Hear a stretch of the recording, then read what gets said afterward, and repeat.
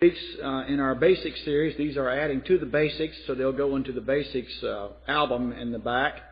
And this will be lesson 164 in that series. There's a whole lot of lessons in that series on a lot of different topics. Some of them are on cassette because we didn't have the CDs at the time, and now these are on uh, on the uh, um, on the CDs uh, only right now. But uh, I entitled this morning's lesson, The Holy Spirit Identified, and we're going to talk a, a few lessons on the Holy Spirit. Quite a few questions that have been asked of me in this regard, regarding the third person of the Trinity. And we do have a Trinity series that covers quite a bit of the uh, teachings that we've uh, we've had in the past on the essence of God and course, the Holy Spirit being the third person of the Godhead doesn't mean that He's the third person of the Godhead because He's third in rank or He's third in importance.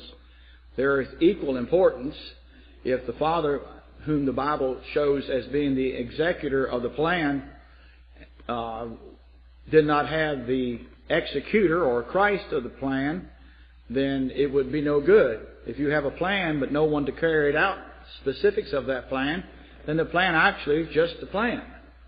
And there are those who have to convince to follow the plan. And since the executor, who uh, is the father, and uh, the executive is the father, the executor, who is the son, uh, is not here to to uh, enforce or to uh, prompt us to follow the plan, then the father uh, told the son, and the son said, "I'm going to send you the Holy Spirit." Who afterwards should come after me. This is in John chapter 16. I'll send the Holy Spirit as not just a comforter and a teacher, but he's also a convictor of sin in mankind all over the world, regardless of race, regardless of age, uh, other than those who have yet to come to the age of understanding, like a child, a little child. Some little children understand, but some don't and language. It makes no difference what the culture is in the world, what the language of those people are. The Holy Spirit knows where every one of them is because He's omniscient, that is, He knows everything. He's omnipresent, that means He's at all places at all times, and He's omnipotent. He has the power to do, and He will always do what the will of God is. And what the will of God is, is His will, the Son's will, and the Father's will. And it's always to be understood that the will of the Holy Spirit the will of the Son and the will of the Father never are in disagreement. Never in disagreement. And it is not a will that they have not always known. It's not like, well, what is our will today?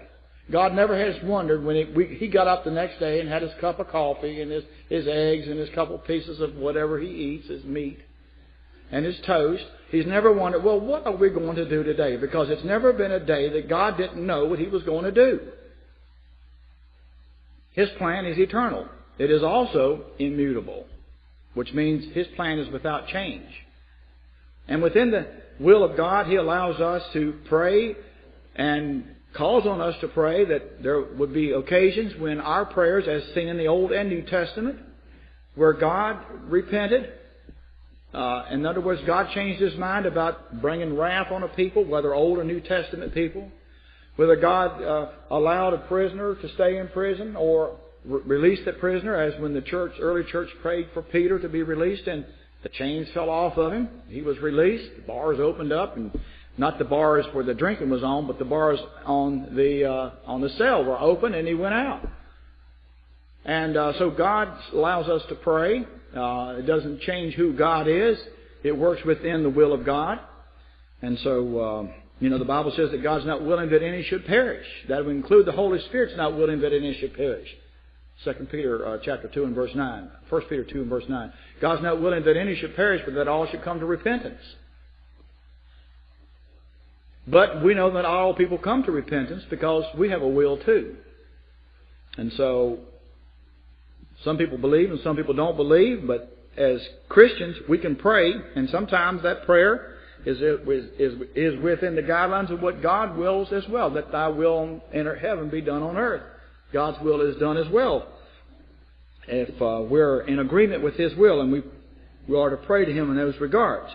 But the Holy Spirit is no less uh, powerful, no less loving, no less knowing, knowing uh, than the Father or the Son. And uh, we must always keep in mind, as we'll look at this probably, is that uh, the uh, Holy Spirit is a person. He has his own personality. He, his essence is equal to the Father. Just as the Son's essence of who he is in his character as God, as deity, is equal to the Father. But he has his own personality. The Father has his personality. The Son has his personality. And the Holy Spirit has his personality. But they are equally the triune God. And it's, it's just faith that we understand that and we believe that.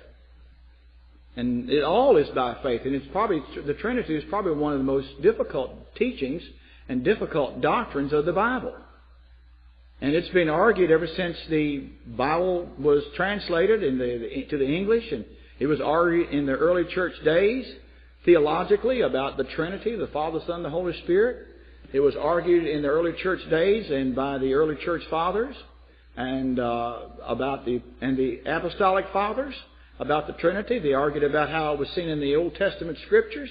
And so there's a lot of arguments about it, and there are even those who believe that there is no Holy Spirit, such as the Mormons. They believe there's no such thing as the third person of the Godhead. There is no Holy Spirit. And uh, that's just not true. There is. So we're going to look at some things.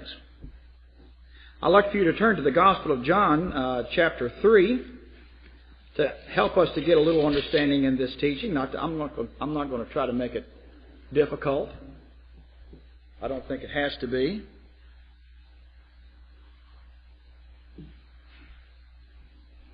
The technical word is pneumatology, and we'll see why that word pneumatology or pneuma, P N E U M A, is the word for wind, breath, spirit, ghost, those four different words are used in the English, but the original word is often the word pneuma. Most of the time it's pneuma. It's when you word, add the word hagios, or holy, or separated in front of the word pneuma that is Holy Spirit. And so that starts identifying the person. Anyway, John chapter 3, Jesus Christ was talking with Nicodemus, a ruler of the Jews. Verse 1 says, The same came to Jesus by night and said unto him, Rabbi, we know that thou art a teacher come from God. But now, he didn't say that thou art God. He said, You're just a teacher. Well, I'm a teacher come from God. See, he was a teacher too. Nicodemus was a teacher of, of the Jewish thought, Jewish practices, and he kind of looked at Jesus as being, well, he's just another teacher. He's a good one. He ought, so people ought to listen to him. He's a good one. But he's saying stuff that we, we Jews haven't been saying. But he just thought of Jesus Christ as just another teacher. Thou art a teacher come from God. For no man can do these miracles that thou doest except God be with him. Not God in him, but God be with him. The Muslims even believe that Jesus Christ is a great teacher, a great prophet. But Muhammad, they believe, came after him and, well, he's a little better. Matter of fact, he overrides everything. Well, there have been people ever since then that have come in every so many hundreds of years or so and said, well, now I've got a new gospel. I've got a new teaching. Just like Joseph Smith came along and started the Mormon church. He said, I've got a new teaching. And uh, God, in our election, apparently said, I don't want there to be another God involved in this country. There's already enough nuts in the White House as it is, much less a man that believes he's going to become God when he dies. I know it's hard for us to swallow. But Mitt Romney believes, as all good Mormons do, all Mormon men, but no women, that when you die, as a good Mormon, you keep their faith, you become a God when you die. A God that is equal to the God who sent His Son, Jesus, to die for their sins. So God says, I'll have no other gods beside me. I might have another nut in the White House, but I'm not going to have another person who believes that he's going to become my rival when he gets when he dies. Because that's not true. He's going to hell when he dies. Because he is believing that he's going to become a God. He believes in a false teaching, another gospel. And he just got it from someone else who as many in this country have believed that he is, that Joseph Smith was just another good teacher, another good man. who was just persecuted for the way he did things, and people don't understand. Well, Nicodemus looked at Jesus Christ as just being another good teacher. And Jesus uh, answered and said unto verily unto Nicodemus, Verily, verily, or truly, truly, I say unto thee, except a man be born again, he cannot see the kingdom of God. He cannot understand, as the Greek word eiden, E-I-D-E-N, he cannot see the kingdom of God. Nicodemus said unto him, How can a man be born when he's old? He, he can't enter the second time in his mother's womb and then be physically born again. And Jesus answered him, Truly, truly, or verily, verily, I say unto you, he's not talking about a physical rebirth, except a man be born of water and of the Spirit. He cannot enter into the kingdom of God. You got to be saved, and the water refers to the Word, and the Spirit is the Holy Spirit regenerating you into salvation. In other words, it is the Holy Spirit that actually saves you. It's the Holy Spirit that actually makes you the new creation. That which is born of the flesh is flesh. Of course, you know the flesh is going to die. But that which is born of the Spirit is spirit. That's the unseen part of you, the soul of you. Okay? That which is born of the Spirit is spiritual, in other words. Marvel not that I said unto thee, You must be born again. This is so that you won't be spiritually dead. We're all born into this world spiritually dead, but physically alive.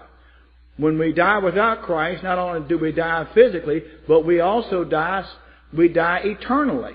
When you accept Jesus Christ as your Savior, though you can't stop physical death unless the rapture happens, you don't have to worry, though, anymore about spiritual death because you've been born again, born from above, regenerated, the Greek word palingenesia, uh, born again or born anew of spiritual uh, capacity. Marvel not that I said unto thee, You must be born again. He didn't say it would be nice if you were, or this is some, one of the many things that you could pick out to be, and then I'll just take you along with the rest who aren't born again. He says you've got to be born again, and you're born of water, verse 5 says, which is re- reflective of the Word of God that washes you clean, and you're born of the Spirit. In other words, this is a spiritual this is a spiritual salvation. Okay? He says, verse 8, the wind bloweth, this is our main verses, and the wind bloweth where it wills, or listeth, or willeth. The wind blows where it wills. And you hear the sound of it. You can hear it whistling through the trees and through your window panes on a cool night or whatever. You hear the sound of it. But you cannot tell from where it comes. Now you might see the direction, but you can't tell from what source it comes out of, what he's saying. What's the source for the direction and the sound and the force of the wind? We have weather vanes. We, I'm sure they had weather vanes of some sort then too. So they could tell if it was coming out of the east, the north, or the west because they could tell where the sun was coming from, from the east. And the wind usually comes out of the west. Think about how the earth turns.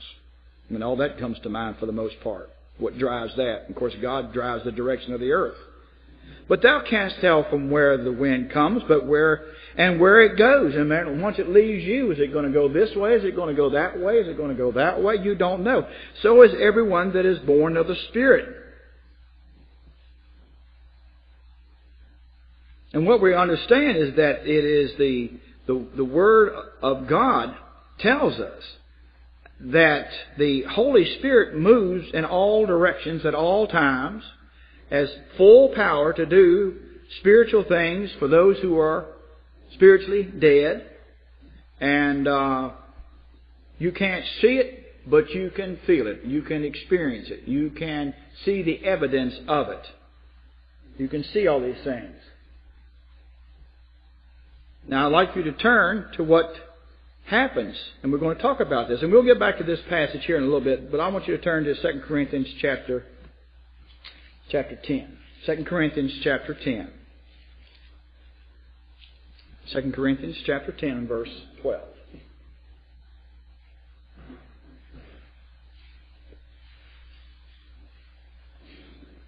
We'll identify some things about the Holy Spirit. Now we have a sheet that I've passed out, and most of you have had copies of it. It's on my laptop. I just have to shut this page down and bring it up. But it's the essence chart. That we don't need to go through a whole lot of that, but we might turn that on and, and look at that again. To help us to understand the uh, Holy Spirit as God, as God, and the things that He has proven in Scripture to be doing and is doing.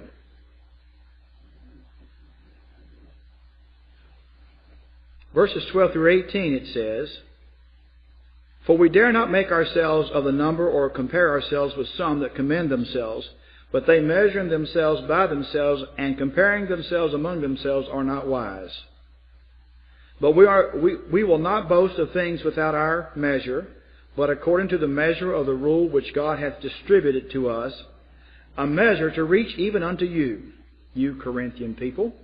For we stretch not ourselves beyond our measure as though we reached not unto you, for we are come as far as to you also in preaching the gospel of Christ. Not boasting of things without our measure, that is, of other men's labors, but having hope that when your faith is increased, that we shall be enlarged by you according to our rule abundantly. To preach the gospel in the regions beyond you, and not to boast in another man's line of things made ready to our hand. But he that glorieth, let him glory in the Lord. For not he that commendeth himself is approved, that is by God, but whom the Lord commendeth, that is the one who is approved. And so often in Christian works, where the Holy Spirit has done the work that God wants Him to do through us, we take the credit for it. And this is one of the things I'm trying to get us into understanding here. And the work of the Holy Spirit in the believer's life. We're identifying what the work of the Holy Spirit is doing. We know that it's a force like the wind. It's powerful. Sometimes it's mild. Sometimes it's a warm breeze. Sometimes it's a harsh cold breeze. Sometimes it comes with ice and snow.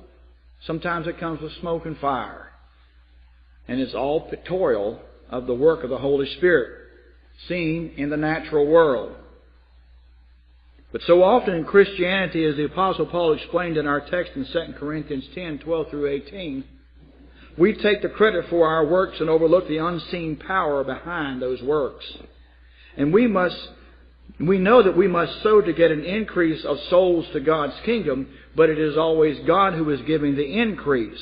And we know that as pastors and Bible teachers that we must teach the Word of God to see an increase of the righteous character of Christ in our lives.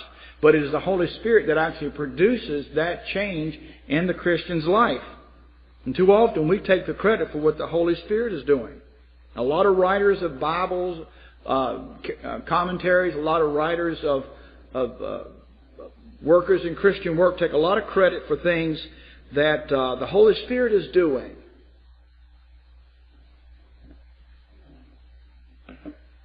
In 1 Corinthians 3, 3 through 7, Paul said, You know, some of you are saying that I was baptized by Apollos and others by someone else. But Paul says that we must sow to get results, but all increase comes from God. And the one giving the increase is the Holy Spirit. If you back up to 1 Corinthians chapter 3. This is a categorical study. It's not like we're doing a verse by verse exposition, so I'm going to try the best I can to tie these things together. And what we're looking at right now is that the works that the Holy Spirit does for God in the church and in the world is often credited to men. And men take the credit gladly and smile going all the way to the bank with it as far as that's concerned. The Holy Spirit's not getting a dime of it. And not the credit either. And most times the Father didn't get any credit either. Just a little lip service. But in 1 Corinthians 3, 3 through 7, Paul talking to the Corinthians, he says, Are you you are yet carnal, for whereas there is among you envy and strife and divisions, are you not carnal and walk as men? For while one, for while one saith, I am of Paul, and another, I am of Apollos, are ye not carnal? Who then is Paul, and who is Apollos? But ministers by whom you believe, even as the Lord gave to every man. I have planted, Apollos watered, but God gave the increase. So then neither is he that planteth anything, neither is he that watereth, but God that giveth the increase. God that giveth the increase. As servants of God, we should never take the credit for the work that He does through us. The slave never steals the credit from his master. And a believer should never steal the credit for what God is doing. We have no power of our own to accomplish God's will. We have no power of our own to accomplish God's will. And as we will see, God gave the Holy Spirit to give power to the church. A lot of people think, as they said back in the 60s, power to the people. But God gave the power to the Holy Spirit to do His work through the church.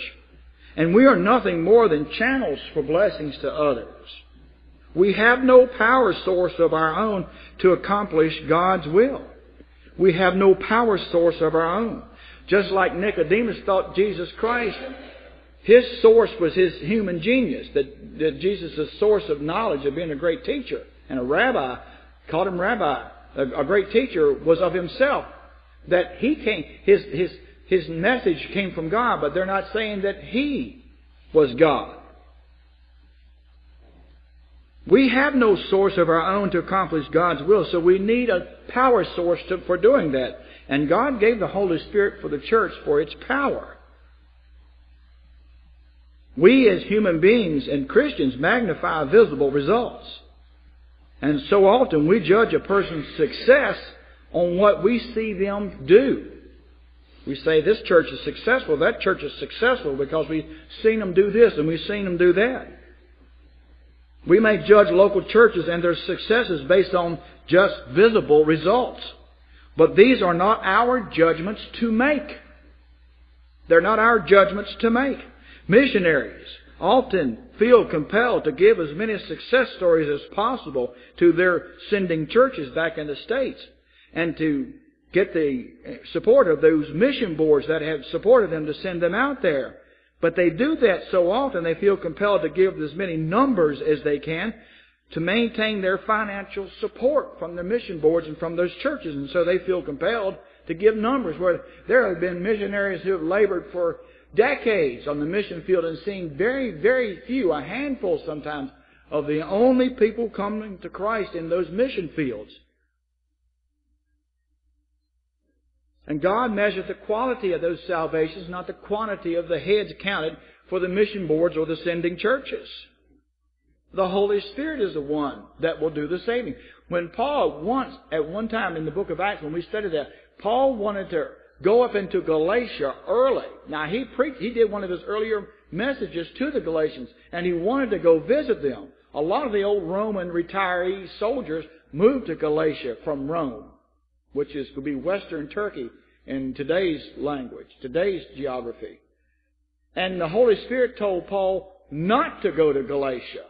There are times when the Holy Spirit tells you not to do this and not to do this. Matter of fact, the Holy Spirit told Paul, don't take the offering back to Jerusalem. Three times he was told that. And he did it anyway, and of course he got in a lot of trouble. He eventually spent two years in Caesarea and another two years under house arrest in Rome, in which those three letters that we were telling you about were written. Maybe that's the reason why God said, well, I'll override what, uh, these, this judgment that, that was brought upon you, that came upon you uh, not God's judgment, but uh, this lack of judgment on Paul's part of not listening. But missionaries often feel compelled to, to tell their successes. A lot of times preachers feel compelled to, to bump the numbers up. Every, every year I get a letter from the uh, uh, GARBC, the General Association of Regular Baptist Churches, and every year they want me to send who the officers in the church. They want to know how many people we have and this, that, and the other. And, you know, there, there's no need to, to say any more than what it is. There's no need to say because the number is not important. It's not important. Matter of fact, if you look, if, I, if you wouldn't look, but if you go online, you'll look. There's only seven churches mentioned in the GARBC in the whole state of Virginia anymore. A lot of them have just left, and the reason why is because GARBC has gone Calvinistic. That's why a lot of people are starting to leave the GARBC, and maybe one of these days we'll do the same because they're basically going Calvinistic, and we're not a Calvinistic church. So, you might line up with some holy rollers or something, though. We're an independent Baptist church. That's just an association. That's all. There's no, no dictates comes from those guys. But we have no power of our own to accomplish God's will. And so, we just need to be God's voice boxes. We need to be His mouthpieces. That's what He calls us to do as witnesses. The Holy Spirit will do the saving of those who want to be saved. But we are to be that mouthpiece. And we are to pray. We are to do that. Any lasting result of a church work is produced by the Holy Spirit. Ministries may take the credit for the visible results of their endeavors, and I have seen preachers, and you have too, stand up and just brag. Oh, we got so many thousands here. We got so many hundreds here. We got this going on overseas. We've got this. We've got. Why are they telling you that? It's like we, we, we, like the little three little piggies. Often ministries take the credit for the visible results of their endeavors. And preachers take the credit for the visible results of their endeavors. And some leave out the truth that if it wasn't for the ministry of the powerful Holy Spirit doing the converting and the saving and the changing of the lives, there wouldn't be anything accomplished. It is the Holy Spirit that produces any lasting results, and that's why He was given to us for power. Jesus Christ says, I'm given to Him for that reason.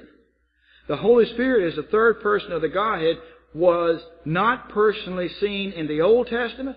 He was not personally seen in the New Testament, and he will never be personally seen. But he has always produced results for the glory of God, the Father and the Son. Always. You cannot and you will never see the Holy Spirit. No man will ever see the Holy Spirit, but you will see the effects of His power when He saves someone, just like Jesus telling Nicodemus about seeing the force and the power of the wind upon the plants and the earth and the water and such. Though you cannot see the Holy Spirit, when He regenerates or saves someone who has put their faith in Christ, you can see the effects on that person's life. Look how Paul changed. Look how you have changed. Look how it draws you back to the Word. Look how it helps you to stay focused on the truth. Look how the people in the past that you've known that have been changed from one form into another have become more like Christ. That's the power that the Holy Spirit introduces when a person receives Christ as Savior. The effects of this change in your life shows the power of God in you. Otherwise, you will be as powerless as you ever were to resist sin and God's righteous commandments. So the Lord gives you that power. And the indwelling Holy Spirit prompts you to stay in tune with that power. Titus chapter 2 and verse 5 says, It is nothing that we have done that has saved us, but in accordance with God's mercy He saves us, by way of the washing of regeneration and the renewing of the Holy Spirit that's what Titus 2.5 says. The washing of regeneration is the baptizing of the Holy Spirit in the new birth, putting you into the body of Christ, cleansing you of your sins through the blood of Christ. And then a result of that is the conversion brought on by the Holy Spirit, saving the soul who believes in Christ. The Holy Spirit is the sovereign executive in the winning of souls, not people. I, you hear that all the time. That's one of the things I, I don't like about the sword of the Lord is they call people soul winners. That's just an old slogan, but they've used it for, I don't know, 50, 60 years people have used it, maybe longer. I guess now time does fly. It's been longer than that, I guess. But that is not a New Testament term. As a matter of fact, it's only used once in the Old Testament. The word, uh, he that winneth souls is wise. Well, I don't know why some people will take one obscure passage of Scripture and the word in the Hebrew is the Hebrew word laqua, and it means to gain the favor. Or to gain. He that gaineth souls is wise. And we've turned it into some sort of a competition, and we've turned it into some sort of a, of a, a mandate for the church. We're told to be witnesses for Christ in the Great Commission in the book of Matthew. But we're never told to be winners of souls because we can't win souls. And the concept of that, of us winning souls leads us to believe that we're to be in competition against the devil. We're not in competition against the devil to win those souls. We're not in competition against the churches somewhere else to win souls. We're not in competition against the cults to win souls. We don't win souls. We're to be witnesses for Jesus Christ. And so take the burden of thinking you have to win so many people or win people in order to be a Christian. We're to be witnesses for Christ. It is the Holy Spirit who does the winning. Most people don't get saved in a church service. Most people don't get saved in an evangelistic service. Most people get saved in their house, in their bedroom, in their car, sitting on a bulldozer somewhere, or in the military, or sitting in their barracks. I had a friend that I led to Christ, and I just talked to him about the Lord and told him how I got saved. He was from Brattleboro, Vermont. My wife and I, I, they were friends with us. And he went back into his room and accepted Christ as his Savior. Came back to my room and says, John, I did it. And I said, what did you do? He says, I believed in Jesus as my Savior. I said, praise the Lord. I had my Red Scofield Bible out. I think I was 18, 19 years old. I'd just gotten to Fort Bragg. I was 19 then. No, I was 18 then. I wasn't married yet. Of course, him and I used to run around some too, back before I was married, and I was an immature Christian. It wasn't really that bad of stuff, but it wasn't church stuff either. Just immaturity on my part, and of course his as well. Dumb in a sack of hammers, but saved. And he's still saved today. Driving a truck across the country and such and so forth.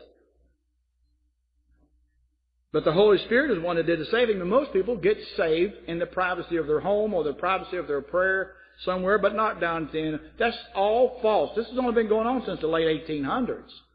They just start running aisles in the late mid to late 1800s, and it wasn't a New Testament concept. This evangelist. These evangelists always start something goofy. I guess some preachers do too. And some preachers who want fame, they will leave the ministry to become an evangelist after so many years. I'm now an evangelist. That's a t- totally different calling with a totally different desire and a totally different dependence. But the Holy Spirit is the executive in the winning and the saving of souls, not, not you, not I. Remember, it is God that gives the increase. We only sow, uh, we only sow uh, the water uh, we put the water of the Word out there, we put the seed of the Word out there, and then God has to give the increase. The Holy Spirit is the one who convicts the lost person of their sin and their future judgment. That's another thing that the Holy Spirit does. You're in Corinthians, if you'll back up to the last of the Gospels, John chapter 16 and verse 8. John chapter 16 and verse 8. And I'll I will, will remind you that witnessing is a universal responsibility. Witnessing is not just for American churches or pastors. Witnessing is something that every Christian is to do. I witnessed to people on the job. I witnessed to people when I was in high school. I witnessed to people when I was in the army.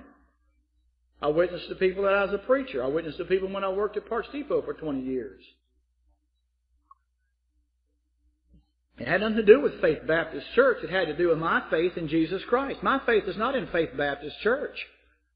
A lot of pre- a lot of Christians put their faith in the brand of their church, the denomination of the church, the name of their preacher. That makes them feel have a sense of security. Well, your security is not in me or the brand of church or the congregation that you're with. Your security is in your Savior. You don't die a Baptist, you die a Christian. You don't go to heaven a Baptist, you go to heaven a Christian. And your witnessing likewise is personal. Personal witnessing. Yes, there's group or mass witnessing, like Peter's sermons, some of Paul's sermons, Apollos' sermons, different ones' preachings.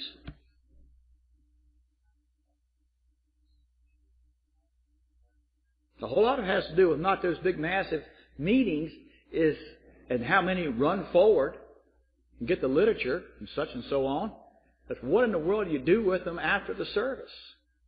Where do they go to grow up? Where do they go to experience what it means to be a Christian? Because being saved is not what it means to be a Christian. Yes, you have to be saved to be a Christian, but you can't experience the Christian life when you're just an infant because you've got to be fed. And I have found people who have come to this church who said that they're spiritual infants in the things of Christ who don't want the feed of the Word of God. So there's one thing about a little baby, the little baby is usually going to eat and eat and eat and eat and eat and eat. But a Christian, you've got a free will. You can say, I don't want to eat, I don't want to eat, I don't want to eat, because I've already gotten used to eating that other junk uh, up to my salvation experience time. I've already gotten used to eating the junk of the world. I don't want the word. I don't want to change because there's a struggle that goes on inside that says, I don't want to change.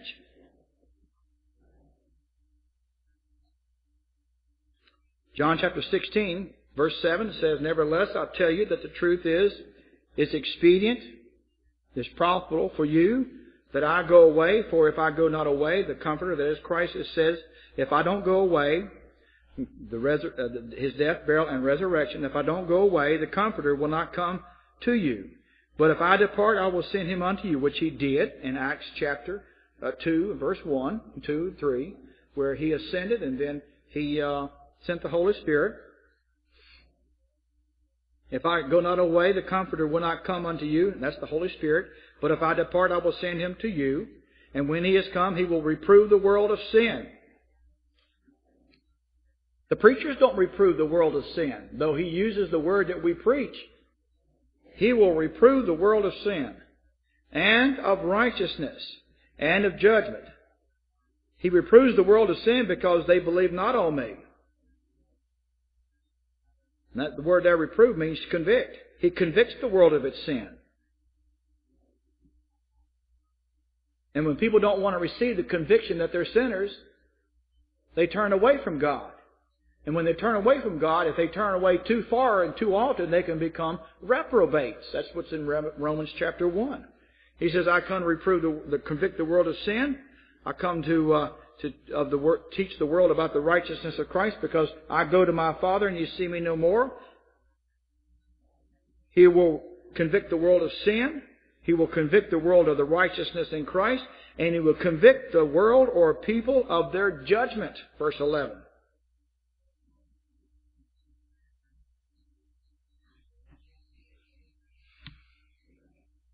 That's what he does. He convicts the, the lost of their need to come to Christ. I can stand up here and preach until I'm purple in the face, and you could too, as far as that goes. But until that person accepts the conviction of the Holy Spirit upon their life that they're sinners and they need Christ, they're not going to come to salvation. They have to be convicted. And they're judged by God because they reject their conviction. Their conscience condemns them. Jesus Christ said in John chapter 3 and verse 8 that you cannot see the wind, but you can see its powerful effect. So there is the effect of someone who accepts and comes under the conviction of the Holy Spirit and repents and gets saved.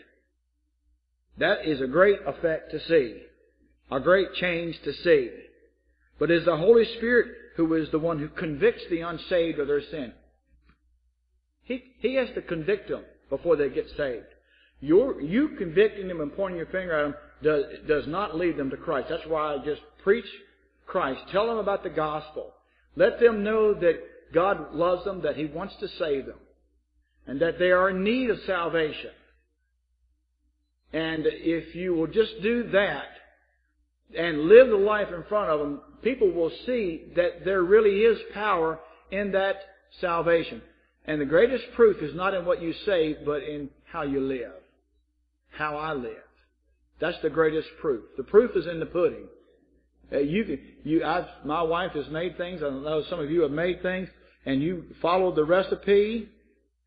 You, you said I followed that recipe to the letter, and it didn't turn out nothing like Aunt Sarah's or Uncle Joe's or what I bought at the at the store the other day. And sometimes we have to understand the proof is not in the recipe. The proof is in the pudding. And you're the pudding. I'm the pudding. The proof is in us. What does our testimony taste like uh, to the world, in other words?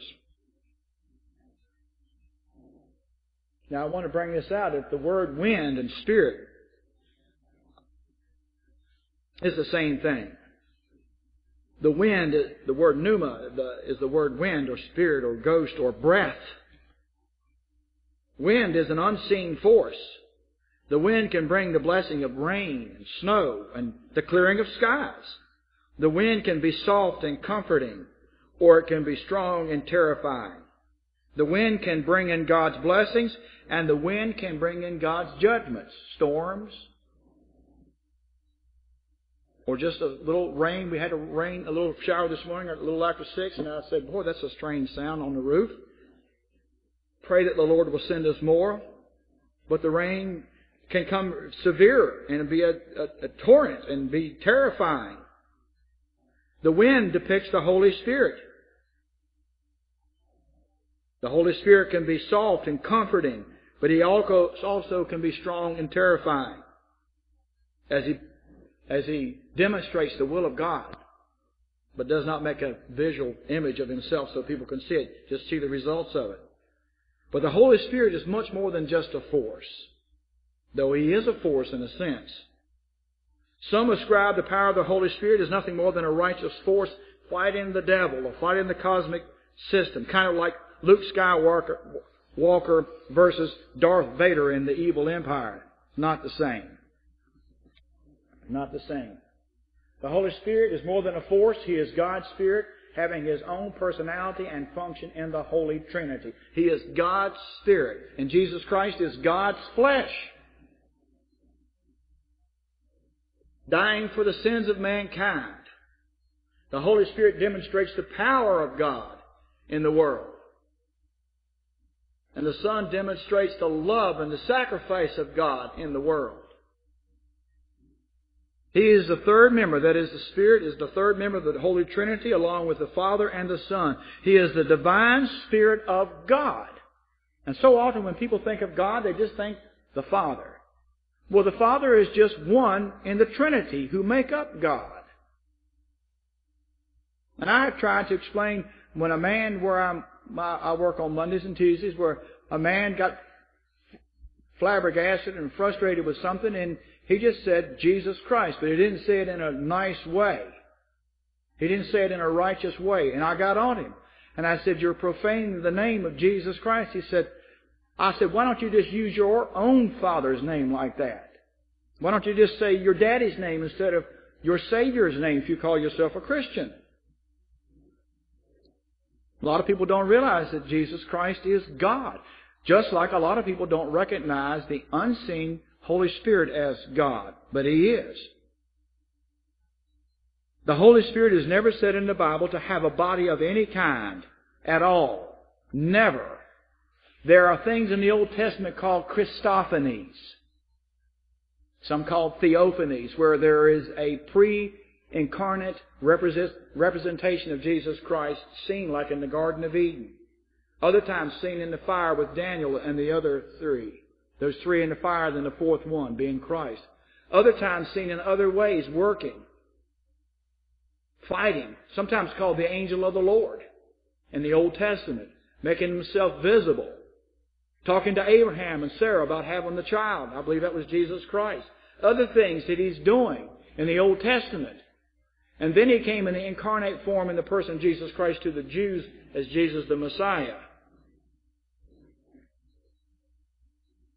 He, God the Son, took on a body in pre-incarnate Old Testament forms and incarnate during his 33 years, and he's, he's kept that body now.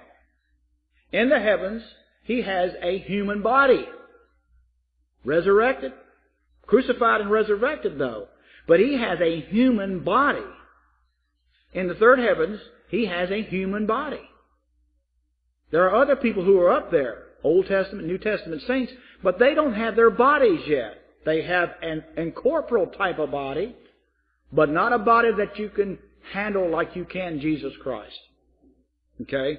Because their bodies haven't been resurrected yet and then glorified because of the reward system.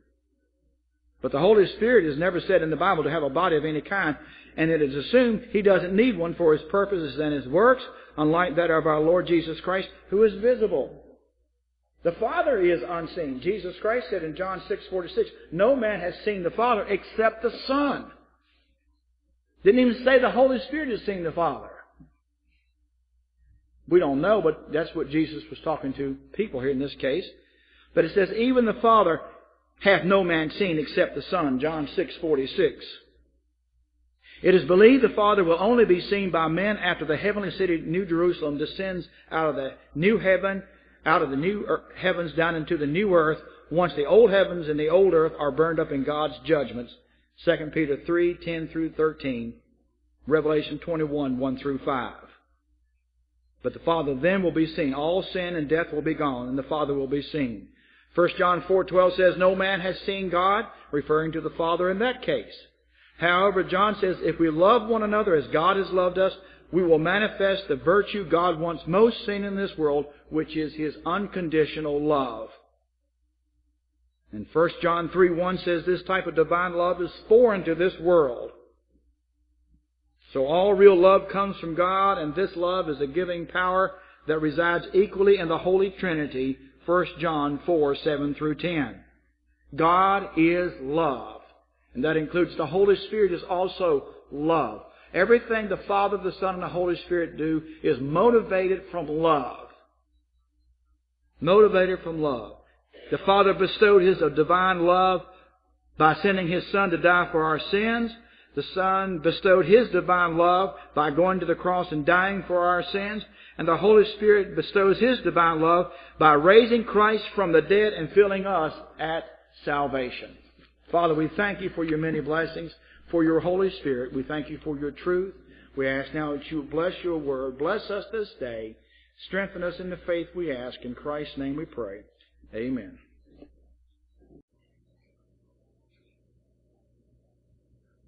All right. Vicky said I fancied it up a little bit. little razzle dazzle. The Holy Spirit teaching. You got the thing going everywhere. That's what it is. I made it normal, but he dialed it up. well, let's go to Lord in prayer. Father, we thank you for this day and for the many blessings you give to us. And thank you for those who can make it out tonight. We ask that you keep each one uh, uh, safe who's out there traveling tonight, and some who are of our fold who are having to work tonight. We pray that you'll keep them safe. Pray that you'll keep Marty safe out there on the road, and and uh, keep Sheila safe, who's who's perhaps working tonight. We ask you watch out for each each one and our church family, those that have been ill. We thank you that uh, Curtis is feeling somewhat better, and we ask you to watch over him and, and protect him, and Linda keep him safe, and restore a good measure of health to to him. Heavenly Father, we do thank you for our Lord and Savior Jesus Christ who gives us a reason to come out on a cool night like this and fellowship and have a warmth not just to our bodies from the heat here that you provided, but also a warmth from the Holy Spirit giving us understanding of His purpose in our lives. And we thank you for this. Thank you now for all you do for us. We ask now you bless the word as it goes forth. In Christ's name we pray. Give thanks. Amen. All right, we'll take this as the second lesson uh, in this uh, little short series, and uh, we are in. Uh, if you want to, um, go ahead and turn to Matthew chapter 14. We've got quite a few verses. Matthew chapter 14. Matthew chapter 14. We've got several verses as the other bus is coming in.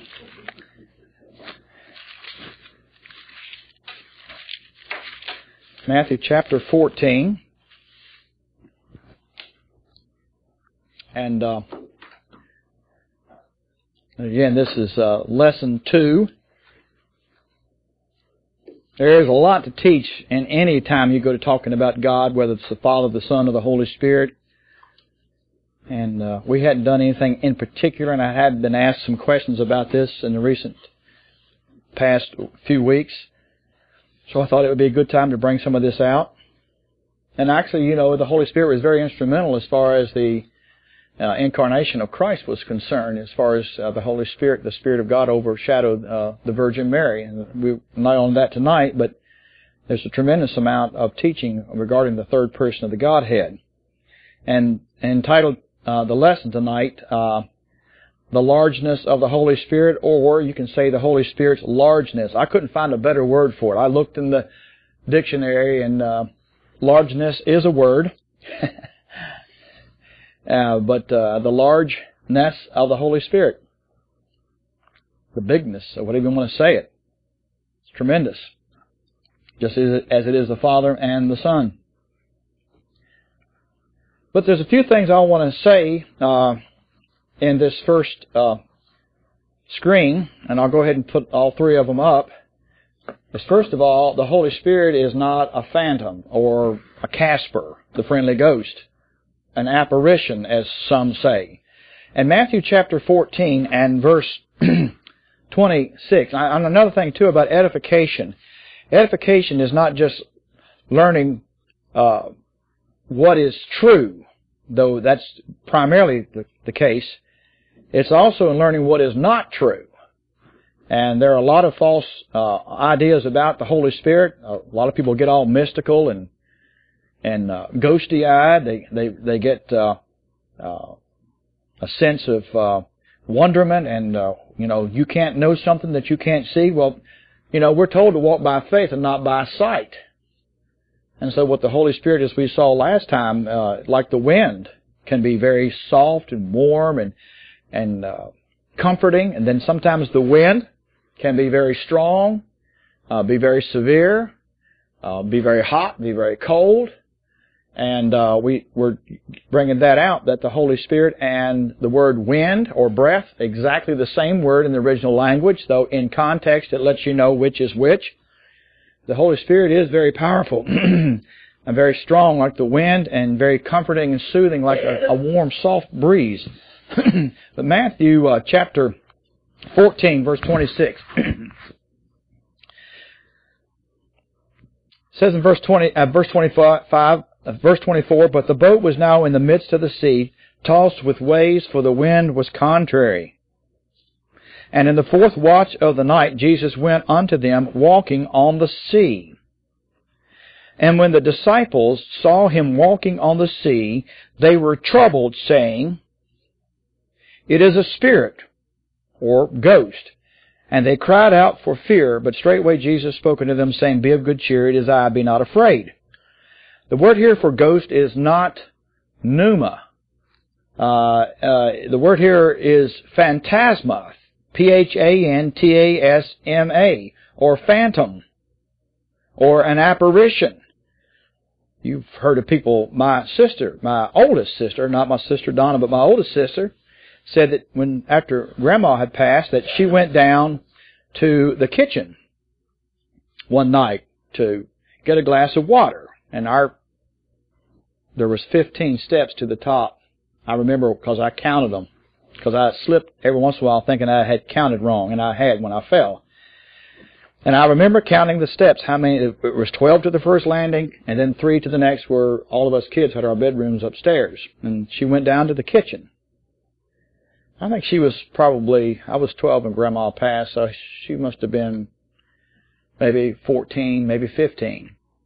And, uh, it was a couple. She was a little bit older than me, um, and she said when she went down to the kitchen, she saw a ghost of her grandmother walking around in the kitchen. It scared her to death. She went run back upstairs. Well, I don't know what she saw, but she didn't see a ghost of her grandmother. Uh, I have had people tell me that they have seen a ghost or a phantom uh, of a relative, and you can imagine a lot of things. Uh, but the Bible says that um, uh, that we're not to be bringing up, uh, uh, not to be imagining things that aren't scriptural. Uh, that uh, when a person passes away, they don't go into some intermediary life or world. Uh, they are gone. Your imagination's still there. You can see a little light of something, or maybe you can even, in your mind, picture an image of Grandma standing there. And uh, I had a lady that attended church here several years ago. She doesn't go to church anymore. She just attended for a few months. But she, on a stack of Bibles, that, you know, she's been seeing her mother and talking to her mother. And I just, to be honest with you, I told her, I said, no, you have not been talking to your mother. You may be talking to your mother, but she's not there. Oh, I think I saw her up sitting on the mantelpiece. I said, did your mother ever sit on the mantelpiece?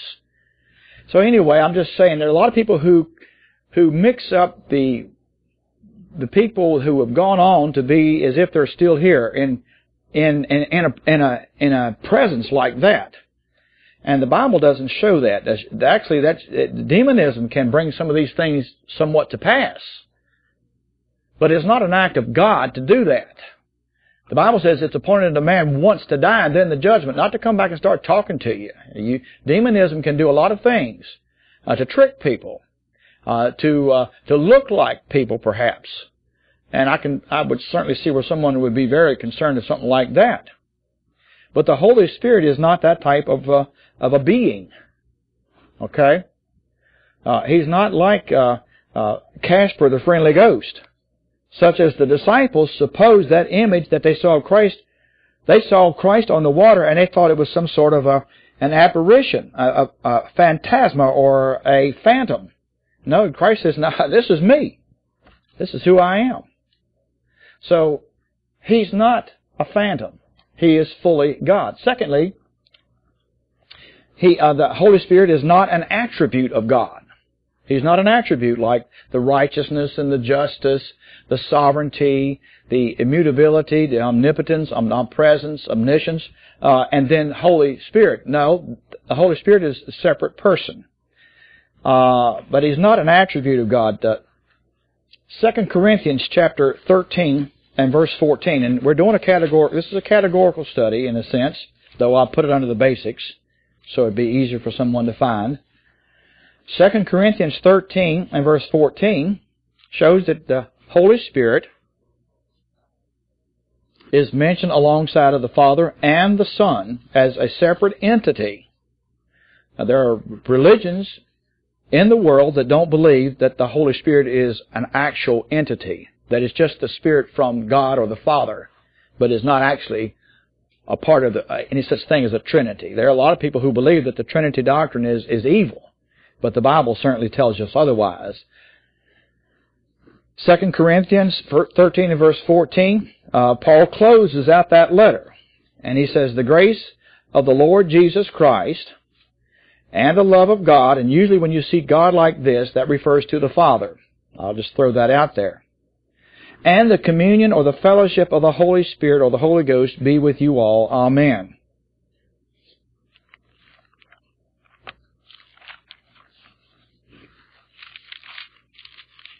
Numbers chapter 6 verse, I'm going to read Numbers chapter 6 verse 22 through 27. It's called the Trinitarian benediction. I don't have that up there. Uh, this is, I'll pull out of the hat right here thing. Or it's a footnote in my that I, not a footnote, but a, a side note. This is called the Trinitarian benediction. You hear it quite often. And I read this and quite often uh, at a funeral, at at the closing or at the time when we do uh, the committal, which is the, the burial. And I'll start with verse 24. Verse 23, uh, Aaron, uh, speak, Lord told Moses to speak unto Aaron and to his sons, saying, In this, in this way ye shall bless the children of Israel, saying unto them, The Lord bless thee and keep thee. The Lord make his face shine upon thee and be gracious unto thee. The Lord lift up his countenance upon thee and give thee peace.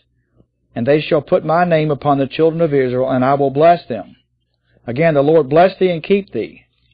The Lord make his face to shine upon thee and be gracious unto thee. The Lord lift up his countenance upon thee and give thee peace. Theologians look at this as the Lord Father, the Lord Son, and the Lord Holy Spirit, seen three different times.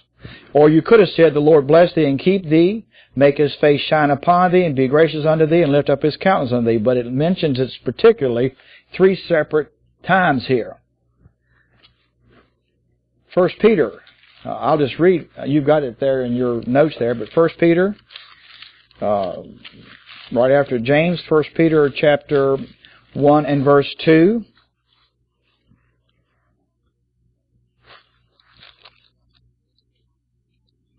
That we are the elect according to the foreknowledge of God the Father through sanctification of the Spirit unto obedience and sprinkling of the blood of Jesus Christ, grace unto you and peace be multiplied. So there you have God the Father. We have the sanctification of the Spirit, setting apart work of the Holy Spirit. That's seen in uh, Ephesians 1 and verse 13 where he seals us in the body of Christ. And the obedience and sprinkling of the blood of Jesus Christ. I'll give you another one there. You 1 John chapter 5 and verse 7, 1 John 5, 7. 1 John 5, 7. It says right here, For there are three, 1 John 5, 7. For there are three that bear record in heaven, the Father, the Word, and the Holy Spirit, and these three are one. pretty clear. the Trinity. These three are one. It clearly shows in these verses that the Holy Spirit is His own person, just like the Father and the Son are their own separate person. What makes them unique is that they have the exact same attributes of deity. The same attributes of deity that human beings do not have. They are eternal. They are sovereign. They are immutable without change. They are omnipotent, omnipresent, omniscient, all-knowing. Human beings like to think that they're all these things, but they're none of them.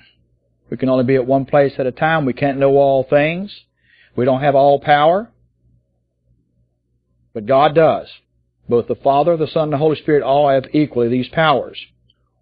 Not only is the Holy Spirit distinct and separate personally, but his authority is often also overlooked. His authority is also often overlooked. 2 Corinthians chapter 3 and verse 17. Some look at the Father as, as the one with the most authority, as Christ showed his, Christ Jesus showed his submission to the Father as an example to us how we're to be submissive to the will of the Father. He didn't show his submission to the Father because he was less than the Father or because he was without authority. He was God's representative to humanity so that we could see how we're to act. We're to act like Christ acted. And if Christ were not Christ-like, he wouldn't have shown a submission to the authority of the Father because they've never argued. They never dis- disagreed.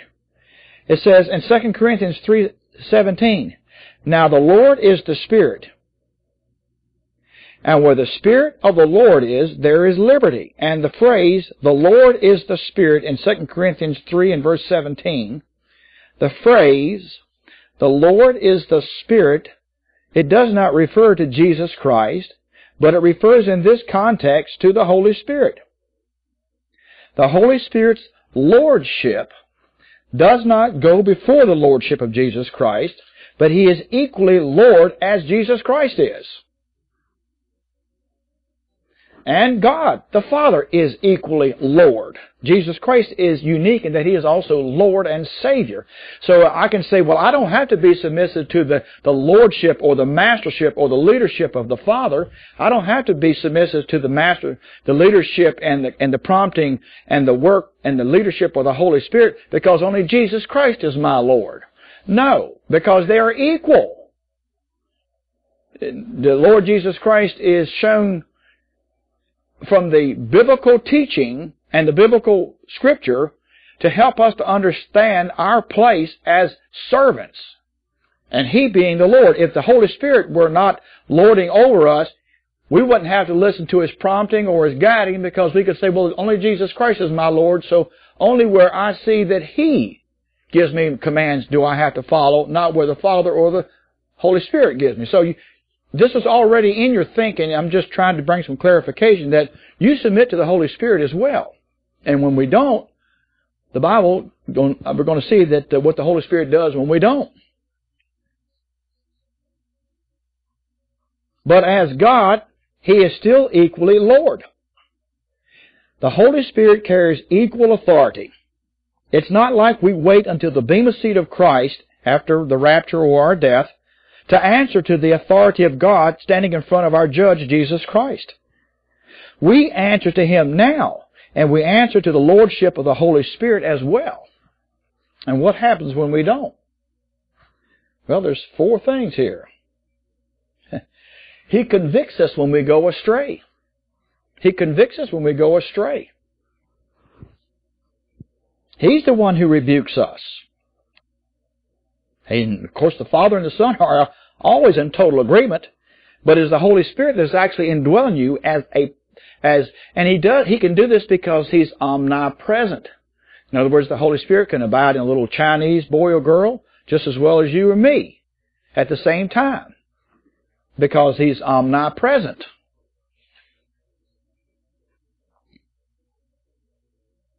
And he is no more, he's not too busy to deal with me. Some people say, well, the Lord needs to spend a little more time working on this person or that person. The Lord doesn't need to be bothered with my trouble. So and so's got a lot more troubles than I got. Guess what? The Lord's up to the task. He is the one who convicts us and rebukes us when we stray. And Ephesians chapter 4 and verse 30 says, And grieve not the Holy Spirit. Grieve not the Holy Spirit. Ephesians chapter 4 General Electric Power Company, electric part here is Ephesians chapter 4 and verse 30, says, uh, And grieve not the Holy Spirit of God, by whom you are sealed unto the day of redemption. And just before that verse came out, Paul is telling us through the Laodicean or Ephesian letter, says, No, let no, let him that stole steal no more, but let him labor with his hands. Well, in our case of our government today, you know, for some folks that can do for themselves, let the government do it for them. But it says, let him that stole steal no more. I think we ought to give that uh, to Congress. but rather let him labor, working with his hands the thing which is good, that he may have to give to him that needeth. You see, he says, work that you might have things to give to others. Don't make somebody else do it for you. Then he says, Let no corrupt communication proceed out of your mouth, but that which is good to the use of edifying, that it may minister grace unto the hearers. So he's he's giving them he's he's telling them how we ought to do. The, even verse twenty five says, Don't lie. Don't be angry and sin not, let the sun go down upon your wrath. Don't give place to the devil. So there are negatives in Christianity. And because he says that when you do these things, you grieve the Holy Spirit. Sin grieves the Holy Spirit by whom you are sealed unto the day of redemption, which we haven't gotten into, but we know that He seals us. So the word grieved means distressed. He's grieved. He's distressed when we sin. And since our His Spirit bears witness with our spirit, guess what happens when the Holy Spirit is distressed and grieved? We become distressed and grieved because His Spirit is fellowshipping with our spirit. Now our human spirit is not sinning. Your human spirit cannot sin. But if you get out of fellowship with the Lord, you block off the, the fellowship, you block off the comfort, you block off the, the, the information, the peace of God, the wisdom of God. When we sin, we are not just distressing the Holy Spirit, but He distresses us and our soul through the interface called the human spirit.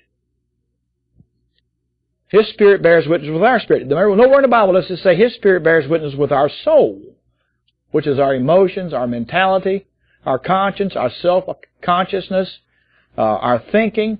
That is all become, then that all becomes distress. And if we stay distressed too long because we're grieving the Holy Spirit because of sin in our life, the next thing that comes after being perpetually distressed is depression. That's why a lot of Christians suffer. Depression is because they're constantly distressing the Holy Spirit. Because He could take that which is distressing to us and change it. I'm not saying that there can't be times when we have emotional and chemical things that happen within our bodies. That's just a part of life, but it doesn't hang on. Being in fellowship with the Lord actually promises the joy of the Lord. And I, I would dare to say that folks who study and stay in fellowship with the Lord and stay in the Word where they can get the Word have very little times in their lives when they go through long stretches of being distressed or depressed. The third one is the Holy Spirit is quenched. The word quenched means suppressed. It means the picture of throwing water on the fire. The Holy Spirit is quenched when we restrict the Word and worship due God. First Thessalonians, Paul wrote that. Comes before Timothy. First Thessalonians chapter 5. Quench not the spirit. Now we exhort you, brethren, verse 14 of 1 Thessalonians 5. Now we exhort you, try to encourage you, brethren, warn them that are unruly. Not talking about the unsaved, but the saved. Warn them that are unruly. Encourage the faint-hearted. And certainly we should do that. Support the weak. Be patient toward all men, even the lost. As much as possible. Be patient. See that none render evil for evil. In other words, vengeance. I'm going to get vengeance back for somebody doing me wrong. See that we don't do that. But ever follow that which is good, both among yourselves and to all men. Rejoice evermore. Pray without ceasing. In everything give thanks, for this is the will of God in Christ Jesus concerning you. Then he says, quench not the spirit. And what is he saying here about quenching not the spirit? Well, he says, despise not the teaching of the word of God. When you despise the prophesying, verse 20, you are quenching the Holy Spirit. A lot of Christians quench the Holy Spirit because they don't, they let themselves spiritually up from the Word of God. They don't get it. Then it says, prove all things, hold fast that which is good. Because if you don't, you're going to quench the Holy Spirit. Holy Spirit wants you to see things from the right perspective. Abstain from all appearance of evil. What will happen if you don't? Well, not only is there grief involved, but there's quenching involved. Grief is when we sin, doing what we shouldn't do, and quenching is when we don't do what we should do. 1 Corinthians 14 and verse 26. 1 Corinthians 14 verse 26. He says, How is it then, brethren, when you come together, every one of you has their own psalm, their own song. Everybody has their own doctrine. Everybody's speaking in their own tongue. Everybody has a new revelation. Everybody has their own interpretation. And he says, let all things be done unto edifying. And the context here, what he's talking about is quenching the Holy Spirit.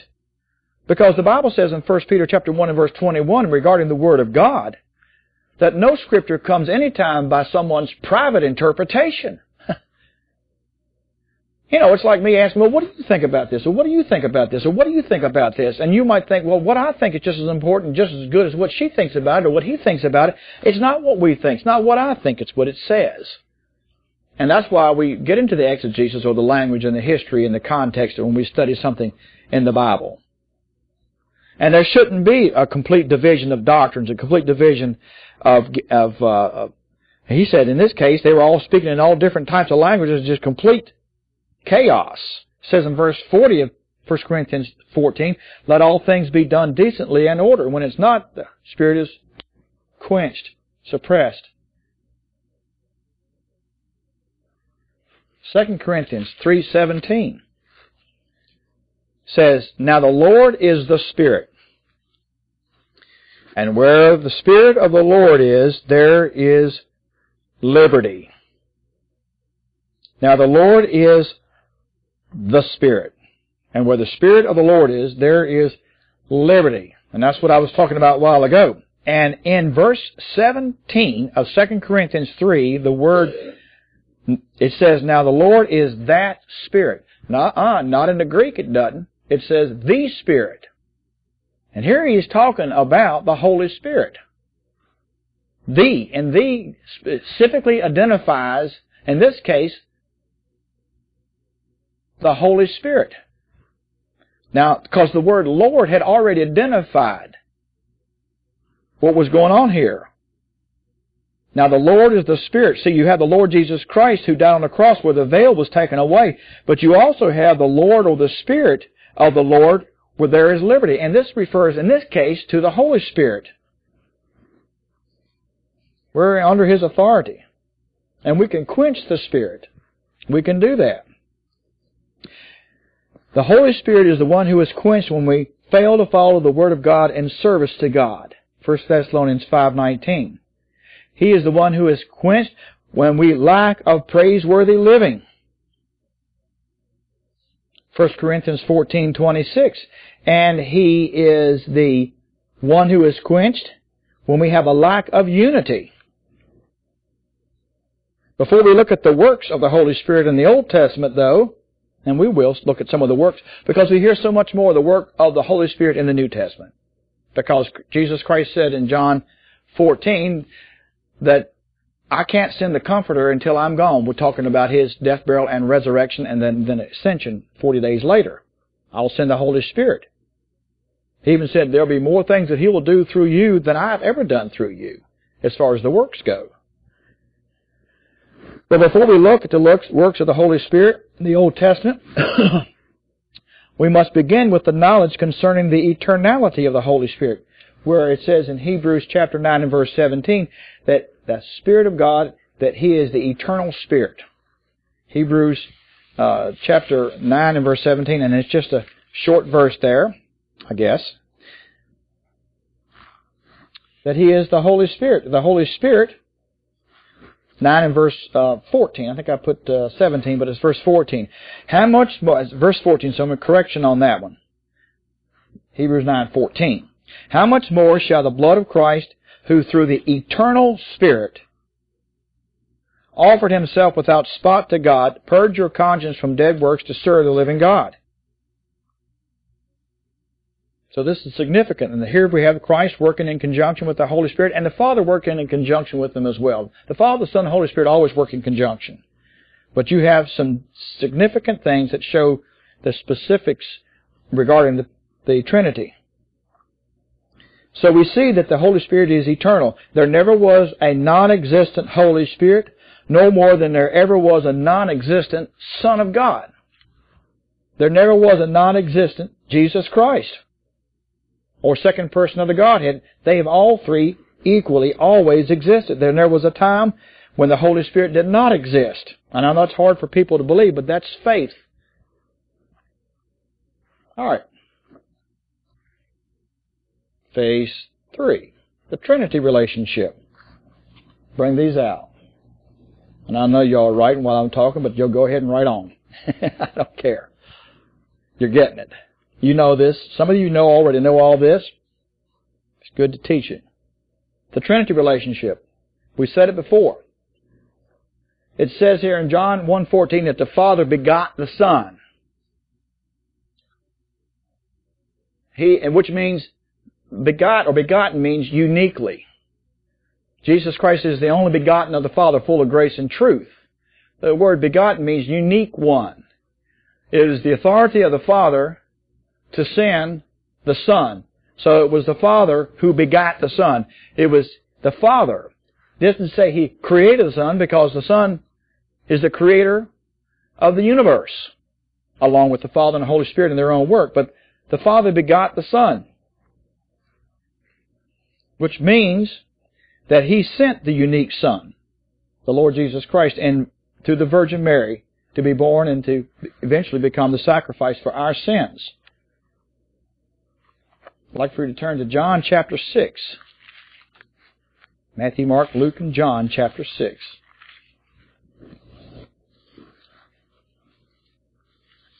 And again, I can email these to you. John chapter 6, verse 38.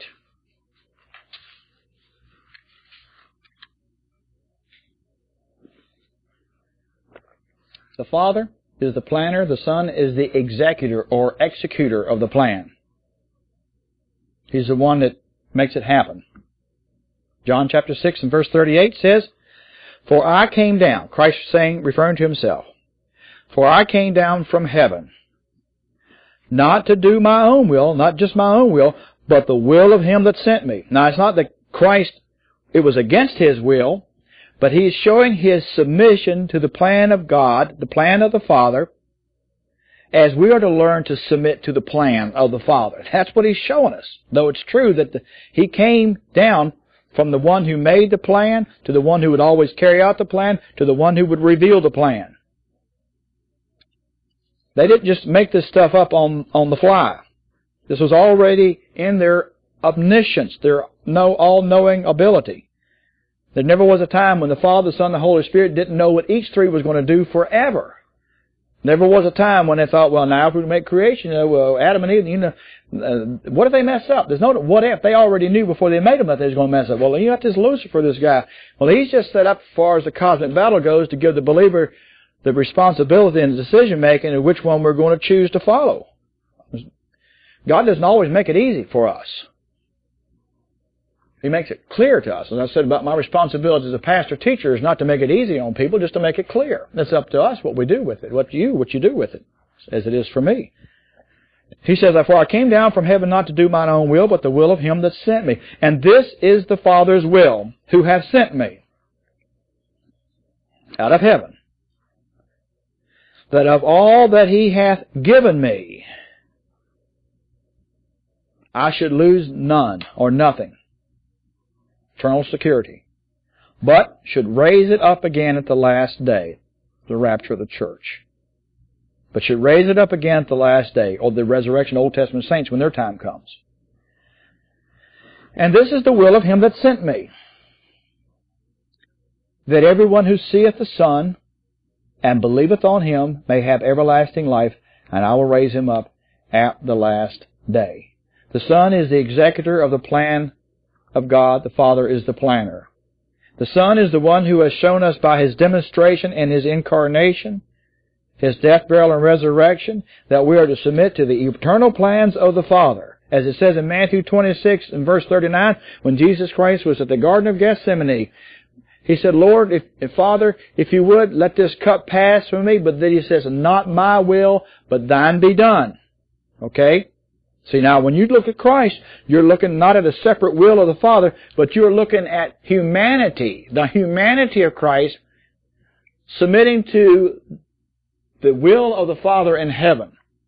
And He's showing us that we are to, in our form, though indwelt by the Spirit of God, in our humanity, in, in, in, our, in our being, we are to submit ourselves as well to not our will be done, but thy will be done.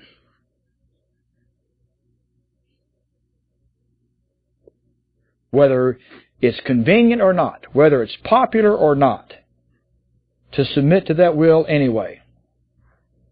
And we then looked at, we see that the Holy Spirit is the revealer of the plan the revealer of the plan. You're there in John, if you turn to chapter 14. You got some uh, some verses there. I'll put a little C there, not on purpose, accidentally. But you see this right here. This is what you call a chain reference. You're talking about a chain reference Bible. Well, if you don't have it in your margins, and I don't have these most of the time, I've got some, but not most of these in my margins. But learning the Bible, you learn these references. And you can just take where this first reference is right here, and just in the margin of your Bible, if you want to, pencil them in or whatever, you can just jot these others down because you can turn to those, and these are Scripture. The golden rule of biblical interpretation is comparing Scripture with Scripture. This is how you defeat false teaching. You compare Scripture with Scripture because somebody might be able to take this passage, take it out of context, and say something totally different than what the Bible wants to convey.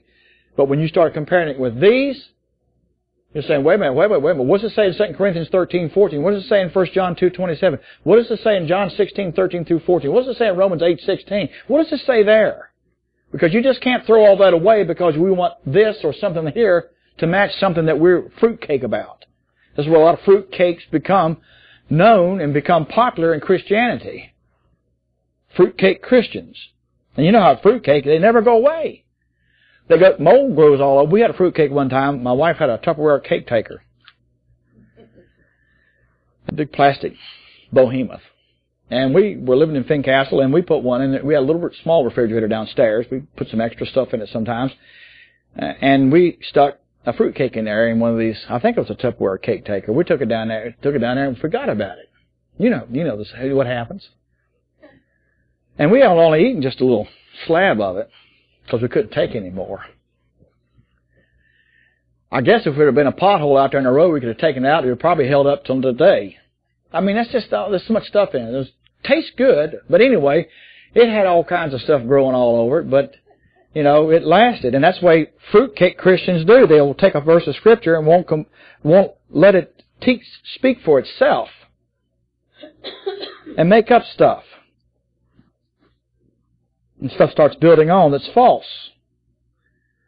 But John 14:26, Jesus Christ says, "But the Comforter, who Comforter, not the kind you throw on a bed, but the Comforter, that's the Holy Spirit who comforts us, Parakletos, comes along the side to aid us and comfort us, who is the Holy Ghost or Holy Spirit, same Greek word pneuma, whom the Father will send in my name."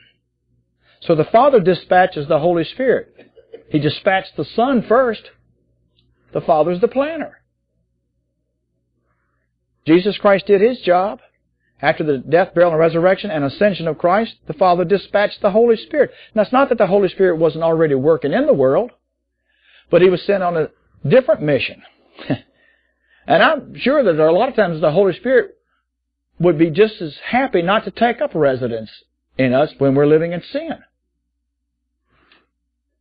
But the Comforter, who is the Holy Spirit, whom the Father will send in my name, he shall teach you all things and shall bring all things to your remembrance. He is going to be revealing the plan to you. He shall bring all things to your remembrance, whatever I have said unto you. And they are always in agreement, okay? The Holy Spirit, in other words, teaches us to recall resident Bible doctrine, to recall the truth. Now, John 16, if you'll turn the page to John 16, verse 13. And let's look at verse 12 over there. We're in the neighborhood. John 16 verse 12, he says, I have yet many things to say unto you. The Lord says, I got so much I want to tell you, so much I want to share with you. He says, but you cannot bear it now. And I, I, that goes for us and Christians, as Christians. There are things that I am learning now as a Christian that I couldn't have handled 35 or 40 years ago when I became a Christian. He says, you cannot bear them. There's yet many things to say to you, but you cannot bear them. And that had to do with this, of course, is what was going to happen to him. You cannot bear them now. You're not ready for it. Nevertheless, when He, the Spirit of truth, has come, when the Spirit of truth has come, He will guide you into all truth. This is a part of the work of the Holy Spirit. To guide you into what? Truth. And where is the truth found? It's found in the Bible. He will guide you into all truth, for he shall not speak of himself, but whatever he shall, uh, but whatever he shall hear, that shall he speak, and he will show you things to come, and he will glorify me. For he shall receive of mine and shall show it unto you. All the things that the Father hath are mine, therefore said I, that he shall take of mine and shall show it unto you.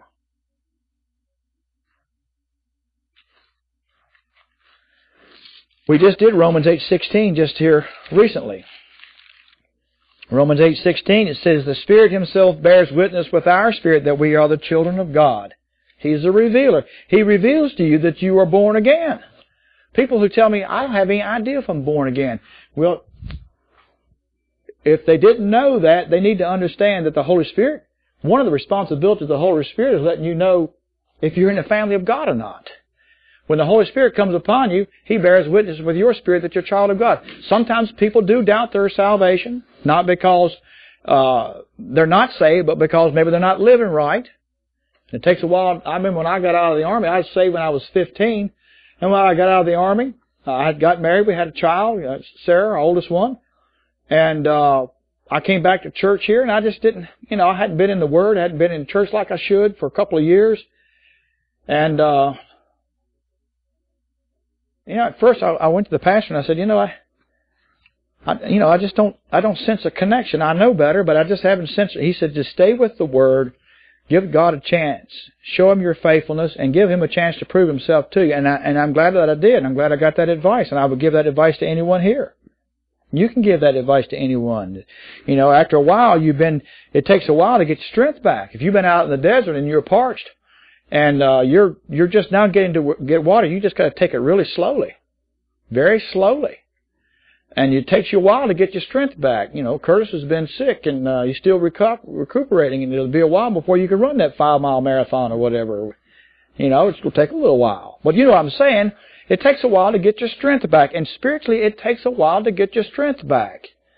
And that's where you have to prove that you mean business. And I've had people who who get back to the Word, but they fall off again. And even the disciples, after the Lord had had uh, gone, uh, when he was crucified, first crucified, before they saw, those couple of days before there was the resurrection, they were so distressed and they were grieved and they said, well, what are we going to do? We're going to go back out fishing again? You know, we, you know, and, and then they said, we, we, we have met the Son of God. There's, there's nothing to turn back to. We've got to get on with it. We've got to, got to follow Him, no matter where it takes us. And it took all of them except for John to their death. At least John the Revelator anyway. But His Spirit bears witness with our spirit. And that's a present active indicative verb, which means it's not He did it back when I first got saved. He's always bearing witness with our spirit if we'll just uh, receive it into our soul. The Word of God, the comfort of God. 1 Corinthians chapter 2 and verse 13 says, Which things also we speak not in the words which man's wisdom teaches, but which the Holy Spirit teaches, comparing spiritual things with spiritual.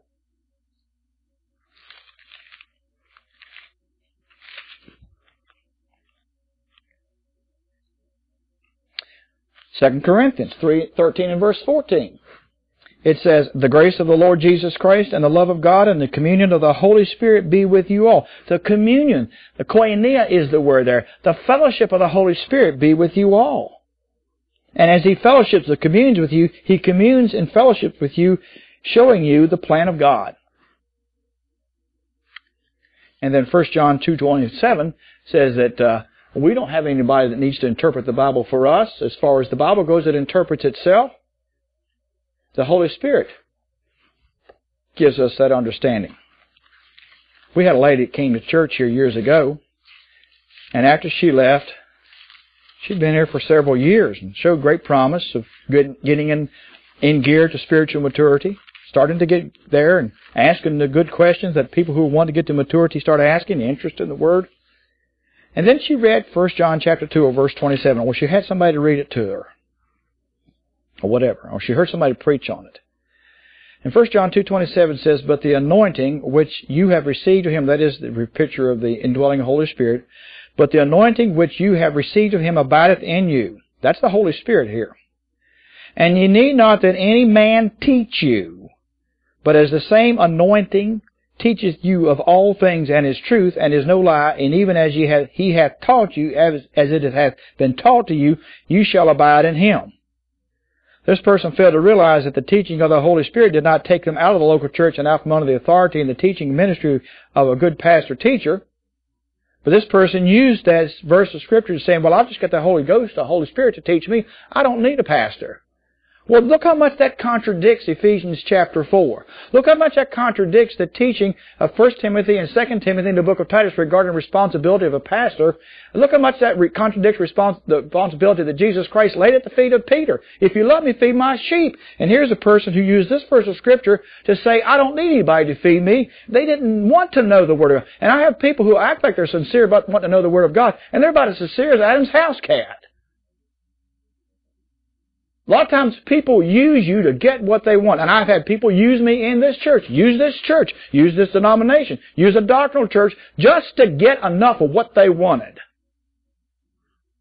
And so I still work to help people, but I tell you what, there are a lot of people who will take uh, a selected passage of Scripture and they will not compare them with Scripture because they don't care about the golden rule of biblical interpretation because they just want to use God for their own personal agenda. And the Bible calls that deceitfully handling the Word of God. If I took that verse and said, I don't need to go to church anymore because the Holy Spirit is my teacher, then I have deceitfully handled the Word of God because I have not compared it with the rest of the Word of God. I've taken it completely out of context. And what the context was is the Gnostics, who were the false teachers in Ephesus, where John was a pastor, where this was written, were teaching that you didn't have to follow uh, confession of sin. We're teaching that you could live a lascivious lifestyle, and it's okay. And they were trying to reinterpret the Bible to put it in the context of where it would match a Mormon doctrine or a, a, uh, a, a Jehovah's Witness doctrine or some other belief system doctrine or a false doctrine such as the Gnostics. Of course, those others are false too.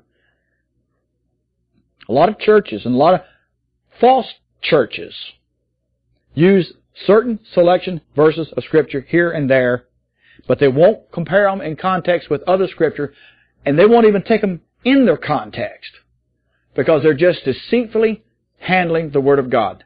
Uh, that Mike Murdock, who is the prosperity preacher that keeps sending text messages or um, voicemails to my daughter's phone, you know, that she should feel guilty about not tithing to his ministry. He doesn't know her from Adam. How in the world she got on his robocalls, I don't know. And she certainly wishes she wasn't on them. I've listened to her. She showed me, let me listen to one of them. He deceitfully handles the Word of God. And he's making a killing doing it. But you know what? I wouldn't be surprised if he didn't get killed for doing it. God will allow someone like that to stay in the ministry just to test another Christian's motivation. Are you in it for the money? So I heard a preacher saying uh, the other day uh, on the, my little, I get his iPod, I get his i uh, podcast.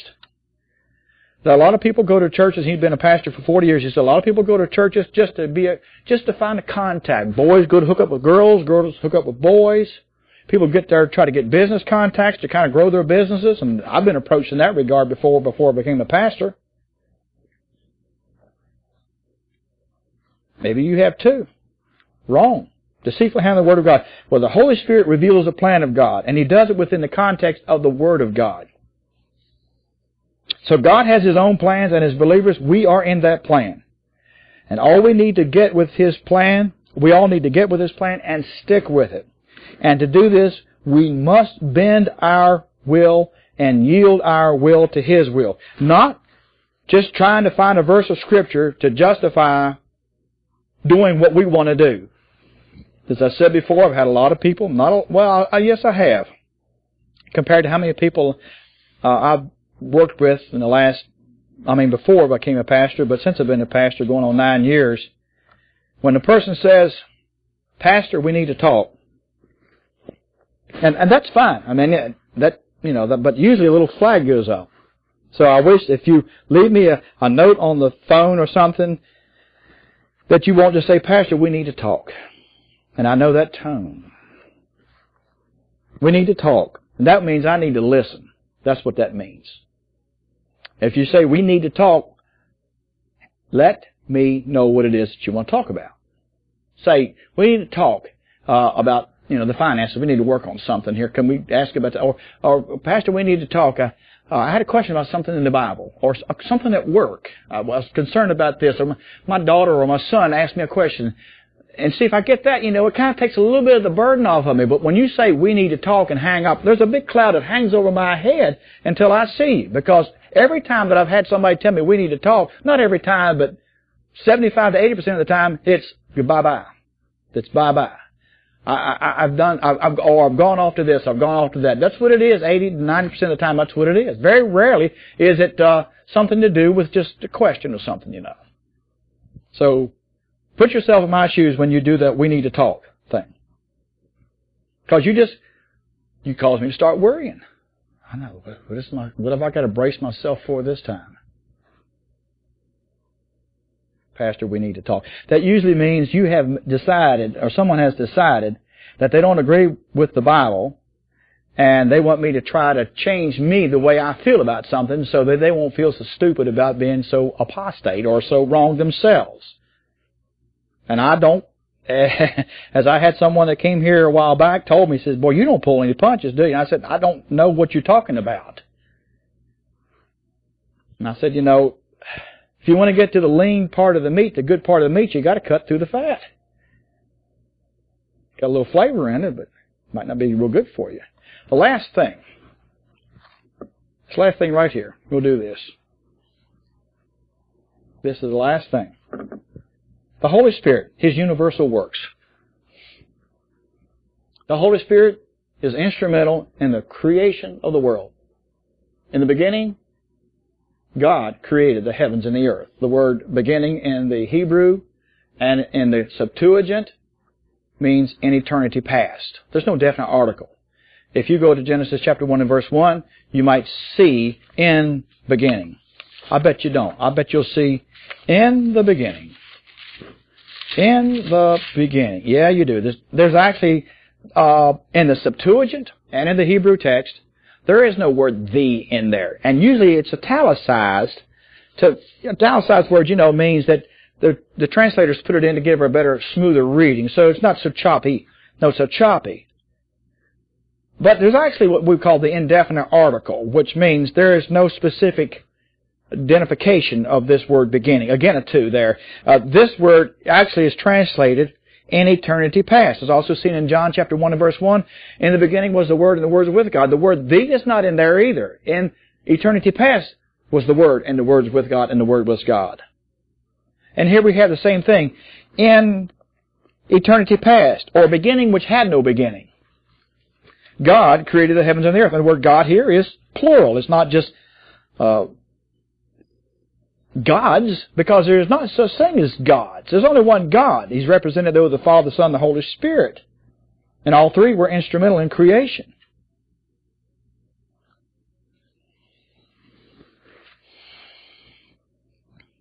Genesis 1-1, the Holy Spirit was instrumental in the, the bara, the speaking into existence. Bara, not asah, but bara, speaking into existence. The Holy Spirit was instrumental in that particular decision and that particular act.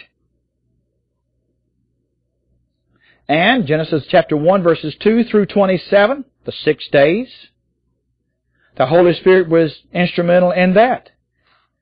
And the earth, or but the earth was, Hebrew, had become without form and void. Remember Isaiah 45 verse 18. If you don't have it jotted there in your in your margin, you really do want to have it there when someone takes you to that. If you don't have it jotted down, you're not, and you, and, I, and if you don't want to write in your Bible, I, I, I, hey, that's fine. Some people don't don't feel comfortable with that, and that's fine. But this is a textbook for me, okay? And it's it's, it's the Word of God is, is Jesus Christ, not this piece of paper, okay? Uh, but the earth had become without form and void, and darkness was upon the face of the deep. That means hard packed ice. And the Spirit of God moved upon the face of these waters of the deep. Psalm 105 verse 1, no, excuse me, 150 and verse 1, Psalm 33 verses 6 and 9. Spirit of God moved upon the face of the deep and the, uh, moved upon the face of the waters. These are 24 hour periods that follow from therein until the days were completed. The Holy Spirit was instrumental in the restoration. As we know the earth pretty much today, other than the Noahic flood, which still has certainly impact, but it had greater impact there. We don't know how the earth is. And between Genesis 1-1 and 1-2, you know, is Isaiah chapter 14, verses 12 through 14, where Satan ascended from the earth where it was his place, it was playground with all the angels as Lucifer, and then he ascended and he said, I'll become like the Most High, and, and I'll have angels worship me. And God says, you know what, and I'll judge you. And he did, he judged the habitation as well. But there was not three separate gods creating the heavens and the earth, but one triune God. And the individual credit in creation goes to the Father, Psalm 102 verse 25. And it goes to the Son, Colossians 1 and verse 16. And the Holy Spirit, Genesis chapter 1 and verse 2. Secondly, the universal works of the Holy Spirit is that He's the restrainer of universal destruction, of that is of mankind. 2 Thessalonians 2, 6 through 7 says that when the, the rapture of the church taking place, it says, then the Holy One, of the Spirit of God, will be taken out, and the man of sin will be revealed, and all kinds of evil will take over the earth during the tribulation period. Evil that is right now restrained, restrained. The Holy Spirit we know doesn't stop all evil in the world. We know it still goes on. But He restrains evil universally so as to avoid universal destruction by man's own hand. He inspires during this period of time good men to stop evil, whether they're Christian men and women or not, but He inspires good men to stop evil. Just for your, and the Holy Spirit inspires this. Doesn't mean he indwells the lost who are maybe a good soldier or, or a good judge or a good political leader or a good lawman, but he inspires it. And I believe that God intervenes supernaturally to inspire things that to happen that are good.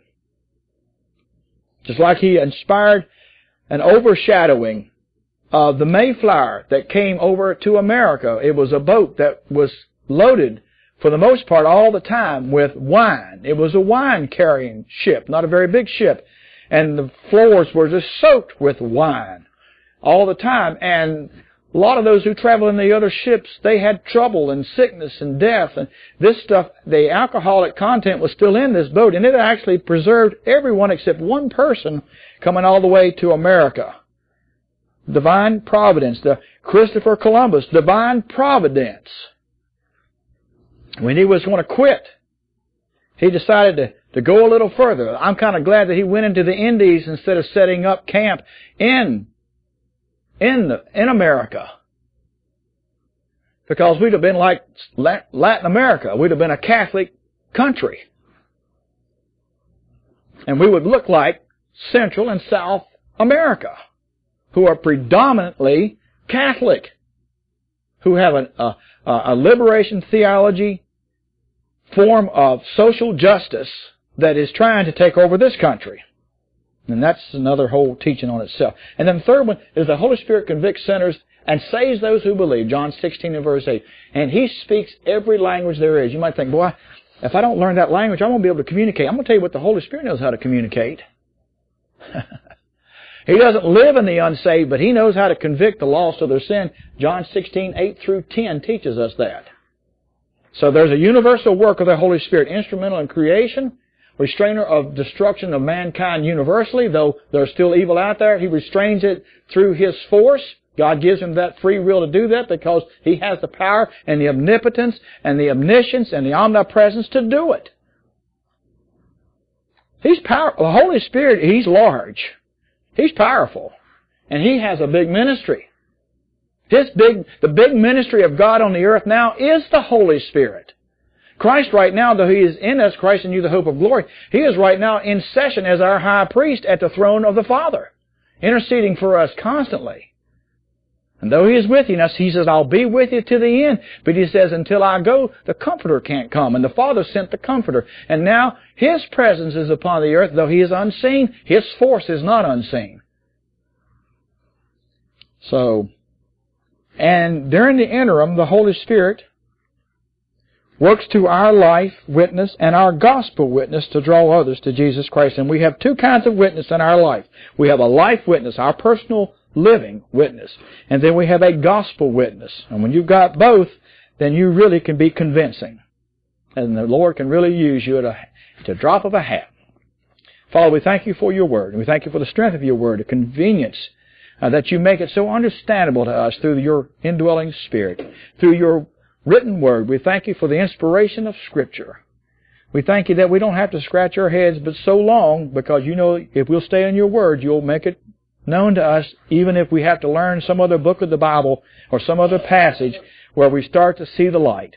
Thank you, Father, for the truth. Thank you for your indwelling spirit. Most of all, at this point, we thank you for saving us through the shed blood of Jesus Christ on the cross of Calvary. We ask now your blessings upon us and safety as we travel and go home this evening. In Christ's name we pray and give thanks. Amen. All right, if you would, we get going this morning. We know how it is on. We've been through plenty of these uh, Christmas uh, dinner Sundays, and we always enjoy it. And at the same time, we always realize that this is the Lord that keeps us together in His Word. It strengthens our faith, strengthens our resolve, gives us the courage to face the difficulties that we all face individually and as a church and as a country. So we ask for continued understanding of the Scriptures and the importance of sticking with the Scriptures. We're going to turn, if you would, to 2 Peter chapter 1 this morning. We're continuing our study in the Holy Spirit. This would be our third lesson in this particular teaching. And this morning's lesson is to help get a little overview, an offshoot, if you would, of the um, time and the Holy Spirit. Time and the Holy Spirit. 2 Peter chapter 1 verse 19 says, We have also a more sure word of prophecy, original language, the definite article comes before the word more sure word of prophecy, and it speaks primarily of the specific scriptures of the Word of God.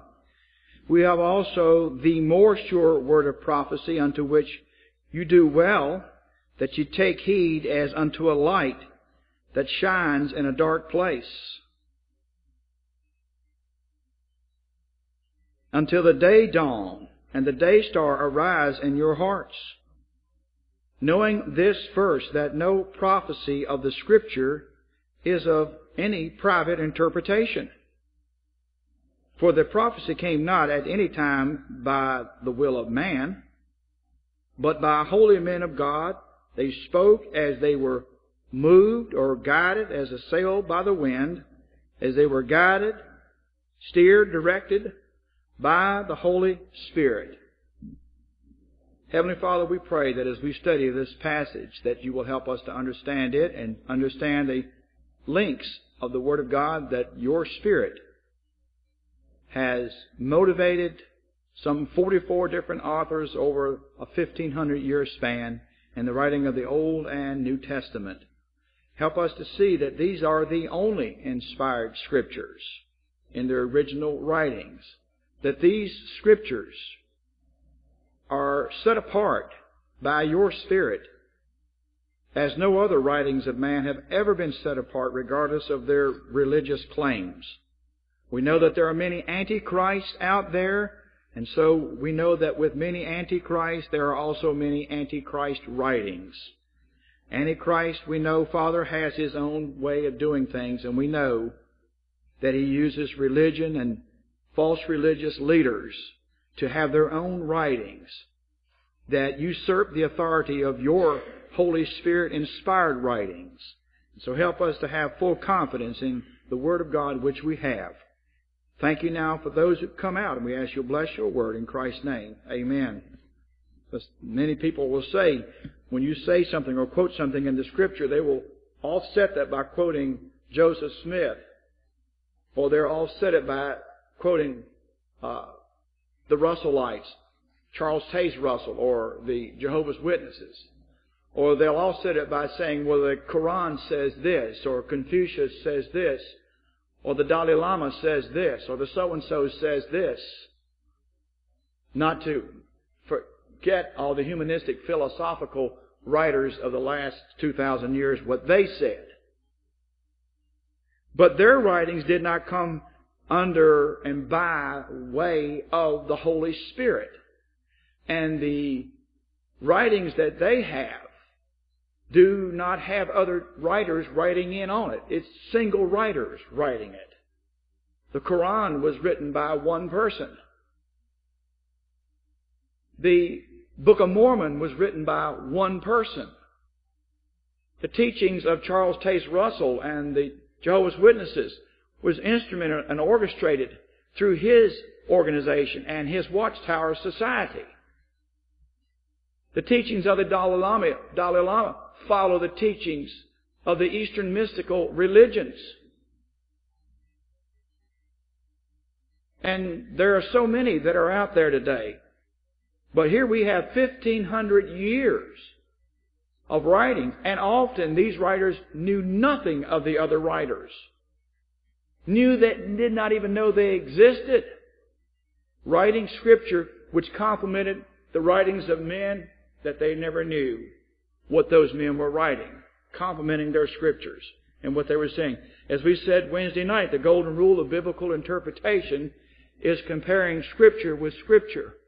And that's what we did in our teaching on the Holy Spirit on Wednesday night. We used a lot of scripture because we were comparing scripture with scripture regarding that the Spirit of God teaches your human spirit the truth. And His Spirit bears witness with your spirit. And we talked about this in Sunday morning message last week that a Christian marrying a non-Christian, that there is never going to be a connection of the spirit of that other person until they're saved. And you're supposed to make sure that they're saved before you marry them.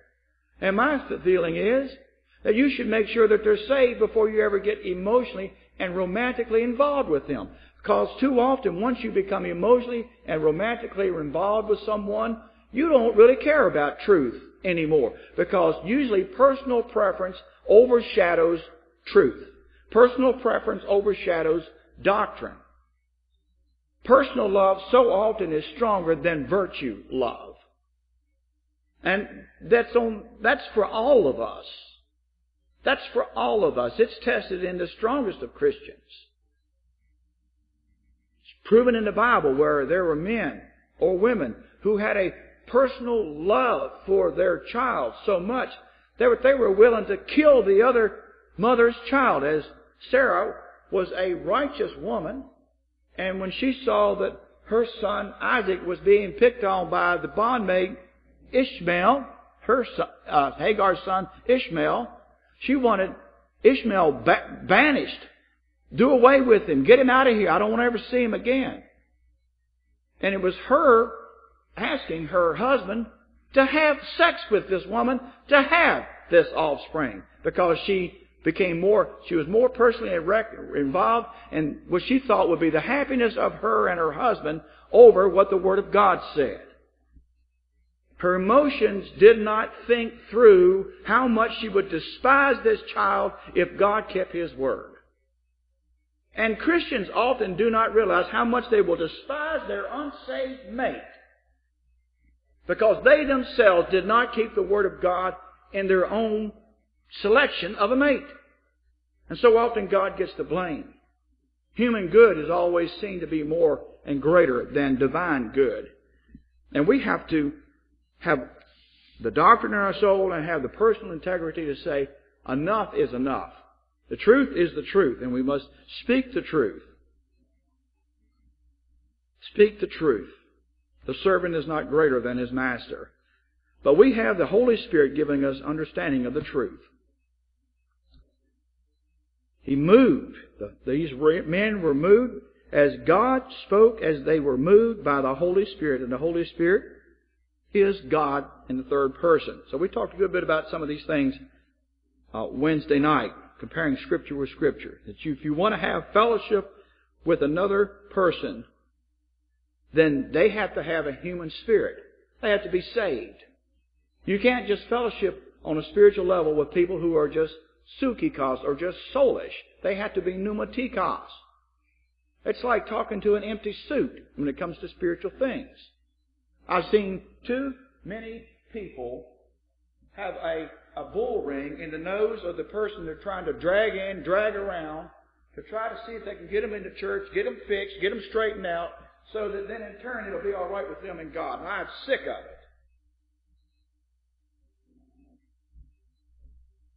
Fix this person for me.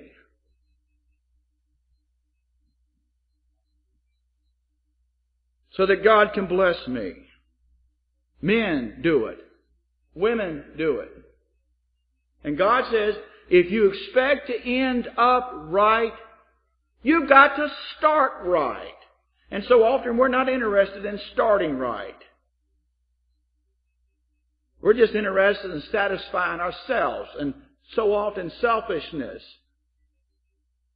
leads to pride. And that pride leads to destruction and a mighty fall. And so often people will take their finger and point it in the face of the person who tells them the truth like Nathan had to tell the truth to David in the Old Testament in 2 Samuel chapter 12. And unless Nathan had told Samuel his error, Samuel would have committed the sinning unto death. So, so often a pastor has to do what he does to keep God's people from sinning unto death in disobedience. And that includes the preachers as well. Matter of fact, according to James chapter 3 and verse 1, he gets the double judgment. I feel a sense of greater judgment. And God's Spirit throws it on me. He says, My brethren, be not Many teachers, knowing that we, that is teachers of the Word of God, shall receive the greater judgment. And the word greater is mega. Mega judgment. You're not going to receive, if you're not a pastor, you're not going to receive mega judgment. You're going to be judged. Your works will be judged, not for heaven or hell, but for reward or loss of reward. But preachers all receive mega judgment. And, you know, you sense that. You sense that you sense it in your conscience. And that's why we are, as a group, mostly pastors, are very sensitive p- creatures. Because the Spirit of God presses our spirit in a way that it does not press the rank and file spirit in the church. Because we are under double judgment. And you will never face yourself that sense of double judgment. So that's why we are a sensitive bunch sometimes. And that's why we say more than we should at times. We like to swing the pendulum, try to get the tide going in a spiritual, progressive way. Spiritually progressive, not politically progressive. All right. But I said those things to say this, that we are under the full-time ministry and the desire of God to work His spiritual work in us. The Holy Spirit has always lived. The Holy Spirit has eternal life, as we said the other night. And that is one of His divine attributes. Once His part in the work of creation was accomplished, which we went over Wednesday night, once His part in the work of creation was accomplished, He had more to do. Much more to do. Think about this. After Adam and Eve sinned in the Garden of Eden, He had much more to do in the dealings with mankind. The dispensations are the errors of the progressive revealed will of God to man. And this is where I want to bring these out as a reminder to us that this was the work of God. And I can send these to you by email if you want them. But the Holy Spirit was at work in this era, this first era. And if you'll look at this, you'll see the Bible. We're going to, if we got time, we're going to go through the entire Bible this morning. We're not going to turn to every page and every chapter. As a matter of fact, it's a short. So this is this is uh, uh, one of these times when I take my coat off. In 20 minutes, we're going to teach the entire Bible. No, we're not going to teach the entire Bible. But first, the Holy Spirit went to work in the Garden of Eden in the era of innocence, the time of innocence. Genesis 1, verse 28 through chapter 3 and verse 6. The era of innocence. Some call it the age of perfection. The test of the tree of the knowledge of human good and evil was there. It was with, it ended with Adam and Eve's disobedience and the curse of expulsion from the garden and the tree of life. There was a test and that test was failed. And you know that Satan said to Eve that, you know, don't worry about what God says. Well, God, you know, God's not all that. Of course, and when anyone goes to telling you that God is not all that, then you need to remind them that He is and just leave them alone. As Paul said, he turned Alexander the coppersmith over to Satan. Maybe you can do the same to people as well. It says the serpent was more subtle than the beast of the field which the Lord God had made. And he said unto the woman, that is the serpent said, or Satan, Hath God said that you shall not eat of every tree of the garden? And the woman said unto the serpent, We may eat of the fruit of the trees of the garden. There's a reminder there that people will question your faith. Expect it. But of the fruit of the tree which is in the midst of the garden, God has said, You shall not eat of it. Neither shall you touch it lest you die. And the serpent said unto the woman, You shall not surely die. He's the father of lies. And for God knoweth that in the day you eat thereof, then your eyes shall be opened, and you shall be as God, knowing good and evil. That's human good, not divine good, because divine good said don't touch it. This is human good and evil. And of course, you know they took of the fruit. We know after this terrible tragedy that happened in Connecticut Friday morning at 9:30 when people ask, you know, where was God? Why didn't He stop this madman? And Mike Huckabee said on his show where he was interviewed, he's the governor, former governor of Arkansas who ran for president as a uh, conservative, I think, pretty much, or evangelical Christian man. He said that you'll see God in the love and the care and the hugging and the sharing and the comfort. You'll see God in that. But what you saw and what that man did was evil. And the, the attack by Satan and unbelievers and ignorant believers is based on Genesis chapter 3 and verse 5. Human good. Human good or human righteousness, not divine good and divine righteousness, but human goody two shoe, human righteousness, human standard of what's right and wrong. And a human standard of what is right and wrong is that God should stop other people from their evil. God should have killed that man or paralyzed that man or done something to stop that man from the evil that he perpetrated. But what about the evil that you perpetrate? What about the evil thoughts that molest you? What about the temptation that you start to fall into? What about your secret sins? What about what? I know I've told people this. What about that? What about this? The man that's going to commit adultery, why doesn't God kill him before he does, before he destroys a family? Or the woman that's going to do that, why doesn't God destroy her before she destroys a family? Sin is sin is sin. The man that's going to rob his employees of their Christmas bonus as my former employee was going to do before. Why didn't God kill him for stealing from his people? There's an awful lot of bad that goes on. But human good picks and chooses what it thinks is right and not right. Human good, human righteousness often questions the integrity of God. And Satan in Genesis chapter 3 questioned to Eve the integrity of God. And when someone questions the integrity and the kindness and the love and the goodness of God, you have to stand up for the truth, for the truth. You see, when people question the integrity of God, when evil men do things, Satan gets off the hook and God is blamed for the evil. And that's what Satan has been working to do ever since the Garden of Eden because he is evil from the core, not from his creation, but from his disobedience. And he has accused God of not caring. He has accused God of being unfair, unloving. And he works out that cosmic evil through what is known as the cosmic conflict. And most unbelievers fall into that hook, line, and sinker, and unfortunately a lot of Christians do too. A lot of Christians question why God let something happen too. God is not the one that let it happen. An evil person is the one that made it happen.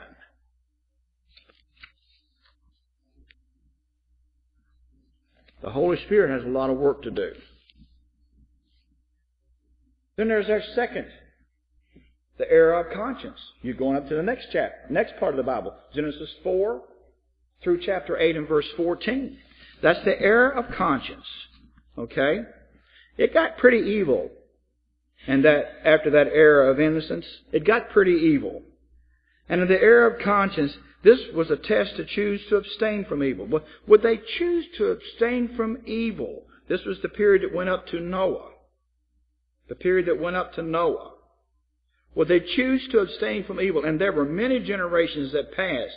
If you'll read from Genesis 3 6 on up to uh, on up through chapter 8, you will see that there were piles of generations of people. Some believe that there were thousands of years between Genesis and the garden and Genesis teaching on the flood. Thousands of years. Some say up to 4,000 years of human history transpired because of the longevity of the lives of the people who lived in those days. Some people might look at the generations that are seen in those chapters and say, well, that would only equal so many. That's in today's numbers, but not in the numbers of that day. If you look at Noah, how long, you know, Noah, didn't, they didn't live as long then. But if you go back with Adam and Eve and then their children and their children's children, how many years that they lived before that time. Some believe it was up to 4,000 years from the time of the garden to the time of the flood. Some say just two, some say four. I'm more inclined to give towards the longer period.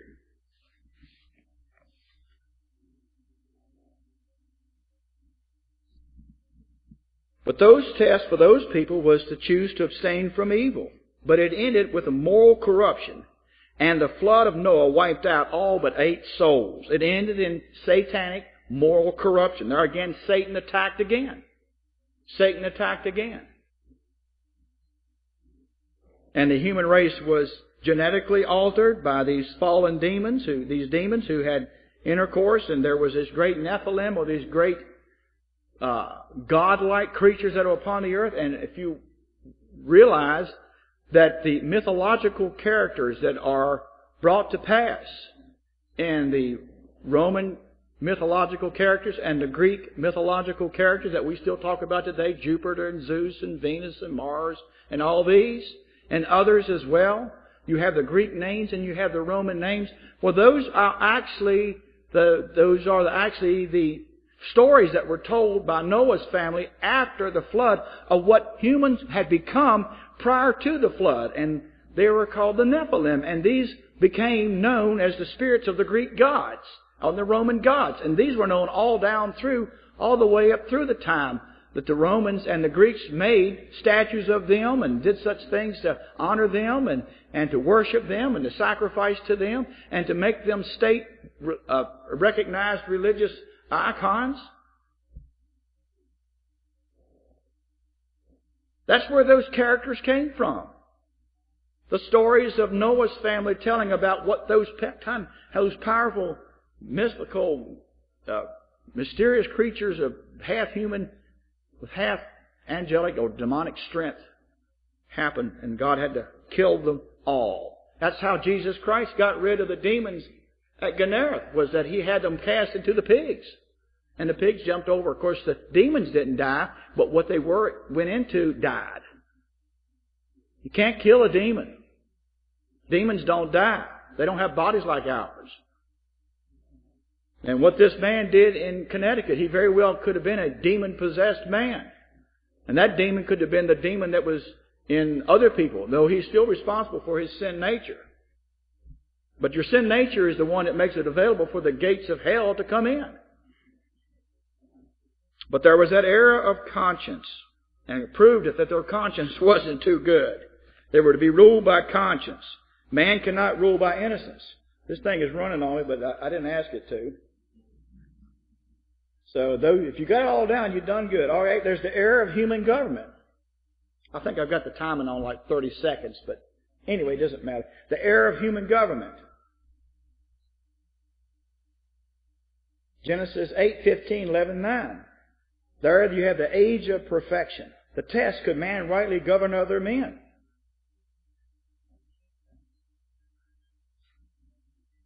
The judgment was that God scattered mankind at the Tower of Babel. God scattered mankind at the Tower of Babel. The test to protect human rights and human life by choosing governmental bodies to establish nations and enforce fairness laws. That was the test.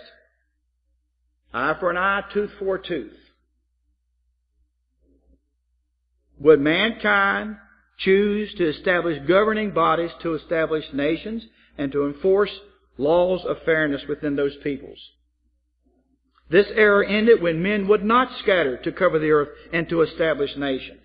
Men tried to build an international community, an international government of which we're trying to do in our world today. Men tried to, to, to eventually define an universal religion.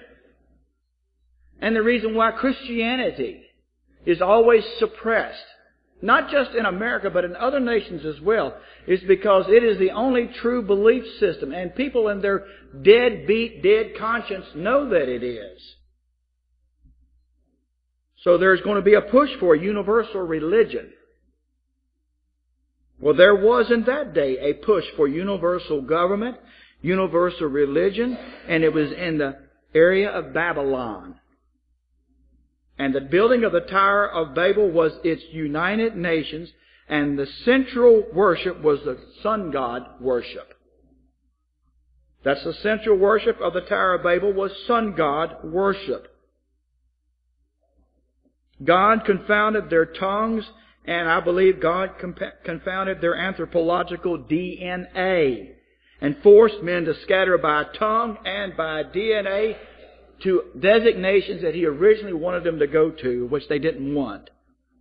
So there was the error of human government. It failed, and God judged them. He forced them to separate and to scatter upon the face of the earth, and to have their offspring, and to have their families, and to develop nations where there were laws that would protect the people, not only civilly in that nation and fairly within that nation, but also against foreign aggression. That's called nationalism or patriotism. The Jews know that better than any nation in the world. And one of the things that's heading up to the tribulation period is that the Jews will be the only nation that really understands what it means to be a national patriotic nation. America is failing. America has failed, and it's not your fault. We have got the United Nations in, I guess it's in New York City or wherever. I guess that's where it's, where it's at. Why put that cesspool in our country?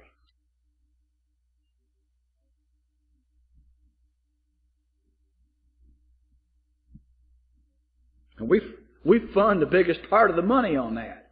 Your taxpayer dollars go to help fund the electric bill and the water bill and the sweets that they put out there in the in the corridors.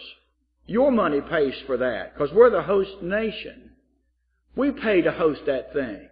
You and I do. We pay those Twinkies they put out there in the lobby. We pay for those no bottles of water that you see sitting there. We pay the electric bill that they're using. We pay the money for that equipment so they can understand the different languages. You see them wearing those heads. We're paying for that.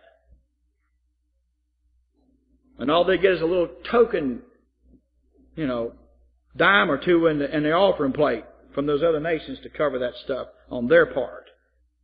But God forced the nations to separate and doggone it, we're trying to come back together again. The Holy Spirit is trying to work in that time to get convinced people to obey God. The Holy Spirit was not silent in the Old Testament, though we know more about Him in the New Testament than in the Old Testament. But uh, Lord willing, if I don't get through this Wednesday night, if we don't get through this today, Wednesday night we'll finish it. But if not, if we get through it today, then Wednesday night we're going to talk about the work of the Holy Spirit in the Old Testament. It's more extensive than just Lord, or, or just as David prayed, Holy Spirit, don't lead me. There's a lot more extensiveness than that.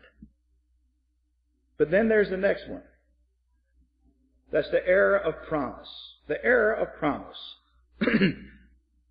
You're going through the Bible. If you look at these verses that we've got in these captions, you're going through the Bible. You have already seen this is the fourth dispensation right now. Out of seven, this is four already. And we're still in the book of Genesis. Genesis 12:1 through Exodus 18:27. It was the test to establish by faith the nation Israel through the seed of Abraham, and for these people to remain holy unto God. Holy unto God. The test would the nation Israel trust the promises of God or become idolatrous?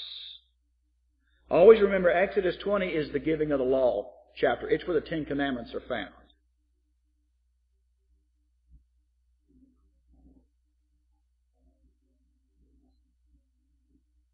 This era ended as Israel became super idolatrous.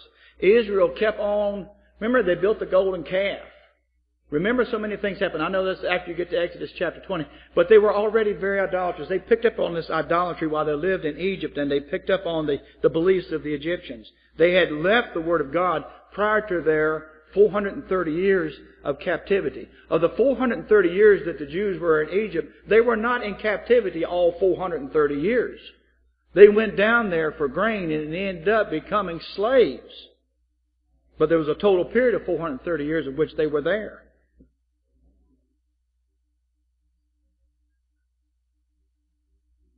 Her judgment came in the law by way of the law of Moses.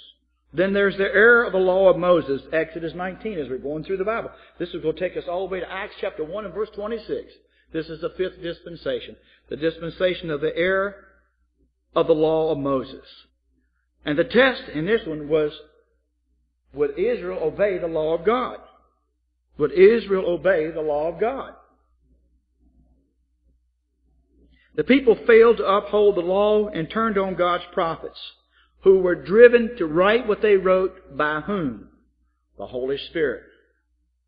The Holy Spirit represented the mind of God through the pens of the writers. The Holy Spirit represented the mind of God through the pens of the writers. Okay? And what God would and would not permit, what God wanted and what God did not want. What God would do and what God would not do. The Holy Spirit was instrumental in this. Okay? And here was the test for Israel to obey the laws of God. The people said that they would obey all that God had gave but you know they didn't. The people failed to uphold the law and turned on God's prophets. And we know according to Hebrews chapter 11, they crucified or murdered or, or burned or sawed in asunder or killed or stoned the prophets. Even Jesus said they stoned their prophets who were saying what the Holy Spirit told them to say.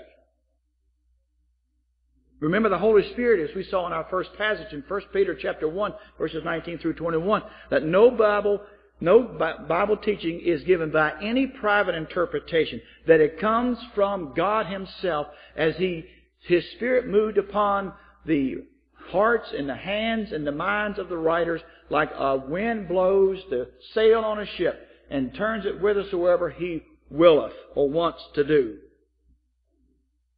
No other writings, whether it's Joseph Smith or Charles Taze Russell or the Quran, Muhammad's Quran, all these, none of these were inspired by the Holy Spirit and driven by the Holy Spirit. They're all apostate writings. And a Christian has to be sold hook, line, and sinker on the Word of God. That's the reason why there are a lot of people who profess to be Christians, even born again Christians, who believe that Jesus Christ is not the only way. Well, if you don't believe that Jesus Christ is in the only way, you're not a Christian. Because you call the Son of God a liar. He says, I am the way, I am the truth, and I am the life, and no man comes unto the Father but by me. And a person that can in no way call themselves a born again Christian and follow some other corny belief.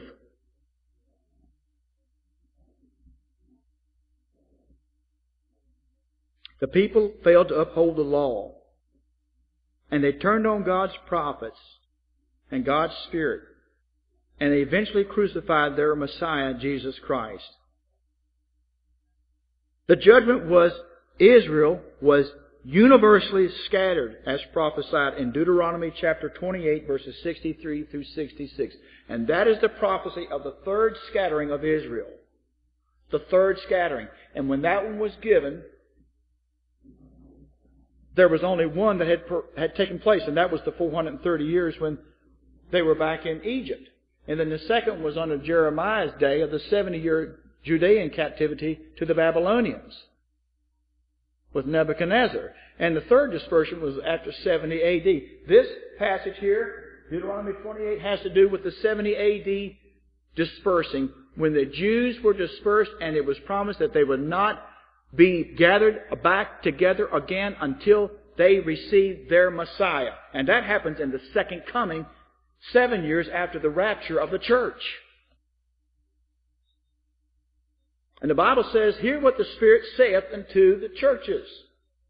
And the Spirit refers to the Holy Spirit in the writing that God used the Holy Spirit to inspire the writers to write. We need to know our Bibles.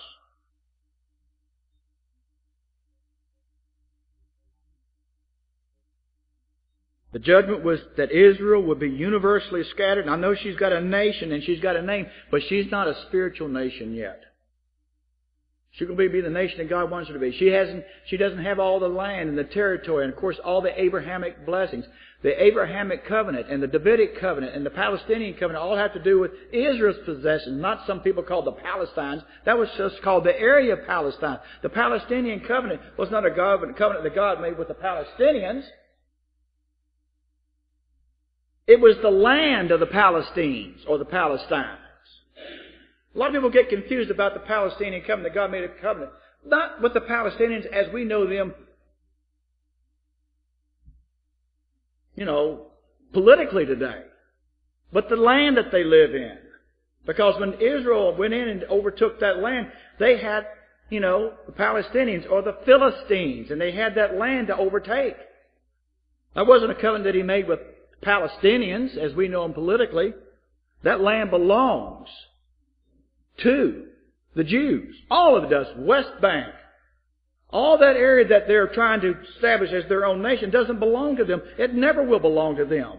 Not from God's point of view. And when the tribulation period is over with and the millennial kingdom is established, all that land and more will be given back to the Jews as per Ezekiel chapter 38. They own the land all the way from the area where they came up out uh, across the Red Sea, all the way over to the Babylonian Tigris River, all the way up to the top, up to Syria. They own every bit of that.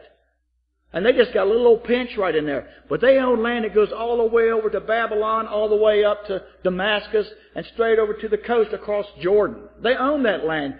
Uh, uh, the, the, the Jews own the land that that the uh, the Jordanians and the Lebanese and the Palestinians are in. They own the land that the Syrians are in. That's their land, not the Syrians' land.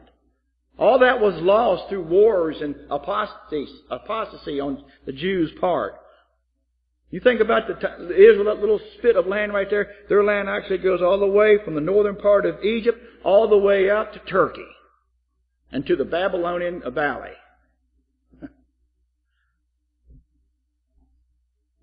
The Bible teaches that. The inspired Word of God teaches that.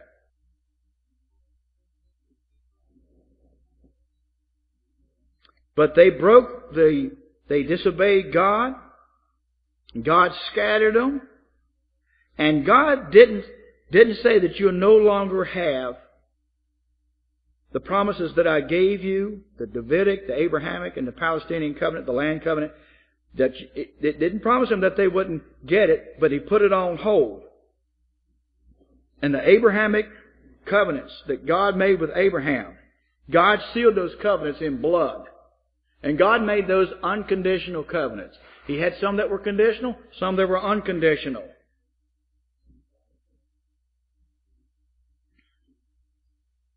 But when they crucified their Savior, God didn't write Israel off and His promises to them, which He cannot lie, He put them on hold. The book of Hosea is a picture of what He did when He put them on hold. Like He had to put His wife, what a name, Gomer, in the closet before she was adulteress. It's a picture of the spiritual adultery of Israel. Then, next is the error of the church. Acts 2 1 through Revelation chapter 3 and verse 22. That's a big chunk of scripture as well. You've got, if you look at it, the error of the law of Moses, Exodus 19.3, through the error of the age of the church, Revelation 3.22, that is a whole lot of, that's a whole lot of time, isn't it? Well, that's the sixth dispensation, the church. And it is a test for all mankind, Jew and Gentile alike, to accept Jesus Christ as Savior, to receive the Word under the ministry of the Holy Spirit given understanding, and to live in accordance to the indwelling Holy Spirit. The failure to do so, which it will be a failure to do so according to 2 Thessalonians chapter 2, it will end in a time of great apostasy, 2 Thessalonians 2, 1 through 3. The church will, there will be a great mega a great apostasia. The word there means falling away. There will be a great falling away before the tribulation period comes. The failure for believers to live in and learn and stay under the abiding and indwelling of the Holy Spirit will come to an end and it will fail. The failure to follow the leadership of the Word and the Spirit will end in apostasy as massive numbers of Christians exit Bible teaching churches. There will be a great exodus of professed believers leaving Bible teaching churches, leaving the Word of God. Or there will be some who will stay in some Bible teaching churches, but for the wrong reasons. The Spirit only knows. The judgment then and the rapture of the church is actually not just a time of great celebration for the church, but it is also a time of judgment. Every dispensation or era of time ends in judgment. You'd think the rapture, hey, that's homegoing. But a lot of people think, well, you know, we'll get the potato salad and chicken and, and the iced tea out there and the Diet Coke, and whatever else, whatever you like, and the pie and, and the cake and everything. And that's what it's going to be like. And we're going to be like going to uh, a, a singing concert where everybody can sit around and sing and just prance back and forth and do the hip thing and uh, sing and daub tears from their eyes and Try to wipe the mascara from running down their cheeks. Men and women. Get that holy rollerish looking hairdo thing going on there. They've got the, the she buns, and then they've got the, the guys that have the fried he buns. The finger in the wall socket look. And that's what a lot of people's idea is it will be that when we get to heaven, that's, that's, that's all it's going to be. But you're going to be judged. 2 Corinthians 3 and verse 10 says that we must all appear before, it doesn't say the happy seat of Christ. It doesn't say the the the the, uh, the equal distribution seat of Christ, does it? It doesn't say the Robin Hood where he from the, takes from the rich Christian and gives to the poor Christian seat of Christ. It says it's the judgment seat of Christ. And my job as a pastor is more than anything is to help you to see the Word, to help you through your circumstances, as I go through mine as well, and to prepare you for that judgment day. Because the billions and billions and billions and billions, and I could say this a billion times, is still just getting started, of the years that follow will be predicated upon how you learned and how you acted now. And I, I cannot get people to understand that enough. One half to two thirds of this church misses two thirds of the teaching that would help them get ready for the judgment day of Christ. And there are too many that just don't give a flying flip. Got too many more important things to do. And I can't do anything about it. Well, you're going to answer for it. I'm going to answer for it. And if I don't do my job, I'll answer for it. And if you don't get the word, you're going to answer for it. There is so much time that I see that we can be getting the word. And I have so many people that ask me questions of stuff that I have covered 40 dozen times that just don't get the teaching. I didn't know you believed that, Pastor. We've got people in this church that actually believe that you're still seeing ghosts, emanations, spirits. Good Lord.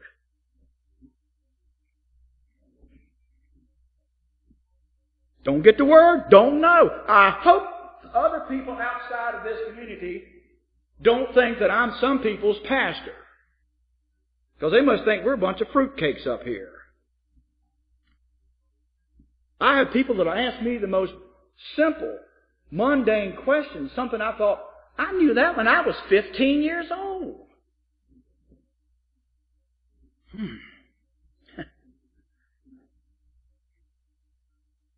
we're not a kook church, we're a doctrinal church. And I guess nowadays that is it. I don't know. I'm, I guess I'm one of the coops too. I don't know. But, but the judgment of the rapture is well all, is where all believers in Christ will be immediately called into account by the Lord Jesus Christ Himself. No excuses. Non-believers will be left on earth to experience the horrors of the seven-year tribulation. We know. That's Revelation 4, verse 1 through chapter 19 and verse 21. That's the tribulation era of the Bible. Revelation 4, 1 through 19, 21. With this period of judgment, Israel in particular is reunited in faith through our Messiah Jesus Christ. And what we said in that, this one right here, I'll find it in a second. Just give me a second here. This one right here, Deuteronomy 28, third point there. When Jesus Christ receives her Savior, then that scattering of there that is prophesied will come to an end. The, the seventh one is, uh, is the era of the millennial. Well, I'm going to throw the tribulation period in there. That's not a distinct dispensation, but that goes from Revelation 4 1 through 20 and verse 3. Not a distinct dispensation, but a prophesied purging of Israel in preparation for her Messiah. It is an age of punishment. You'll notice that every one of those tribulations has an age of some kind of a P, P this or P that. That was the age of punishment, seven years of universal sorrow and divine judgment on earth, especially the last three and a half. And it ends with the second coming of Jesus Christ with his holy saints and holy angels to set up the kingdom age. To set up the kingdom age. That's the era of the millennial kingdom of Christ. And it is a test of obedience to God. And it is made easier than it ever was for mankind. Universal gospel preaching for those born during that period will flow freely with no liberal organizations and no government interference. No liberal organization, and there will be no government interference telling Christ how He's going to lead His church. Satan will be bound during that thousand year reign of Christ, and his demons will be bound as well. There will be no confusing alternate religious views tolerated. There won't be any such thing as religious toleration during the millennial reign of Christ. As I said, universal gospel preaching for those born during that period will flow freely with no liberal organizations. There won't be a government telling you can't put a Jesus Christ on the lawn of your government buildings. As a matter of fact, if you don't put a Jesus Christ on the lawn of your government building during that time, you will not be blessed because all rule will come out of Jerusalem. All who enter into Christ's thousand year kingdom will be saved people who came out of the tribulation. So Christ shows himself reigning out of Jerusalem. The capital of Israel will become the capital of the world. Zechariah 14, 16 through 17. Israel will be the capital of the world. And this era ends in judgment in spite of all the Lord's kindness and all the Lord's prosperity given to the world in that age. Secretly, men and women despise the Lord during that time, and the Lord knows it. And He will allow Satan to be turned loose for a short period to prove the hearts and minds of men.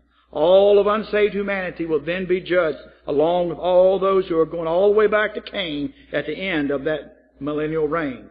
The great white throne of judgment is the judgment that's seen at the end of the millennial reign.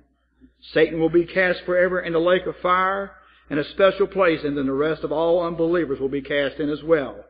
The earth and the heavens will pass away in a fervent heat, and then the eternal state will begin a new heaven, a new earth. No more sin, no more sorrow, no more tears and death, forever with the Lord. Amen. There will be no more births, no more deaths, but no more tears, no more sorrow.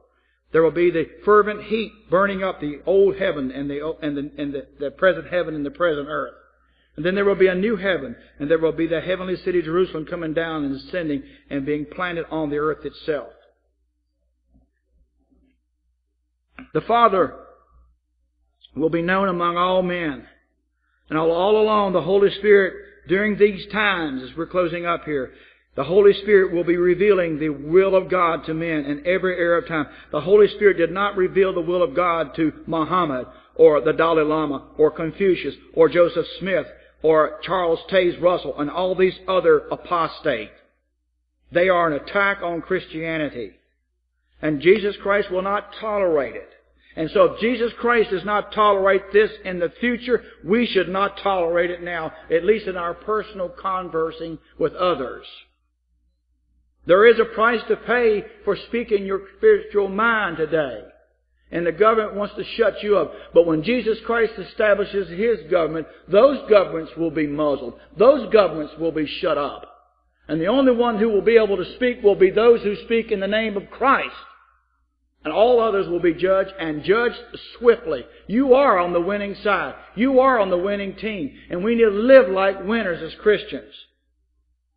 The Holy Spirit guided the souls and words of some 44 different writers over a period of 1500 years. Once the scriptures were fulfilled by the pen of the apostle John around the year of our Lord AD 95, then the book of books was closed and no more should be added. Until then, we watch, we wait, and we pray. Father, we thank you for this day and for your word, and we ask you bless it. In Christ's name we pray. Amen. The Old Testament talked somewhat, though it seemed to me a little bit rushed, on in Sunday school, going through beginning of the Bible to the pretty much the end of time discussing the breakdown of the different seven major dispensations of the Bible and that the Holy Spirit was at work in every one and will continue to be at work in the ages to come. Never will be a time when the third person of the of the Trinity won't be at work in uh, the lives of men for the glory of God. And uh, we closed last time noting that we've uh, saw the Holy Spirit at work in creation, Genesis 1 verse 1 through 27. We've seen that. Work of the Holy Spirit in that regard. And uh, in uh, Job chapter uh, 26 and verse 13, I did not read that passage, but there's quite a few passages tonight, and we'll get to our point there that's on the screen in a moment. But uh, we're talking about the work of the Holy Spirit in the Old Testament. Uh, Job 26, verse 13 says, By his Spirit he hath garnished the heavens. That's the Holy Spirit. By way or by means or through the agency of his Spirit, he hath garnished the heavens. So apparently the Holy Spirit uh, is involved in, uh, and it says garnish the heavens. And it's an interesting word there. And uh, it has to do with uh, uh, a lot of the uh, intricacies of the heavens, whether it, you know, with Jesus Christ has said in Colossians 1, 16 through 17 to have created, created the heavens and, and the, and the earth there. And very clear there that He was in His position and His responsibility of carrying out the will of the Father in that regard, but the Spirit also was involved.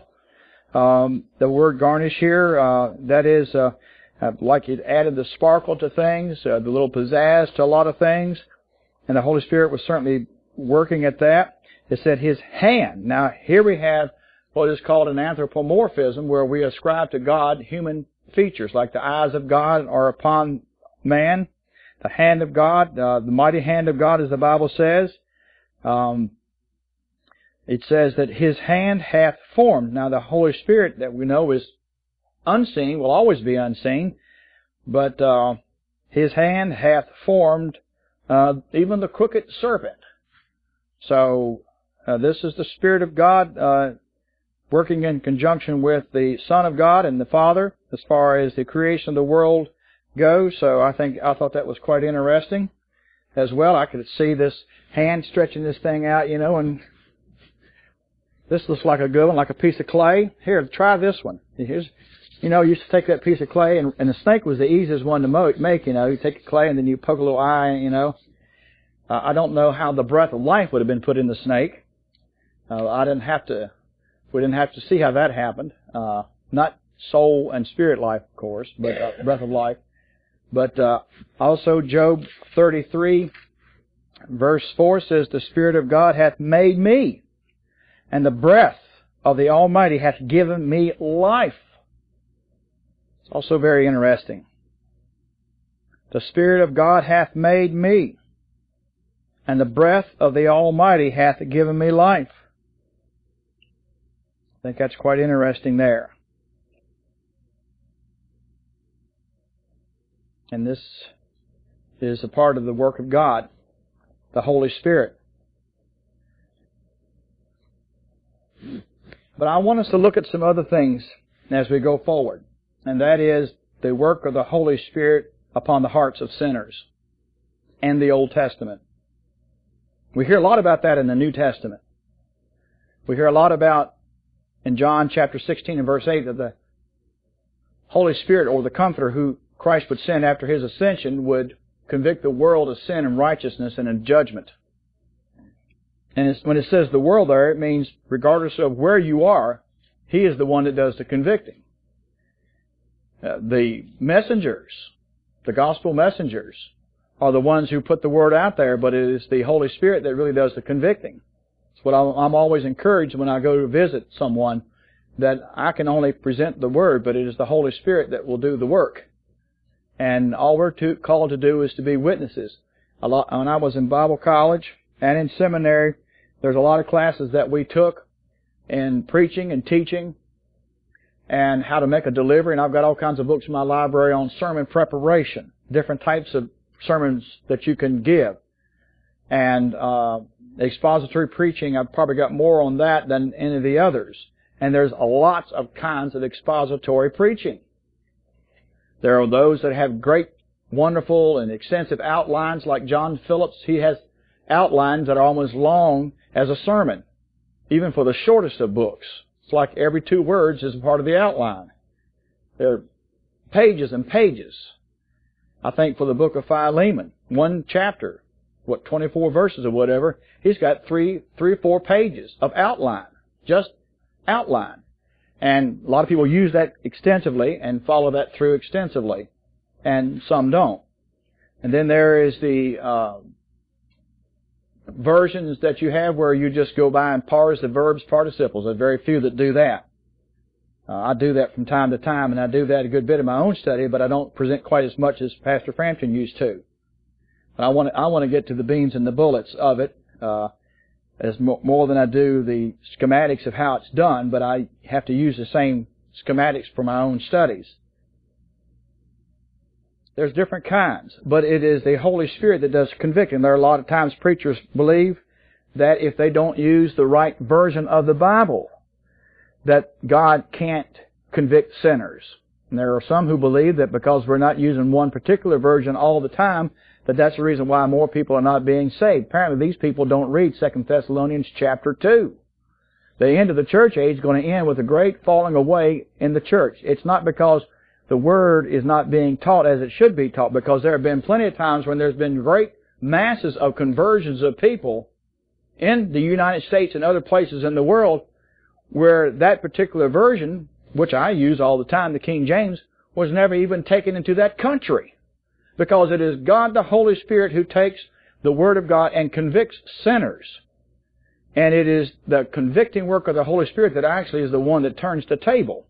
I believe that, you know, that the, by the Word of God, people learn the, about themselves and they learn about what God thinks of their life and what needs to be done. And it is the Holy Spirit that does that convicting work regardless of your language. But I can't, I can't, nor any preacher, uh, can, uh, I've heard preachers who did not seem to be great emotional, uh, they were emotionally challenged men, but great communicators of truth that a lot of people poured into the Word of God and poured into the Lord and, and were saved. And then I've heard some uh, preach, and you'd think their blood vessels were going to pop in their head, and they did all kinds of gyrations and all kinds of stuff, and it didn't produce a bit more in salvations. And it's because it is a timing issue. It is, does that person that you're speaking to want what you have to offer when you're offering it? And there are times when there's entire communities that just have, I used to call Botetourt County a dry county, spiritually speaking. It used to be alcohol, they called it a dry county. If they didn't serve alcohol, they didn't sell it. And I have thought about Botetourt County because I have covered a good bit of it, and I'm not the only one. And uh, there are a lot of people who just are not interested.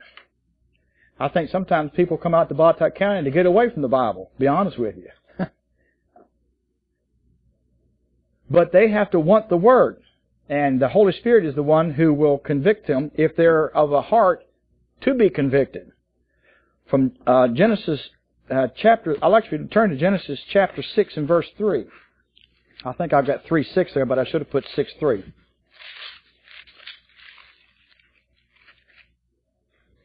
Yeah, it's not 3 6, it's 6 3. 3 6 is one of its own. Genesis 6 and verse 3. I'm not dyslexic, I just boo boo. Not honey boo boo either. Genesis 6 and verse 3. We know how it was, how evil was starting to spread upon, among mankind before the flood of Noah. And it says, the Lord said, when he saw all this evil, and it said, the Lord said, My spirit shall not always strive with man. That's what the Holy Spirit does. He strives with man. For my spirit shall not always strive with man. For that he also is flesh. Yet his days shall be a 120 years. And it doesn't mean that a man can only live up to 120 years of age. It meant that in 120 years from the time this prophecy was given, the flood would come. So Noah preached the righteousness of God for 120 years. My spirit shall not always strive with man.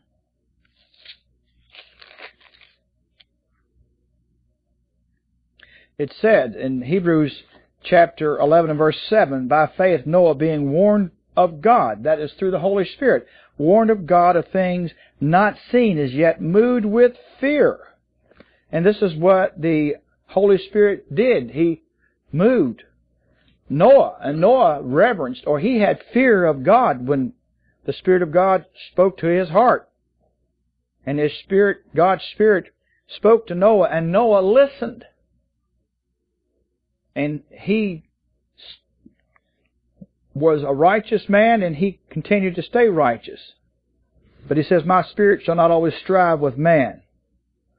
And here we see the omnipresent Spirit, the Holy Spirit, working on the hearts of sinners in the days before the flood. Working on the hearts of sinners as God said, My spirit shall not always strive. The Hebrew word there for strive Uh, is our word, we spell it D-I-N. Den. It's the way it's spelled in the English translation. My spirit shall not always strive with man, or contend with men, or vindicate men to me, or plead with men. My spirit shall not always plead with man. So what I want us to see is that the Holy Spirit has always been the one that God has used to convict men of their sin, just as He does today. John chapter 16 and verse 8, Jesus Christ said, When I uh, leave, the Comforter will come and He will convict the world of sin, or reprove the world of sin. The same word in the original, means to convict. True conviction comes by a person who was bowing to the pressure of the Holy Spirit to believe, to repent, or in the case of a believer, uh, to repent or and confess. When the Holy Spirit's pleading for sinners goes unheeded, it is because sinners, not because they don't have an opportunity to believe in God or the, the gospel, it is because sinners turn a deaf ear to the Word of God. And in the days of Noah, when all those sinners turned a deaf ear to God, God says it repented him that he had made man. And the word repent there means God has changed his mind in the sense that he was, he wanted to hold back his wrath, but he couldn't hold it back any longer. And he judged the world. Those who turn a deaf ear to the pleading and the convicting work of the Holy Spirit are in a dangerous and a perilous place. Men can reject the, the pleading, the striving. Don't need that from Norton. Tip of the month. Thank you. A person can go so far in rejecting the pleading of the Holy Spirit upon their soul that they completely lock God out of their conscience. That happened in the pre-Noah uh, Noah flood days. And it's happened all through time ever since. Israel did that on a regular basis. And it was the Holy Spirit who worked with Israel to try to bring them to repentance.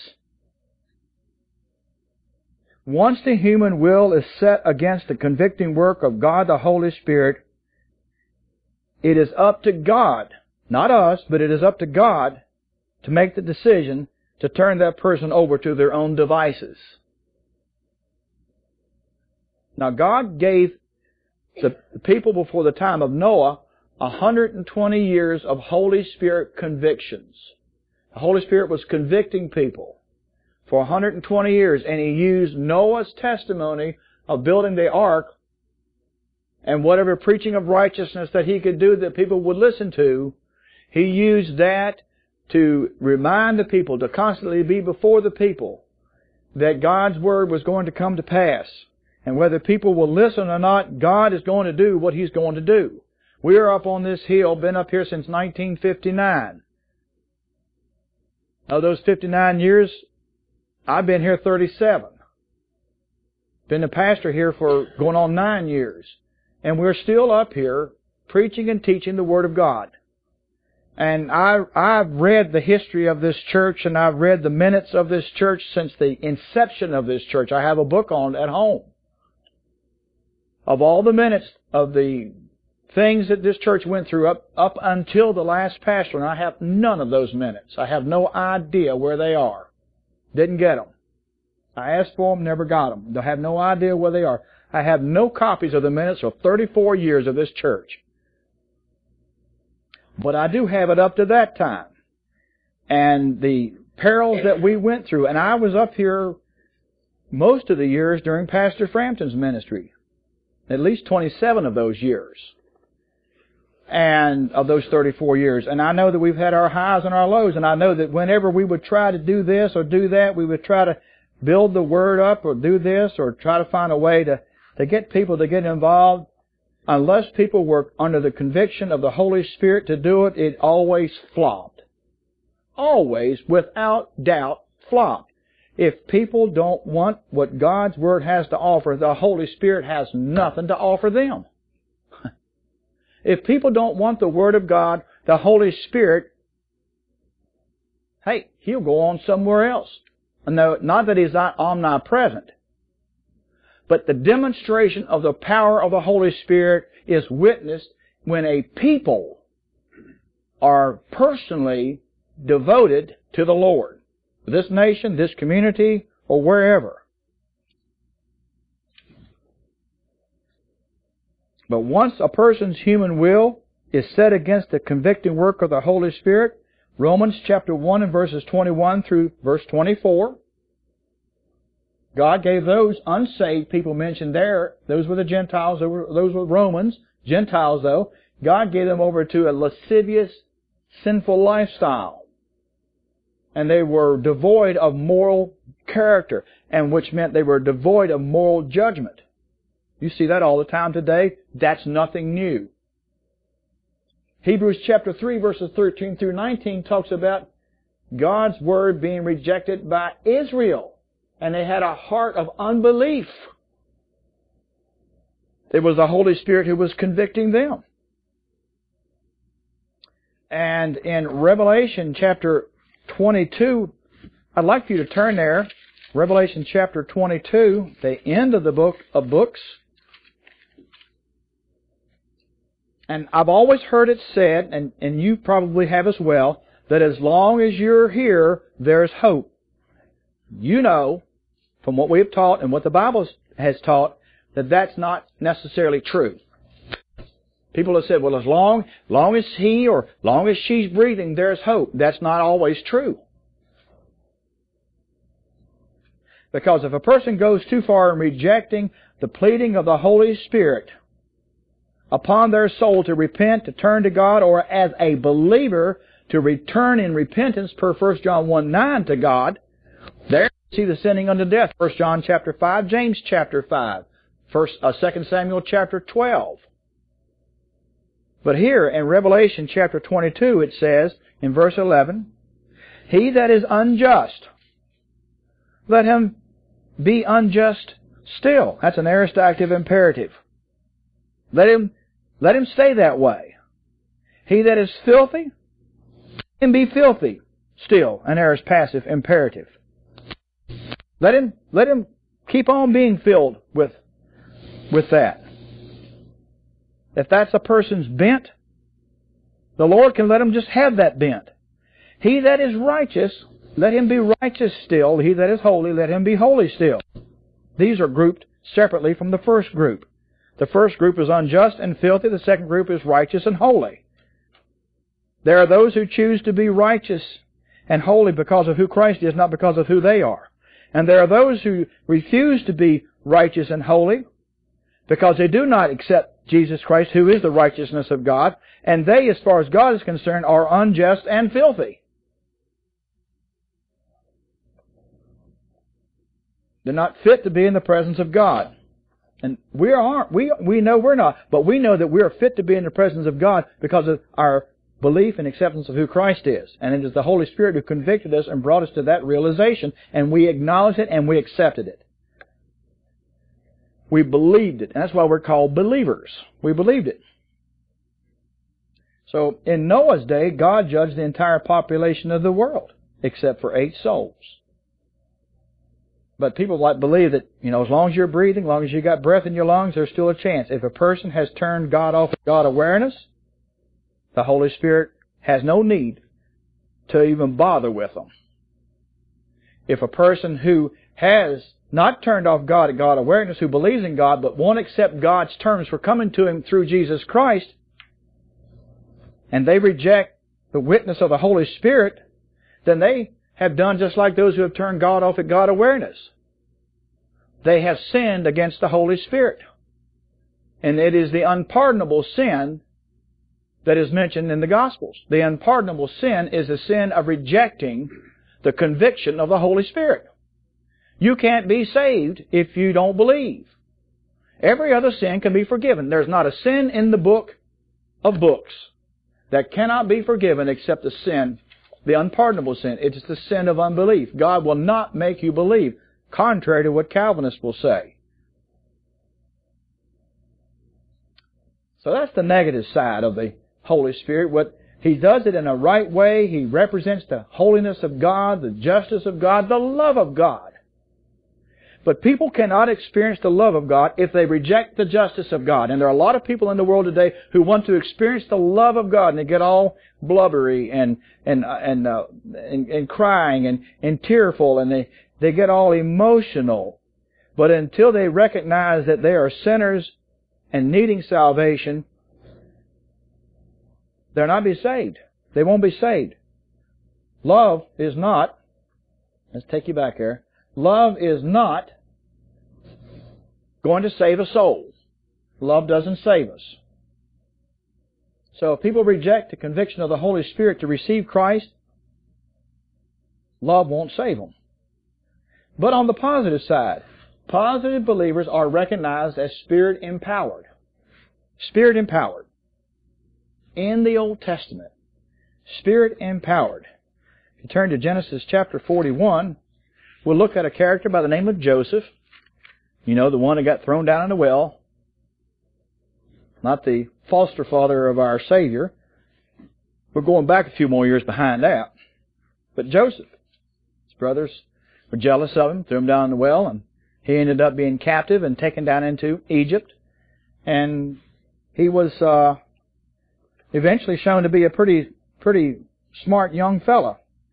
And then uh, old Miss Ruby Redlips decided that uh, she wanted to have an affair with him, and he said no. And then she told her husband that he he ran in here and he, and here's his his shirt where he where he left it on my bed, and it's where she ripped it off of him as he's trying to get away from him. How she ended up with the shirt, and he ended up being accused of raping this woman, which was not true. It's actually it was the opposite way around. And uh, he was in prison for it. And while he was in prison, he heard this story about the baker and the butler. I think some of you remember that. And there was going to be a conspiracy to have a a uh, a killing done, an assassination, and he he spilled the beans on that happening, and he got a pardon. He was a good person. When the Holy Spirit is heated in leading someone to faith in God through His Son Jesus Christ, whether it's pre-cross like in Joseph's days in the Old Testament, or it's post-cross where we are after the cross, this person's testimony is seen as something special, especially when they remain positive to God regardless of their difficult circumstances. And that's when you shine the most. When it's the, when it's the darkest in your life, that's when you have the opportunity to shine the most. Because that's when you have a propensity, when it's the darkest in your life, to revert back to the old sin nature and mental attitude sins and, and revenge and hate and everything else. Or whatever lascivious action. That's when people have a propensity to do that. But when you remain positive and under the filling of the Holy Spirit, when you are in a very difficult circumstance, that's when your light really shines. Genesis 41 verse 37 and this, leading up to verse 37 says, And the thing was good in the eyes of Pharaoh, and in the eyes of all his servants. This thing was good in the eyes of all these. They saw this, and they saw the Spirit of God working. And He was working in the life of Joseph. This is where the Holy Spirit was working in the life of Joseph. And he saw this. And in verse 38 it says, And Pharaoh said unto his servants, can we find such a one as this is? A man in whom the Spirit of God is. So you might want to add verse 38 there. and the thing was good in the eyes of Pharaoh and in the eyes of all his servants. And Pharaoh said unto his servants, Can we find such a one as this, a man in whom the Spirit of God is? Now this is not the Pharaoh of the Exodus. These were quite a few pharaohs. This is not the pharaoh. This pharaoh was favorable to the to the Jews, and they worked in in, in harmony at that time. It was only later on where the next pharaohs that came along in Exodus who started looking about and seeing, hey, they're starting to multiply more than us. We need to make them our slaves before they overtake us. But this Pharaoh saw in Joseph a powerful demonstration of the Spirit of God empowering this person. I didn't say indwelling, he didn't understand that either, but empowering this person. The Pharaoh recognized the power of God in Joseph. He demonstrated, that is, Joseph demonstrated remarkable character and insight into preparing Egypt for a looming drought that was coming. He, he understood that drought, there was a drought coming, that, and he helped prepare that land and those people to get ready for it. They had the seven good years and the seven bad years, and they were to store up as much as they could, the best they could, for the first seven years, so that they have food to distribute during the second time of the, the second part of the drought, this, this, the next seven years. Although Joseph had been wrongly accused and thrown into prison, he kept his honor for the Lord. The Lord did not let this spirit-led man go unnoticed by others. God sent His Spirit to endue and impart men with supernatural power and supernatural wisdom in the Old Testament. From Numbers chapter 11 verses 16 through 17, Moses was said to have the Spirit of God upon him, and he shared the Spirit with 70 elders who assisted him in handling the affairs of the children of Israel when they were going out into the wilderness. And that's in Numbers 11 verses 16 through 17. So there's another example there. So as we can see, some men were holy. Some men were holy. Noah was holy. Joseph was holy. Of course, Abraham was holy. And there were others. And it showed through. But some men were carnal. Judges 14:6 tells of the supernatural strength the Holy Spirit gave Samson in killing a lion. Samson was a carnal judge. Judges 14:6 tells of the supernatural strength the Holy Spirit gave Samson in killing a lion and in slaying 30 wicked men.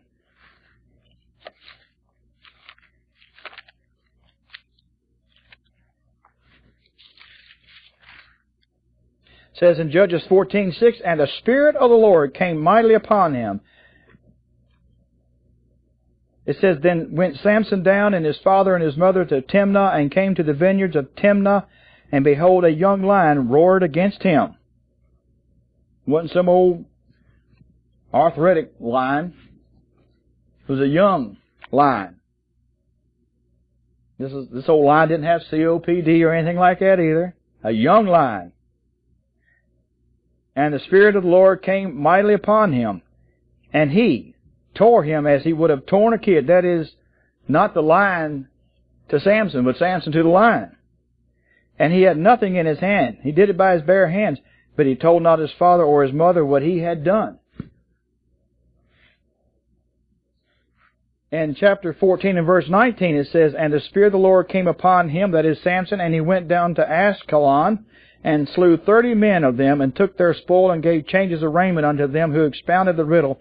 And his anger was kindled, and he went up to his father's house. There was going to be a, a killing if this person this person couldn't get uh, uh, Samson to tell of a riddle.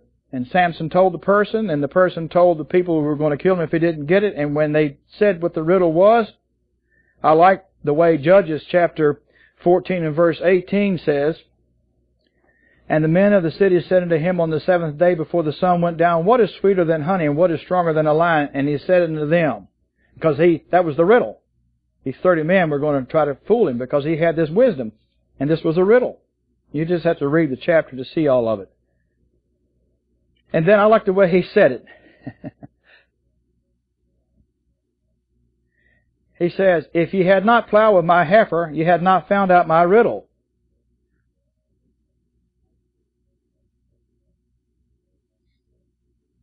Now he's not talking about a cow. He's talking about a woman. You hadn't plow with my heifer. Now I would not use that term. Better not. No heifer plowing going on here. They threatened to kill him. And so they, I like the language here, it's pretty good. But Samson, he said, well, anyway, he slew him. And then in chapter 15, verses 14 and 16, you remember he took the jawbone of this animal verses 14 through 16. It says, Now here's a thousand Philistines. They were going to bind him. They're going to send a thousand men to bind him. Okay? And when he came up into Lehi, the Philistines shouted against him, and the Spirit of the Lord came mightily upon him, that is Samson.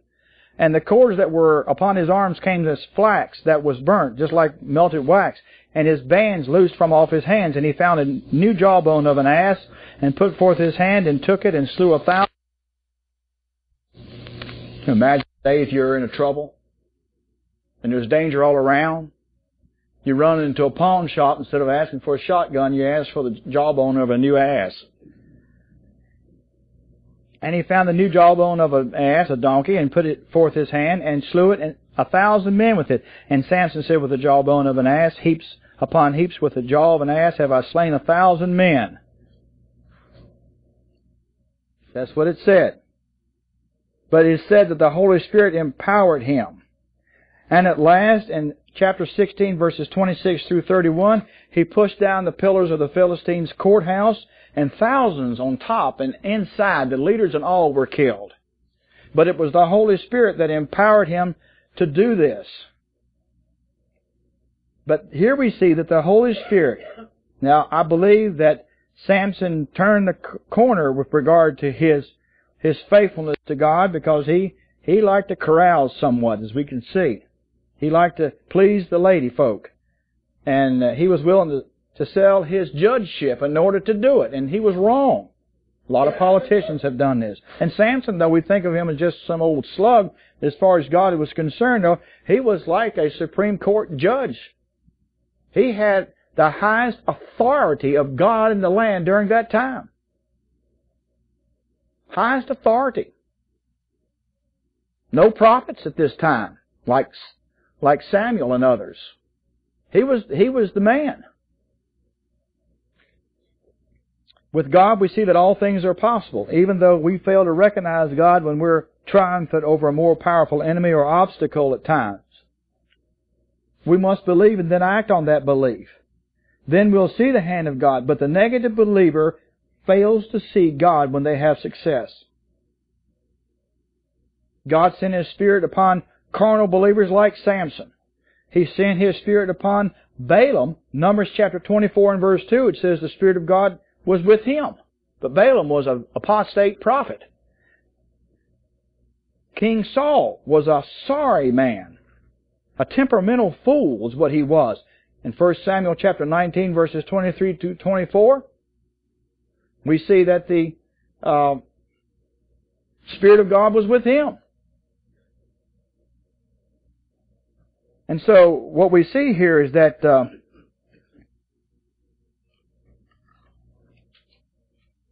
the sovereignty of God uses even negative believers to do His will. And He used the Holy Spirit to inspire them to do and to empower them to do what they did in the Old Testament. But the sovereignty of God, in other words, God chose to continue to use Samson, Balaam, King Saul. He even used Lot, that sorry rascal. And even Eli the priest.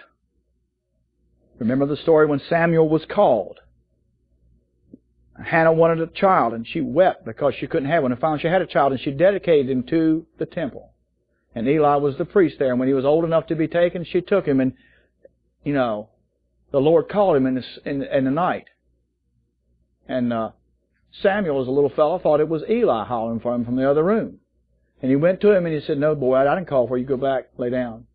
And then, a little while later, the Lord spoke to Samuel again and he went in and Eli, you called me. He says, no, son, I, I didn't call you. Go, go back and lay down. The third time, Eli recognized that it was the Lord calling little Samuel. And the Lord talked to him and he told him what he would expect of him in the future. And he had a message for him to give to Eli. Didn't give the message, God didn't give the message to Eli. He gave the message, and Eli was 80 something years old at this time. He gave the message to this little boy to give to Eli, and Eli says, I got a message to you from God. And Eli had at least enough integrity to say, don't spare me any words, tell me exactly what it was that he said. And he basically said, you know, the crown has fallen from your head. You, you failed to be, to live righteous. And your two wicked sons were robbing the temple. His two wicked sons he had appointed as priests knowing that they were stealing from the temple. And he should have banished his sons, but he let them continue, and they robbed the coffers of the temple that the people brought in for the tithes. How many men in the ministry today rob God's tithes?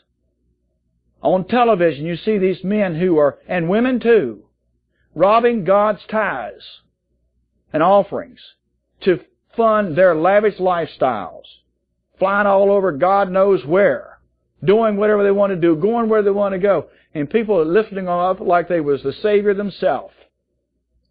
Eli the priest was not a faithful servant of the Lord, though the Lord continued to let him hold his post.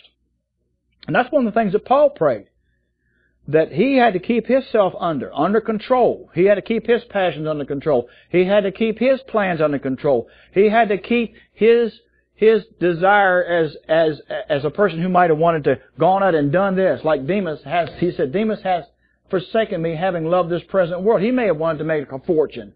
He may have wanted to, to be a religious icon and be adored because the Pharisees were and he was not anymore. He was a pursued by the Pharisees. God has always sovereignly used His servants even in spite of their failures. Even in spite of their resistance. Like Balaam resisted God. Samson did. King Saul did. Lot did. Eli did. Even David did for a while in the, in the, uh, King David did. And there are plenty of others that have as well. And still do today even good servants, even though good servants were used, God also used bad servants. The good servants weren't good because it was intrinsic within them. They were good because they allowed God to be intrinsic in them. We in the ministry might assume that God is pleased with us because we are still in the ministry. And this is what Paul was saying. I don't want to be rendered a cracked pot, a dokimos, unapproved, uh, dokimos means approved. Adokimos means not approved. Paul says, I don't want to be rendered unapproved. So I keep myself under. I keep my mind on the ministry. He didn't want to be a lame duck apostle. There are preachers, you know, they say about a presidency in his last two years of his presidency, they called it their lame duck session, where they don't really pass anything. They'll just do anything because they're just riding riding at the clock, you know, backing up and collecting their check every month or whatever. Well, I don't want to be a lame duck preacher. I've known preachers when they get to a certain point in their in their Christian growth, they stop studying the Bible. They stop doing new studies. They either just continue to teach the same old thing, and they never go into any other studies. They don't write new sermons, and they decide to start looking for another church where they can wrap, ring out all this other stuff and just start rehashing it out again. Instead of studying more things in the Word of God. Continuing to build their library, continuing to study the language. You gotta stay on your toes. Or you're gonna get knocked on your seat. That's what preachers have to do. And if they don't stay on their toes, Satan will knock them on their seat. Sin will knock them on their seat. We must never bank on the premise, on that premise, that because we are still in the ministry or you're still doing something for God, that you somehow or I somehow must be special in the eyes of God. God will even use the sorriest of His people to accomplish His will. We don't want to be that sorry person as a Christian, then we have to be uh, more wise and more holy. Men such as Lot, Saul, Balaam, and Eli the priest of 1 Samuel chapter 3 are prime examples of sorry servants of God. But the Holy Spirit used them anyway. Also, God did not send His Spirit, we'll get to the next point, God did not send His Spirit to indwell Old Testament believers. Psalm 51 and verse 11, and I think you know that very well. David's remorse over his sin and his repentance was real.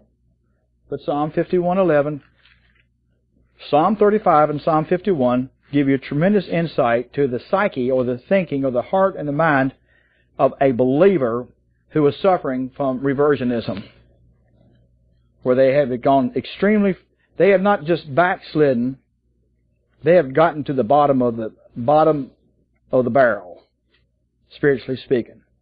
They're on life support.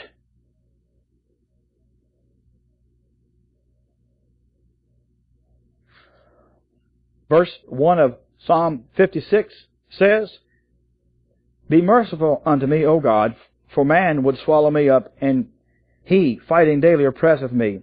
Mine enemies would daily, would daily, excuse me, chapter 51. It says, have, here's another, have mercy. Have mercy. Psalm 51, 1. Have mercy upon me, O God, according to thy loving kindness, according to the multitude of thy tender mercies. Blot out my transgressions. Wash me thoroughly, completely from my iniquity, and cleanse me from my sin. This is after he had come to his confession when uh, Nathan the prophet in 1 Samuel chapter 12 showed him his colors. 2 Samuel chapter 12, I mean. He says, For I acknowledge my transgressions and my sin is ever before me. He's under the conviction of the Holy Spirit. See, the human nature in itself does not convict us of sin, but the Holy Spirit does. Yes, the Holy Spirit does convict the lost of their sin, but for a believer, we're convicted all the time when we sin. For I acknowledge my transgressions, and my sin is ever before me. Against thee, thee only have I sinned, and done this evil in thy sight, that thou mightest be justified when thou speakest, and be clear when thou judgest. Behold, I was shaped in iniquity, and in sin did my mother conceive me. Now he can't do like Adam and said, the woman, she made me do it. But he did know that he was born in sin.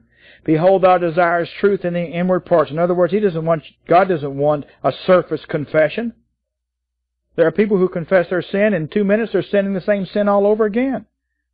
That's not really true repentance. You still haven't turned from it. It doesn't mean that you're not going to be tempted, but don't fall into it. You may be tempted in the same sin you confessed ten seconds later, but don't fall into to dwelling on it. Don't do it. Don't fall into dwelling on it. You can't help the temptation. It's the giving in to the temptation, okay?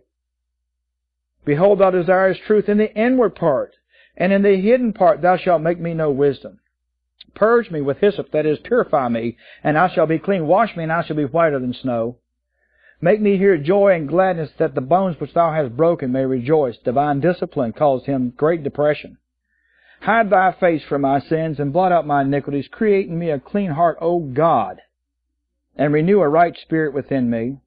Cast me not away from thy presence and take not thy Holy Spirit from me. This won't happen in the New Testament because you're permanently indwelled. You're sealed, Ephesians 1 and verse 13, as we'll see in the New Testament.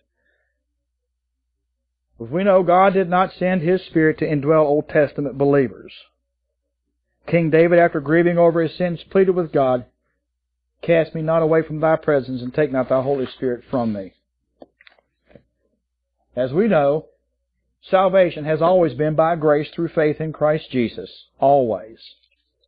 Looking toward the cross in the Old Testament, according to the prophecies that were passed down through the people. And then today, looking backwards at the cross and the fulfillment of Christ's work there.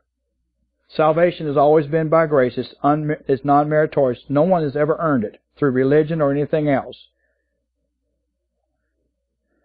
It is always by the imputation of the righteousness of God, as seen in Romans chapter 4, verses 1 through 8, where it is said, Abraham believed God, and it was imputed unto him for righteousness. So righteousness that is received is by faith and faith alone.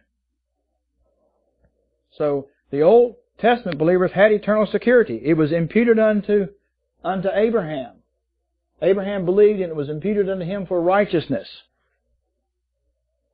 It was, it's not going to be taken back. 2 Samuel chapter 12 and verse 23 after David was convicted by Nathan the prophet of his sin with Bathsheba.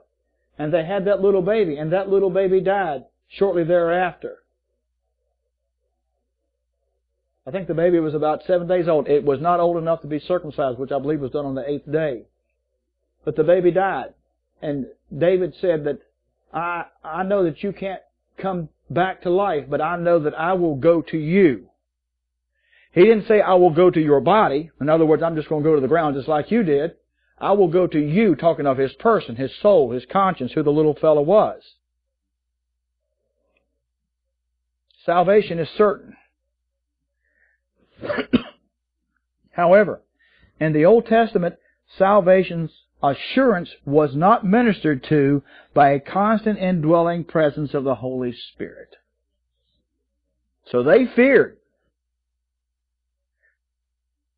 King David had seen what Saul became when the Spirit of God left him. He was terrible. He tried to, Saul tried to kill David with a javelin. And David saw what Saul had become, though many, and I do believe that Saul was a believer, though a disturbed man, when the Spirit of God left him, because he, he, he had empowered him to be leader and, and given him guidance, Saul turned against God, turned against the plan of God. He feared he too, that is, David feared he too would suffer the same misery. And I have been around enough believers who have strayed from the Word of God who had the same mindset that Saul had. Fearful of everything. Uneasy about everything. And when it comes to eternal, er, eternality and how things are going to work out in life. The deep things. Not the surface things, but the deep things fear. Fear would cover them. When the spiritual things were spoken of and biblical doctrinal things were spoken of, shied away from it. I've spoken with people who were here and in other places that I know and, and they've changed. And they shy away from talking about the things of God. They fear. There's no love. There's no compassion. There's no fellowship with such believers. And David didn't want this to happen to him. And he liked the presence of the Spirit upon his life, not indwelling, but in doing and empowering him. And that presence gave him some comfort.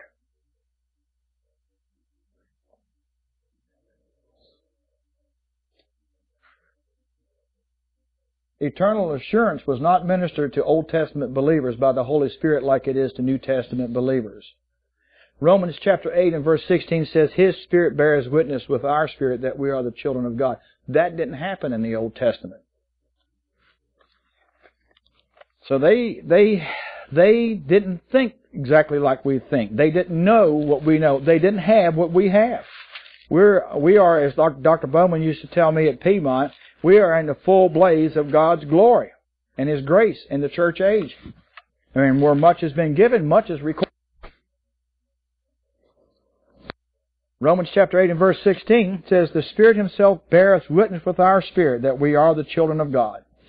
And the word beareth is a present active indicative verb which means continuously. No hit and miss. The Spirit of God is always bearing witness with our human spirit that we are the children of God.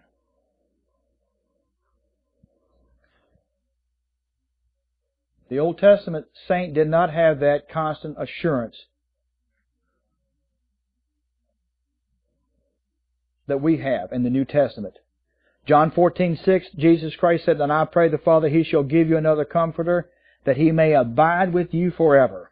John 14:16. Jesus Christ said, "I pray the Father he shall give you another comforter, the Holy Spirit, that he may abide, meno, that is dwell within you forever." The Old Testament believer was one who trusted in the promised coming Redeemer the one who would pay for their sins with his life sacrifice. They trusted in it, and that secured for them salvation and the imputation of the righteousness of God, as per Romans chapter 4, verses 1 through 8. As Abraham believed God, and it was imputed unto him for righteousness. Trusting God was all they, all they needed to be saved, but it was all they had. But we in the New Testament have both not the full, not only that, but we have the Word of God. Now, fortunately for us, we have the full canon of Scripture. We have both the Word of God and the indwelling Spirit to comfort and to assure us. They didn't have that.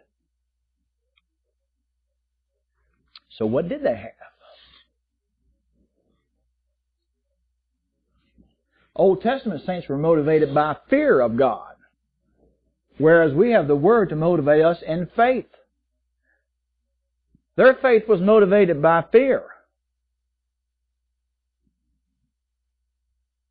God showed His mighty power in the Old Testament. Now, it's not that we're not to have a fear of God, but there's more to that. Jesus Christ, in fulfilling the law of Moses, changed a lot of the dynamics of God fellowshipping with man. God showed His mighty power in the Old Testament in order to strike fear and bring about obedience in the heart, obedience in the hearts of men and women. You see that all throughout the Old Testament, striking fear in the hearts of men and women. Crossing the crossing the Red Sea, the manna coming down to them, the universal flood prior to that, several thousand years before, the Tower of Babel where He confounded their languages and changed their physical DNA. You think that wouldn't strike fear into people? And a lot of times people saw the miracles that happened, and we wonder how is it that they couldn't couldn't couldn't uh, be motivated by that, even in times of Jesus Christ raising the dead, doing all the things that Jesus Christ did with his disciples around him, taking that that uh, five loaves of bread and those two fishes and feeding over 5,000. Some people believe it was closer to 15,000 because they only counted the men in the counts. And then picking up, what, 12 baskets of crumbs to follow after that? I guess they gave that to the mission there, Red Cross or whatever. The gleanings were picked up. and Waste nothing. Waste not, want not. And yet they denied him and failed him when it was time for him to go to his crucifixion and time for him to be judged. They all fled. Every one of them fled. It's because it is the Word of God indwelling and the indwelling Holy Spirit that we have. They didn't have that. They didn't have the indwelling Holy Spirit. The disciples did not have that. That didn't come until after Pentecost. We don't sometimes realize just how much the Holy Spirit suppresses not only evil in the world, but unbelief in God's people. We sometimes take credit for it. We can't take any credit for having great faith and great belief in God. That is all, all we're doing is just availing ourselves to the Spirit's leadership. God's love has always been the same. It's never changed. God has love for the Old Testament saints is equal to His love for New Testament saints. But in the Old Testament, His love was shown by restraining sin through the means of fear and dread. The Bible says in Galatians that the law was like a schoolmaster, a tutor, to keep them in line. But today sin is restrained in the believer by the Word of God and the indwelling Holy Spirit. It is definitely a different day. Definitely a different day. Things have changed. And we'll continue, Lord willing, next time. Father, we thank you for this day and for your many blessings. We thank you for the encouragement of your word. We realize that you have done for us what we cannot do for ourselves. Realize that you love us, that you care for us, that your Spirit indwells us as New Testament believers and seals us into the day of our bodily redemption. We thank you that our salvation is secure because of who you are and your integrity to keep your word to us. We ask now that you would give us opportunities and show us ways that we can show the world and show our own families how much we love you, how much we believe in you, how much we dedicate this special time of year to reminding folks that are around us and family that is around us that Jesus Christ is definitely the reason for the season. That He's not only the reason for this season, but He's the reason for our existence, the reason for our hope, the reason for our joy. Thank you now for your word, and for those who have come out, we ask you to bless the word to each one of our souls. In Christ's name we pray and give thanks. Amen. We've studied so far um, five lessons. The Holy Spirit identified, the Holy Spirit's large, largeness, that is in His in the essence of God uh, time in the Holy Spirit. Uh, we ran a dispensational uh, run through a couple of weeks ago from Old Testament through New Testament and beyond. And then uh, we looked at the Holy Spirit and Old Testament believers, how the Holy Spirit did uh, have uh, empowering and enduing strengthening, and we gave some examples, such as David and Samson, some others in the Old Testament, Saul, how uh, the Holy Spirit worked with them, convicting them, trying to give them understanding of divine truth. We saw that. And then uh, We saw last Sunday morning the indwelling Holy Spirit, the indwelling Holy Spirit, the permanent residence, the indwelling of the Holy Spirit. And this morning we're going to look at the sealing of the Holy Spirit, S E A L I N G. And uh, we'll look at that this morning, the sealing ministry of the Holy Spirit. And then uh, Wednesday night, Lord willing, uh, we'll be looking at the filling of the Holy Spirit, different aspects of the Holy Spirit's working in our life uh, in the church age. And we closed out our lesson last, actually, Sunday school morning. Most of you were here, I believe. But our last part that we looked at there regarding uh, that we are indwelt to learn truth, that was kind of summing up those uh, four different pages, since this is page D, or the fourth letter of the alphabet. That we are indwelt for a purpose, to learn truth. And the unsaved do not understand it. They cannot comprehend it because the Spirit is not in it teaching them. That's why I say what I say about uh, being unequally yoked in, in marriage. Um, I know a lot of times we don't think about that, but uh, if a person becomes romantically and emotionally involved with someone, and and that's the way it usually starts. It doesn't start out. And we we married. I, I married pretty young, and I was fortunate that my wife is a, is a, is a saved woman. But uh, at the time, we weren't thinking about that, and I wish I'd had more truth understood that, and maybe been a little more patient. And um, I'm glad I got the one I got. But the truth of the matter is, uh, the indwelling Holy Spirit is there to teach us truth. And the truth is, uh, until the Holy Spirit is in there, you can't really learn truth. And without learning it, you don't have an appreciation for it. And I don't think any Christian is really successful until they have a real appreciation for learning the truth. Whether it's a little church or a big church. Secondly, we are indwelt to glorify God. That's 1 Corinthians 6.20 and Galatians 5.22. There is a purpose in the indwelling Holy Spirit. His, his desire is not to show of himself as the Son and the Father uh, do, and the Father will eventually, uh, but uh, to glorify God. That's the purpose. And then uh, we are indwelt by the Holy Spirit to witness concerning Jesus Christ. One of the things that Acts 1.8 says that the Holy Spirit will give us power to be witnesses throughout the world. That includes next door. A lot of people think that witnessing involves some rush to the jungle with a machete, but sometimes it might just be a walk 15 yards, or some some people 15 feet, just to knock on the neighbor's door. We are indwelt to witness concerning Jesus Christ. The Great Commission, Matthew 28, verses 19 through 20, is another example that we have there. And so we go on a little bit further, the sealing of the Holy Spirit. The sealing of the Holy Spirit. And so this will be our sixth lesson. And the first point is that the Holy Spirit stays in us even when we are disobedient.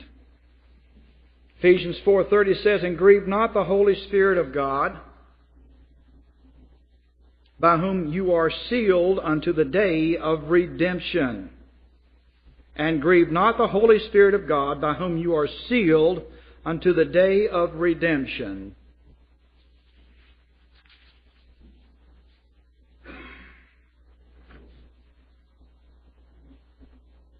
Here, the believer is reminded of the eternal presence of the indwelling Holy Spirit. When the believer sins, the Holy Spirit does not leave the believer in the New Testament. It just simply grieves the Spirit of God within us. It grieves the Spirit of God within us.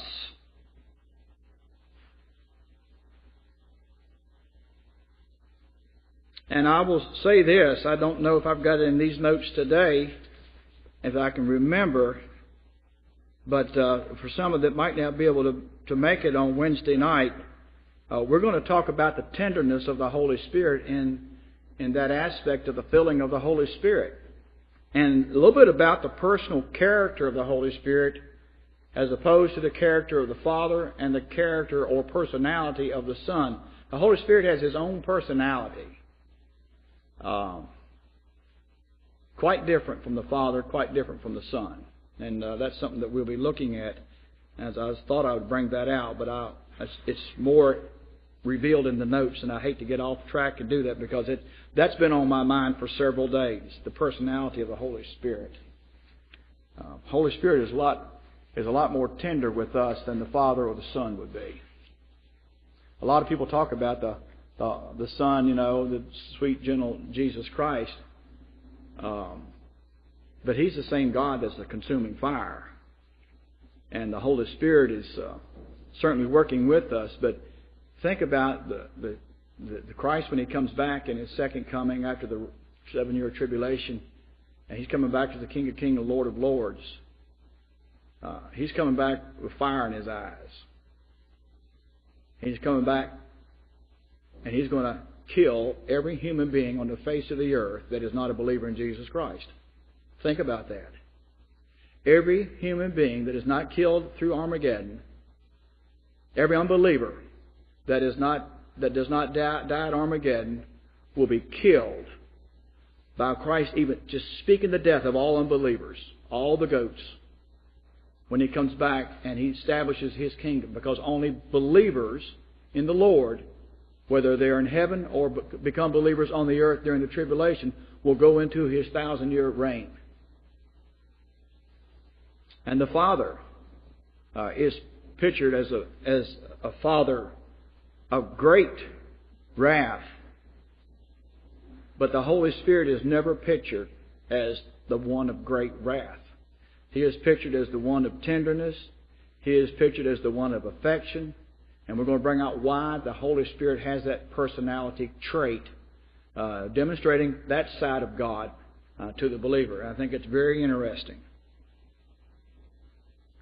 And just think that that Spirit is in you right now as it is in me.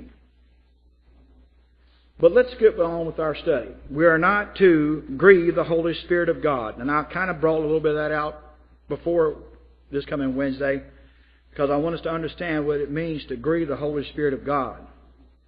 He's grieved. He's not. It doesn't say he's mad at us. It doesn't say, say he runs off to a corner and pounce in our soul somewhere, or he shuffles his feet and whatever. He's grieved. The Spirit is the believer here is reminded of the eternal presence of the indwelling Spirit. That when we sin, the Spirit of God stays, but stays grieved. Doesn't say the Father stays grieved, though the Father would be, and the Son would be. But it, then, then the work of the Holy Spirit is, a powerful job. The Spirit goes nowhere when we act in disobedience to God as it did in the Old Testament, as David said in Psalm 51:11, "Lord, don't take your Holy Spirit from me," because He was not there to permanently indwell, but He was there to endue with power and to give uh, David wisdom.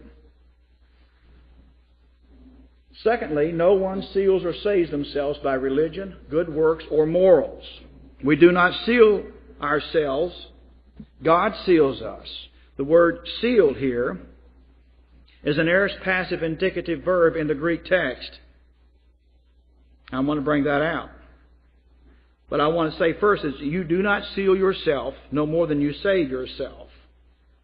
Good works doesn't keep you sealed and protected to, to, to get to heaven. Religious observances and ritual keeping does not seal or keep us to heaven. And having good human morals, though we should have them. We should have, not only call it religious, but at least worship, uh, rit, worship two rituals in the church the, that are the uh, uh, baptism and the Lord's Supper. Certainly we keep those, and we should do good works. The Bible says in Titus chapter 3 and verse 8 that we are to be careful to maintain good works. And we should have high morals, walk as he walked. Be ye holy as I am holy, the Lord said. But those don't seal us or save us. There are some Christians who believe that a Christian can lose their salvation if they're not moral enough, if they don't do enough good works to show their faith in Christ. But if you have put your faith in Jesus Christ, you're sealed. The word sealed there in Ephesians chapter 4 and verse 30. It's the same word as used in Ephesians uh, chapter 1 and verse 18, where it says, In whom ye also trusted after you heard the word of truth, the gospel of your salvation, in whom after you believed, you were sealed with that Holy Spirit of promise. So the sealed word here in Ephesians 4:30 as well as 1:13 is the word sphragizo. S P R A G I Z O. Sphragizo is the word there for both places. And it shows authority, ownership, inheritance, and guarantee. That's what that word sphragizo means. It's an aorist tense verb, a passive voice, and an indicative mood verb that the Holy Spirit Himself chose to show us the meaning of this word. So that's significant. So let's shuck this corn down to the cob. Sealing is illustrated by God's signet ring. Revelation 7 2 shows God's authority. Shows God's authority. So one of the ways that a seal was given in those days is that a, a king or a great ruler or a businessman would have a have, have his inscription on a seal, and he would use a wax, and that he would put a puddle of wax down, and he would either put his hand in it or he'd put his ring in it, and it would leave the imprint. And once it dried, the imprint would have it, and they would use it to seal a letter or a document. And the seal told where the orient, where the uh, where this document originated from, and it showed the guarantee of the one who put the seal on it as being uh, secure. You don't have to worry about it break, that the king or that person or that businessman breaking his word. His seal was his guarantee. And God, according to Revelation 7 2, has a, has a ring. It pictures God's sealing. Remember that the, the, uh, John said that the angels tried to find someone to open up the, the seven scrolls the seven seals, and there was no one found able, and God the Father had put his seal on the seven seals. And only the Lamb of God was worthy to open up the seals. And opening up the seals demonstrated Christ's ownership of the universe. So there's the word sealing there. And it was a picture of a signet ring. And then there is the inscription of a seal. I'll just give them all to you. And I hope they don't distract you. But the seal is described by its origins in 2 Timothy chapter 2 and verse 9. Paul said,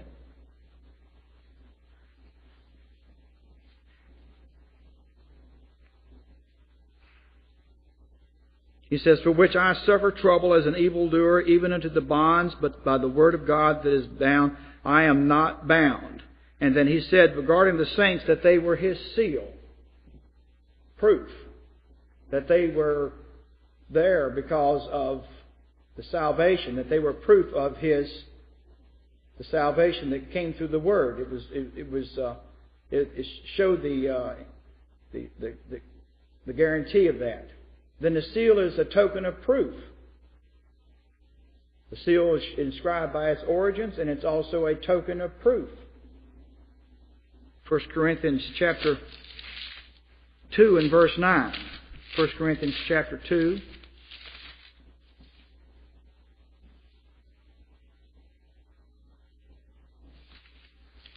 Second, uh, yeah, chapter 2 and verse 9. But as it is written, eye has not seen, nor ear has heard, neither is in the heart of the man the things which God has prepared for them that love him. All those things that are there, they're revealed by the Spirit of God unto man. All those things are there, there for people to understand. All these things are there for our understanding and for our guidance. Guaranteed that things will be there. A seal is a token of guarantee. Romans chapter 4 and verse 11, Ephesians chapter 1 and verse 13. Romans chapter 4 and verse 11, it, the seal there was circumcision. And Abraham received that seal as a token to God that he believed in Christ and that righteousness of God was imputed unto him. And God said that he would be saved based upon his faith. It's a token of guarantee. It shows ownership and that the intent is real. That the intent is real.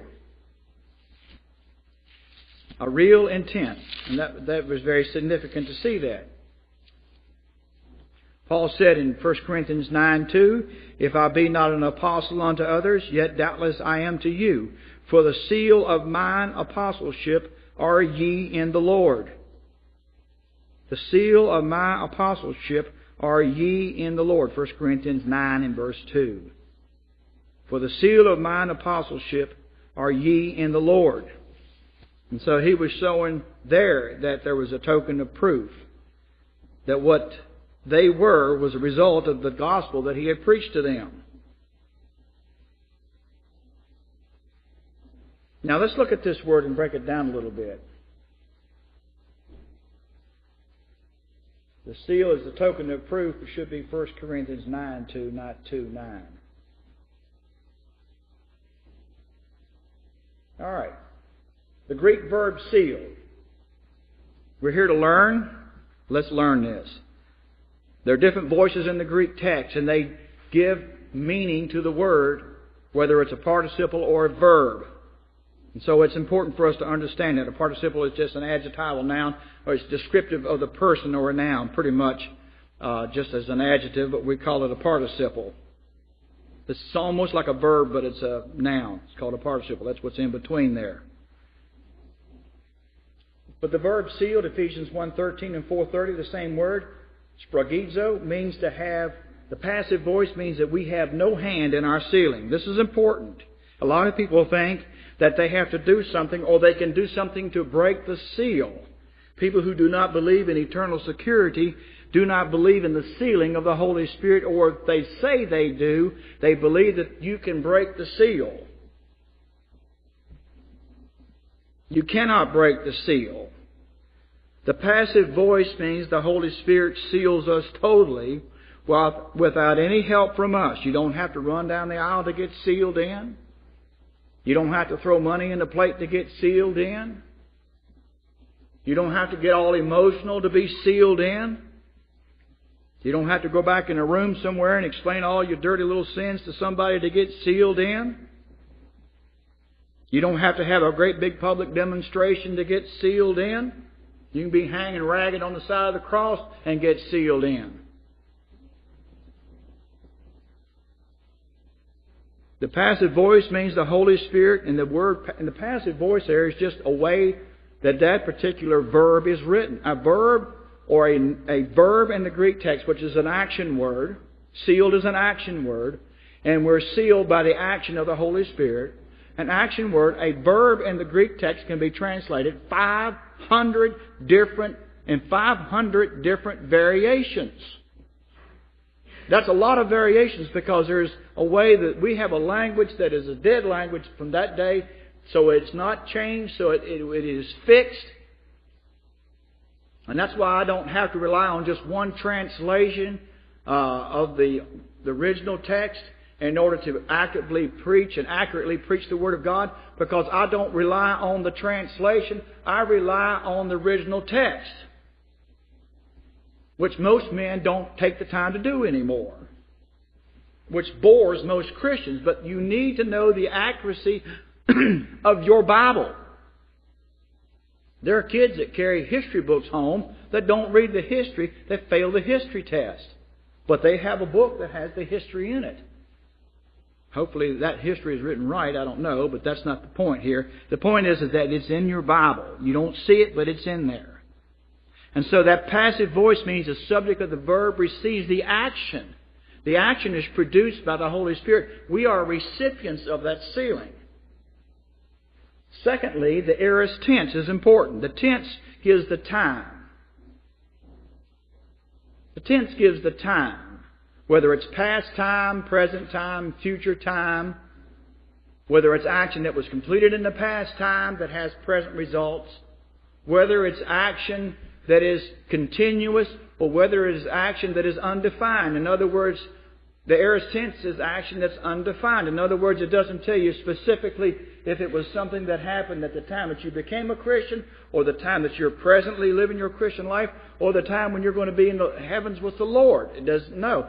It just tells you that there's the beginning of the train leaving the station, the duration of the trip the train takes us, which we're on now, called the Christian way of life, or the destination when we get to heaven. That's the aorist tense. It's called action undefined. And that's what that means. And the aorist tense is used here. But it shows completeness. The aorist tense signifies that the sealing of the Holy Spirit is permanent. Whether it's when you were first sealed, you're sealed all the way through your Christian life, all the way to the end. You're not sealed until you get become so bad that God just can't stand you anymore. You stink spiritually so bad, He just can't take it anymore. That's when He takes you home to glory. Or it leaves you to wrangle and and and willow and wane in your faith, and, and that and, and to maybe be a strengthening voice for someone else as they have to deal with you. As one preacher says, unto everyone's life a little rain must fall. That's the way it is with some Christians. They're the rain that's always pecking on the soul of someone else. Doesn't have to be that way.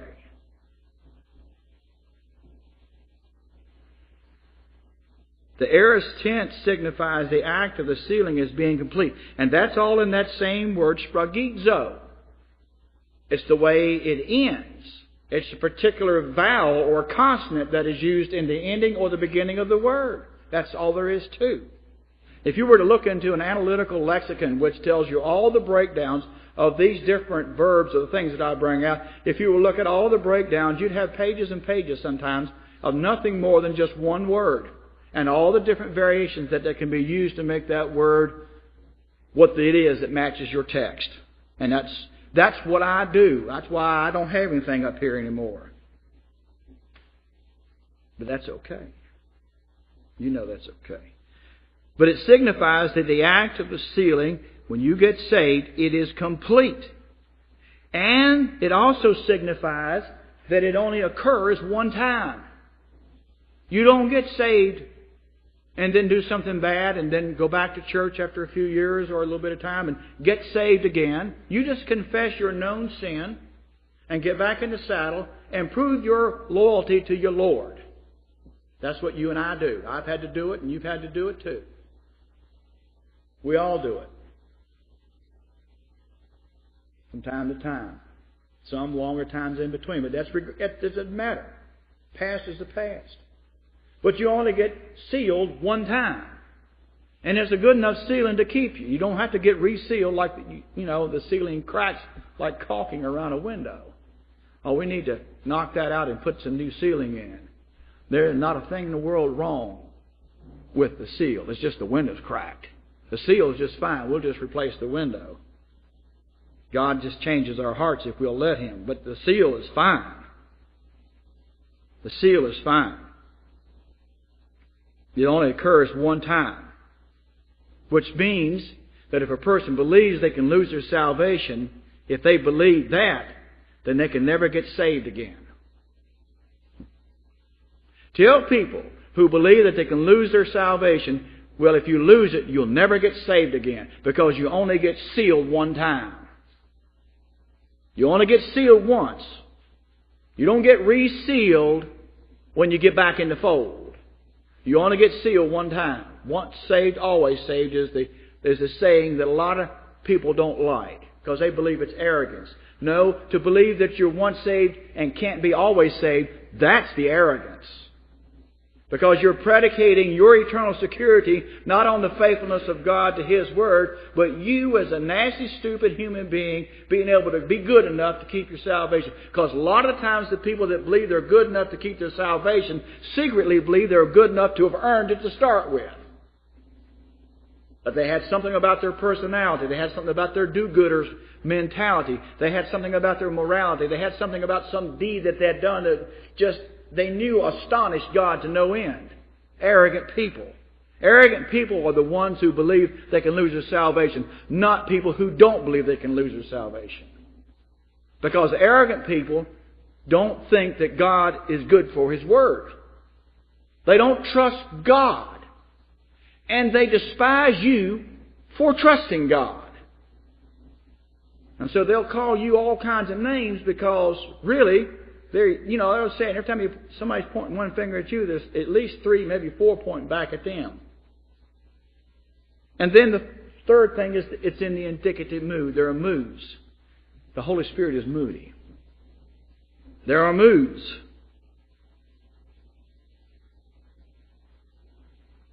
And here we have the indicative mood. That's built into the word itself. The indicative mood shows the certainty. It shows certainty here, in which the Holy Spirit, without any element of doubt, seals the believer forever at the moment of salvation. Because the aorist tense shows that it's a once and for all, for all act. It occurs at the moment that you believe.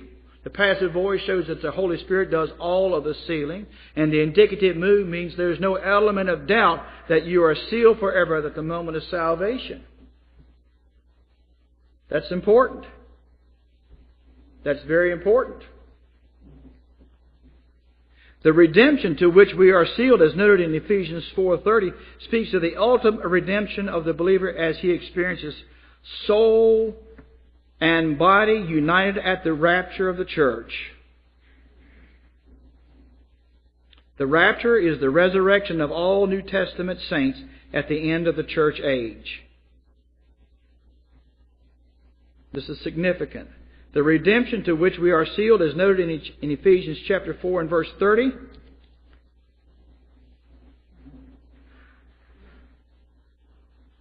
Speaks of the ultimate redemption of the believer as he experiences soul and body united at the rapture.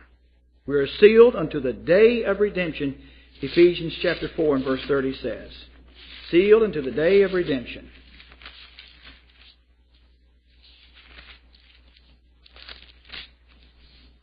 Grieve not the Holy Spirit of God by whom you are sealed unto the day of redemption. It's not talking about you earning your redemption or your soul salvation. It refers to the bodily, bodily redemption when you go to be with the Lord. The rapture is the resurrection of New Testament saints, which takes place at the end of the dispensation of the church age. The rapture, again, it is the resurrection of all New Testament saints. And again, the resurrection is not just one great general grand uh, resurrection at the end of time, after everybody has died, and God says, okay, we're, you know, people that don't believe in the rapture at all. There are people who don't believe in the rapture at all. How do they think at the end of time the people that are living are going to get into the third heaven? Duh! There's going to be billions of people on the earth at the end of time. How are they supposed to get into the third heaven to be judged? To be separated from the left, from the right? That is, from the liberals, from the conservative. No. No, I'm just teasing about that. The goats from the sheep. If you would follow that analogy, I would say that sheep really are dumb if they are the right if you put it politically speaking. And I am one of the dumb, I guess. But to bring it back to what we're saying here is that the rapture of the church is when the believer gets the redeemed body, where the body and the soul are united once again. Okay? For all eternity. The rapture is the resurrection of New Testament saints, and it happens at the end of the church age. And if the end of the church age were to happen right now, you and I would be raptured into heaven. We wouldn't have, we wouldn't be slumped over in the in the pews. Uh, we would be raptured out bodily. Bodily, we'd be missing MIAs, missing in action, and we'd be with the Lord. And that tribulation would be beginning on the earth. The Antichrist would start his false peace uh, talks in, in, in the Holy Land, and we'll be out of here. But the soul is purchased completely at the moment of salvation. The word redemption means to purchase by a price. And you're purchased totally at the moment of salvation. And you're kept totally by God's Spirit until it's time for you to get your new body. 1 Peter chapter 1 and verse 5 says that we are kept by the power of God through faith unto salvation, ready to be revealed at the last time. So we are kept by the power of God. And what was the Holy Spirit given to the believer for? Power. God's power. It is not a diminished power. If God is at a 440 or a 220, then so is the Son and so is the Holy Spirit. The Holy Spirit's got just as much juice in Him, if you want to call it spiritual electricity, as the Father and the Son do. There is no minimization of authority and power, just position in the Trinity. The Holy Spirit is no less God than the Father Himself. And so often the Holy Spirit is minimized as some sort of a holy roller show or some fantastic emotional experience. How stupid. How demeaning. How that quenches the Holy Spirit. But after the believer is raptured into the heavens, from then on is the judgment seat of Christ for personal accountability.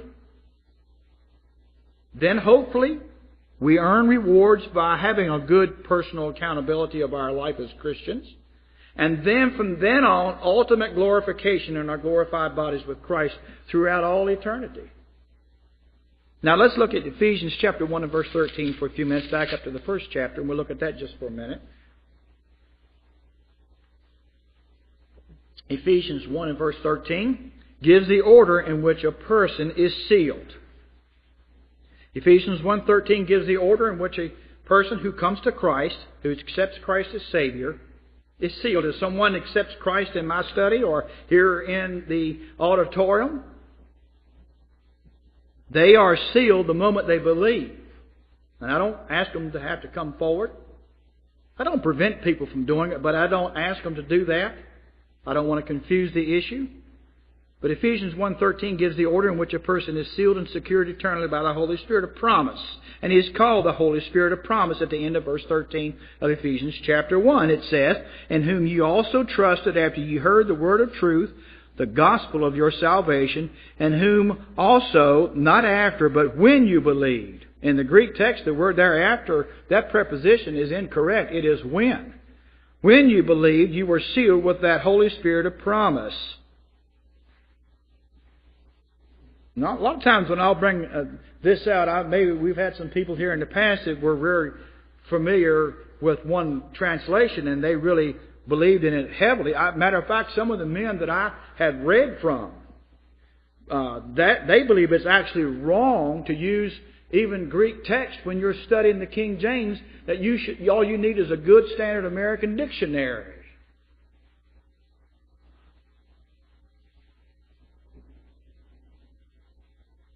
I'll tell you.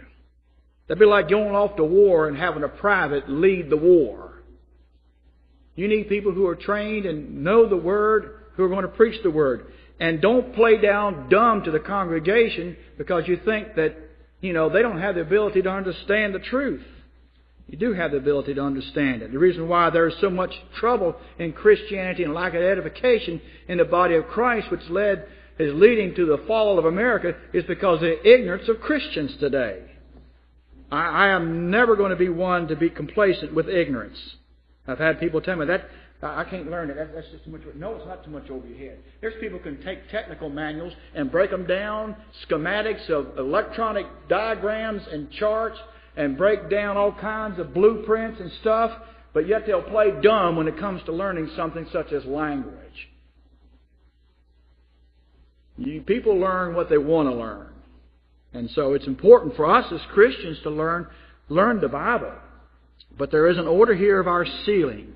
Ephesians chapter 4 and verse 13, he says, First of all, in whom ye also trusted after you heard the word of truth. You heard the word of truth. Hear the word of truth. That's the first thing. That's the order of being sealed. You hear the word of truth. You hear the word of truth of the gospel. 1 Corinthians 15, 1 through 4 gives that this is according to the Scripture. And what does 1 Corinthians 15, 1 through 4 tell us? Well, particular verses 3 and 4 tells us the salvation message that you personally believe that Christ died for your sins according to the Scriptures, and that He was buried, and that He rose the third day according to the Scriptures. And you hear that gospel of truth. That's called the good news. The word gospel means good news. Euangelion means good news. You hear the word of truth, the gospel, the good news of your salvation. You heard that gospel. That's the first thing that is involved in sealing. You first have to hear the gospel. And secondly, you believe. The word believe, pisteuo, means to accept or to acknowledge, to receive. You believe the gospel of what you are and who Christ is. It says, In whom you trusted after you heard the word of truth, the gospel of your salvation, and whom also when you believed. See, you believed then. You believe the gospel, the good news of your soul salvation. This means you accept who Christ is, who you are as a sinner, and you receive Jesus Christ as your Savior. That's believing the gospel. The gospel does us no good if we do not accept Jesus Christ after hearing it. And there are people who can come and hear the gospel week after week after week and still not accept it, but they know it, but they don't accept it. It doesn't do them any good. The gospel does us no good if we do not receive Jesus Christ as our personal Savior. Otherwise, the life and crucifixion and resurrection of Jesus Christ, it's just another Bible story to them. It's just another Bible story. Make sure that Jesus Christ and what He's done for you and saving you, as He has done me, that it's not just another Bible story to you. It's not just another story like Adam and Eve. It's not another story like Samson and Delilah or Mo, uh, Moses and the children of Israel crossing the Red Sea or, or Paul and Peter preaching their sermons in the beginning of the church age or, or anything else. Or Jesus feeding the 5,000 on the hillside. The five pieces of bread and a couple of fish. Those, those are true stories, don't get me wrong, and they all are real and they have significance. But for some people, those are just literature stories. And they like the literature stories. Well, when it comes to the gospel of Jesus Christ, you have to make sure that it's more than just literature or just another Bible story. You really believe it. And I have witnessed to people. Here recently, I witnessed to uh, a person, and I went down through the gospel from A to Z. And uh, I don't know. It's like it's another Bible story. Good story.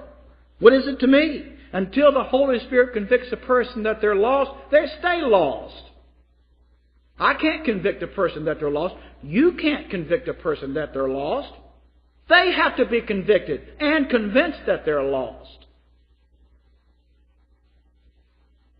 But as soon as you do believe, as soon as you believe that gospel message, sealing is instant the moment you believe.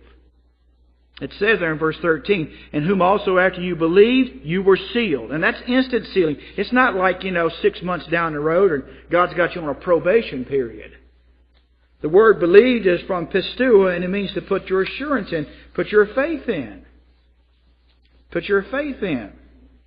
That's what that means. Now, the Holy Spirit is the guarantee. We talked about that in our first uh, page of notes here. The Holy Spirit is the guarantee of our eternal security. He's the guarantee of our eternal security.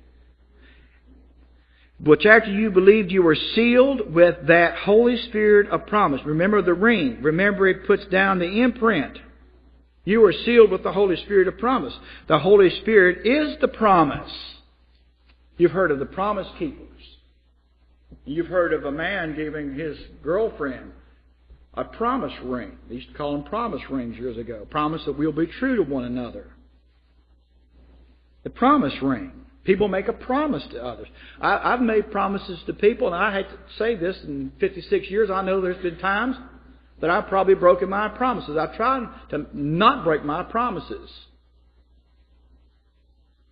And we need to be careful that when we do make a promise that we think about it before we make it if we're really going to commit ourselves to doing it or we're just trying to skate during the moment with a person. But when God makes a promise, we are sealed with the Holy Spirit of promise. The Holy Spirit is actually God's seal. It's, he's actually that stamp. He's sealed in us. You're just not sealed inside the body of Christ, but the Holy Spirit is sealed in you. And He's like a down payment of more to come. He is a portion of our heavenly inheritance. The Holy Spirit is a portion of our divine inheritance. It says in verse 14, regarding the Holy Spirit of promise, who, referring to the Holy Spirit, is the earnest of our inheritance. The word earnest means down payment. Down payment. The Holy Spirit is a portion of our divine inheritance. He is the earnest. He is the down payment of our eternal inheritance, and He is ours forever, but He is there to see us through until the redemption of the purchased possession. You were purchased by the blood of Jesus Christ, by the soul of Jesus Christ. You were purchased, you were redeemed, agorazo. You were purchased and you were bought out of the slave market of sin. You were bought out of the slave market of sin, never to be put up for sale again. You were purchased. The Holy Spirit is that down payment that is staying with you. You are a purchased possession. And that includes you guaranteed, a, you being guaranteed a glorified body, a resurrected body at the rapture. 1 Thessalonians 4, verses 16 through 18. The word earnest, Arrabon, A-R-R-A-B-O-N, Arrabon, means a pledge or a deposit. And I know I'm just saying two words. It means a pledge or a deposit. But I don't know how many big old fat thick books I got out looking at the best definition for the word earnest.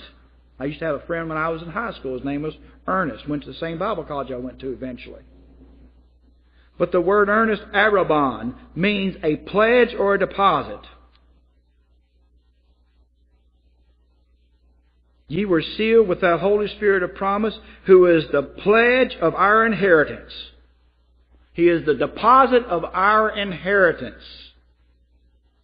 And God does not share His inheritance with the lost.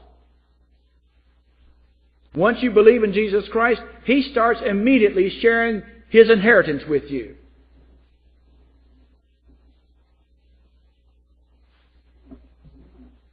God never breaks His guarantees. Once the Lord makes a pledge, He doesn't break His pledge for any reason. He is the earnest of our inheritance until the redemption of the purchased possession, which is you and me. We are purchased by the blood of Christ. Once you receive Christ as Savior, your sins are covered. Your life has been bought. Your soul has been redeemed. It has been saved. And you are now a possession of the Father. And that's the way the Father says of, the, of those that I give to my Son, I will lose nothing. God will lose none of His precious children who have received Christ by faith. And for any of God's precious children who have received Christ by faith to say, My Father I cannot trust. What do you think that does to the indwelling Holy Spirit? It grieves the Spirit. The sealing, if you have any friends who do not believe in eternal security, they need to hear this message. And they need to get off of their pity pots and stop focusing on their ability, but God's ability. God doesn't seal us and keep us because we deserve it. And people who do not believe in eternal security, and I've known quite a few, they think they have to do something to deserve being kept. They cannot do anything to deserve being kept. They don't deserve to be kept. And neither do I, neither do you. And that's because the sealing is not based upon what you deserve or what I deserve. It's based upon what God did for you. And it's a completed salvation. And as I said, if someone believes they can lose their salvation, remind them that the salvation in the sealing is aorist tense, which means they can't get sealed again. Just give up. Don't try again. They'll stop that racket of saying, oh, I've got to get saved again. They'll stop that racket and that foolishness. They are in emotional revolt of the soul. They just are disobedient and they don't want to admit it. They stay in perpetual childishness. It's always about them. It's never about Him. He gets a token lip service, but not from the heart. Lastly, again, God doesn't break His guarantee. The Holy Spirit is that guarantee. Lastly, the seal cannot be broken from the inside or the outside. Because there are people who say, well, I know that God won't, won't break His word with me, but I, I, might, I, might, I, might, stray and I'll break my word with Him, and uh, uh, you know it'd be my fault. I admit it. It's, it's my. I'm just bad. And also not bad, but also misinformed. God cannot lie like a man. He does not go back on His word. He never does. Once the Lord makes a pledge, He doesn't break His pledge. And the sealing of the Holy Spirit puts the believer in an unbreakable circle which cannot be penetrated from inside or outside. No one and no thing can pull you out, and no act on your part can make you break out. Turn just for a moment as we're closing to John, the Gospel of John, chapter 6. John chapter 6. And some people think, well, if I sin, I'm, or I, I get where I get into a sinful pattern in my life, I, I couldn't be saved. Because they don't believe a person could be saved and be that way. They're wrong. They're grieving the Holy Spirit. People are grieving the Holy Spirit, but if they're truly born again, look at this. John chapter 6 verse 37 says, All that the Father giveth me shall come to me, and him that cometh to me, that is by free will, I will in no wise cast. And no wise means for any reason. People need to read that verse. He says, I will in no wise cast out. And that means for no reason. Look, a lot of people don't believe. They don't understand. They're saved by grace and they're kept by grace. Verse 39 says, And this is the Father's will who hath sent me that of all that he hath given me, perfect tense, which means completed action in past time having present results, of all that he hath given me, I should lose only the bad ones. No, he says I'll lose nothing, not one. But should raise that up, that up, or it up uh, again at the last day. That's the rapture. So there is no casting out and no losing or losing believers in Christ. Now look at John chapter 10 verse 28 as we close. John 10:28. John 10 and verse 28. This says, uh, verse 27 says, My sheep hear my voice, and I know them, and they follow me. And look at verse 28. And I give unto them eternal life. When does He give you eternal life? When you believe in Christ, not when you die. Right now, I'm not afraid of dying because I have eternal life. And His Spirit bears witness with my spirit that I don't have to worry about it. So I might eat two pieces of pie for lunch if I've got one or something.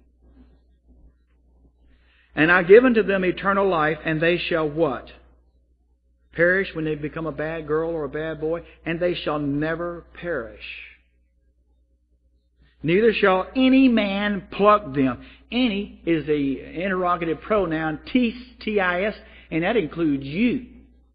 You can't even pluck yourself out of the Father's hand. I don't know whether you've had that explained to you or not, but that interrogative pronoun T-I-S or Tis refers to everybody. That would include yourself.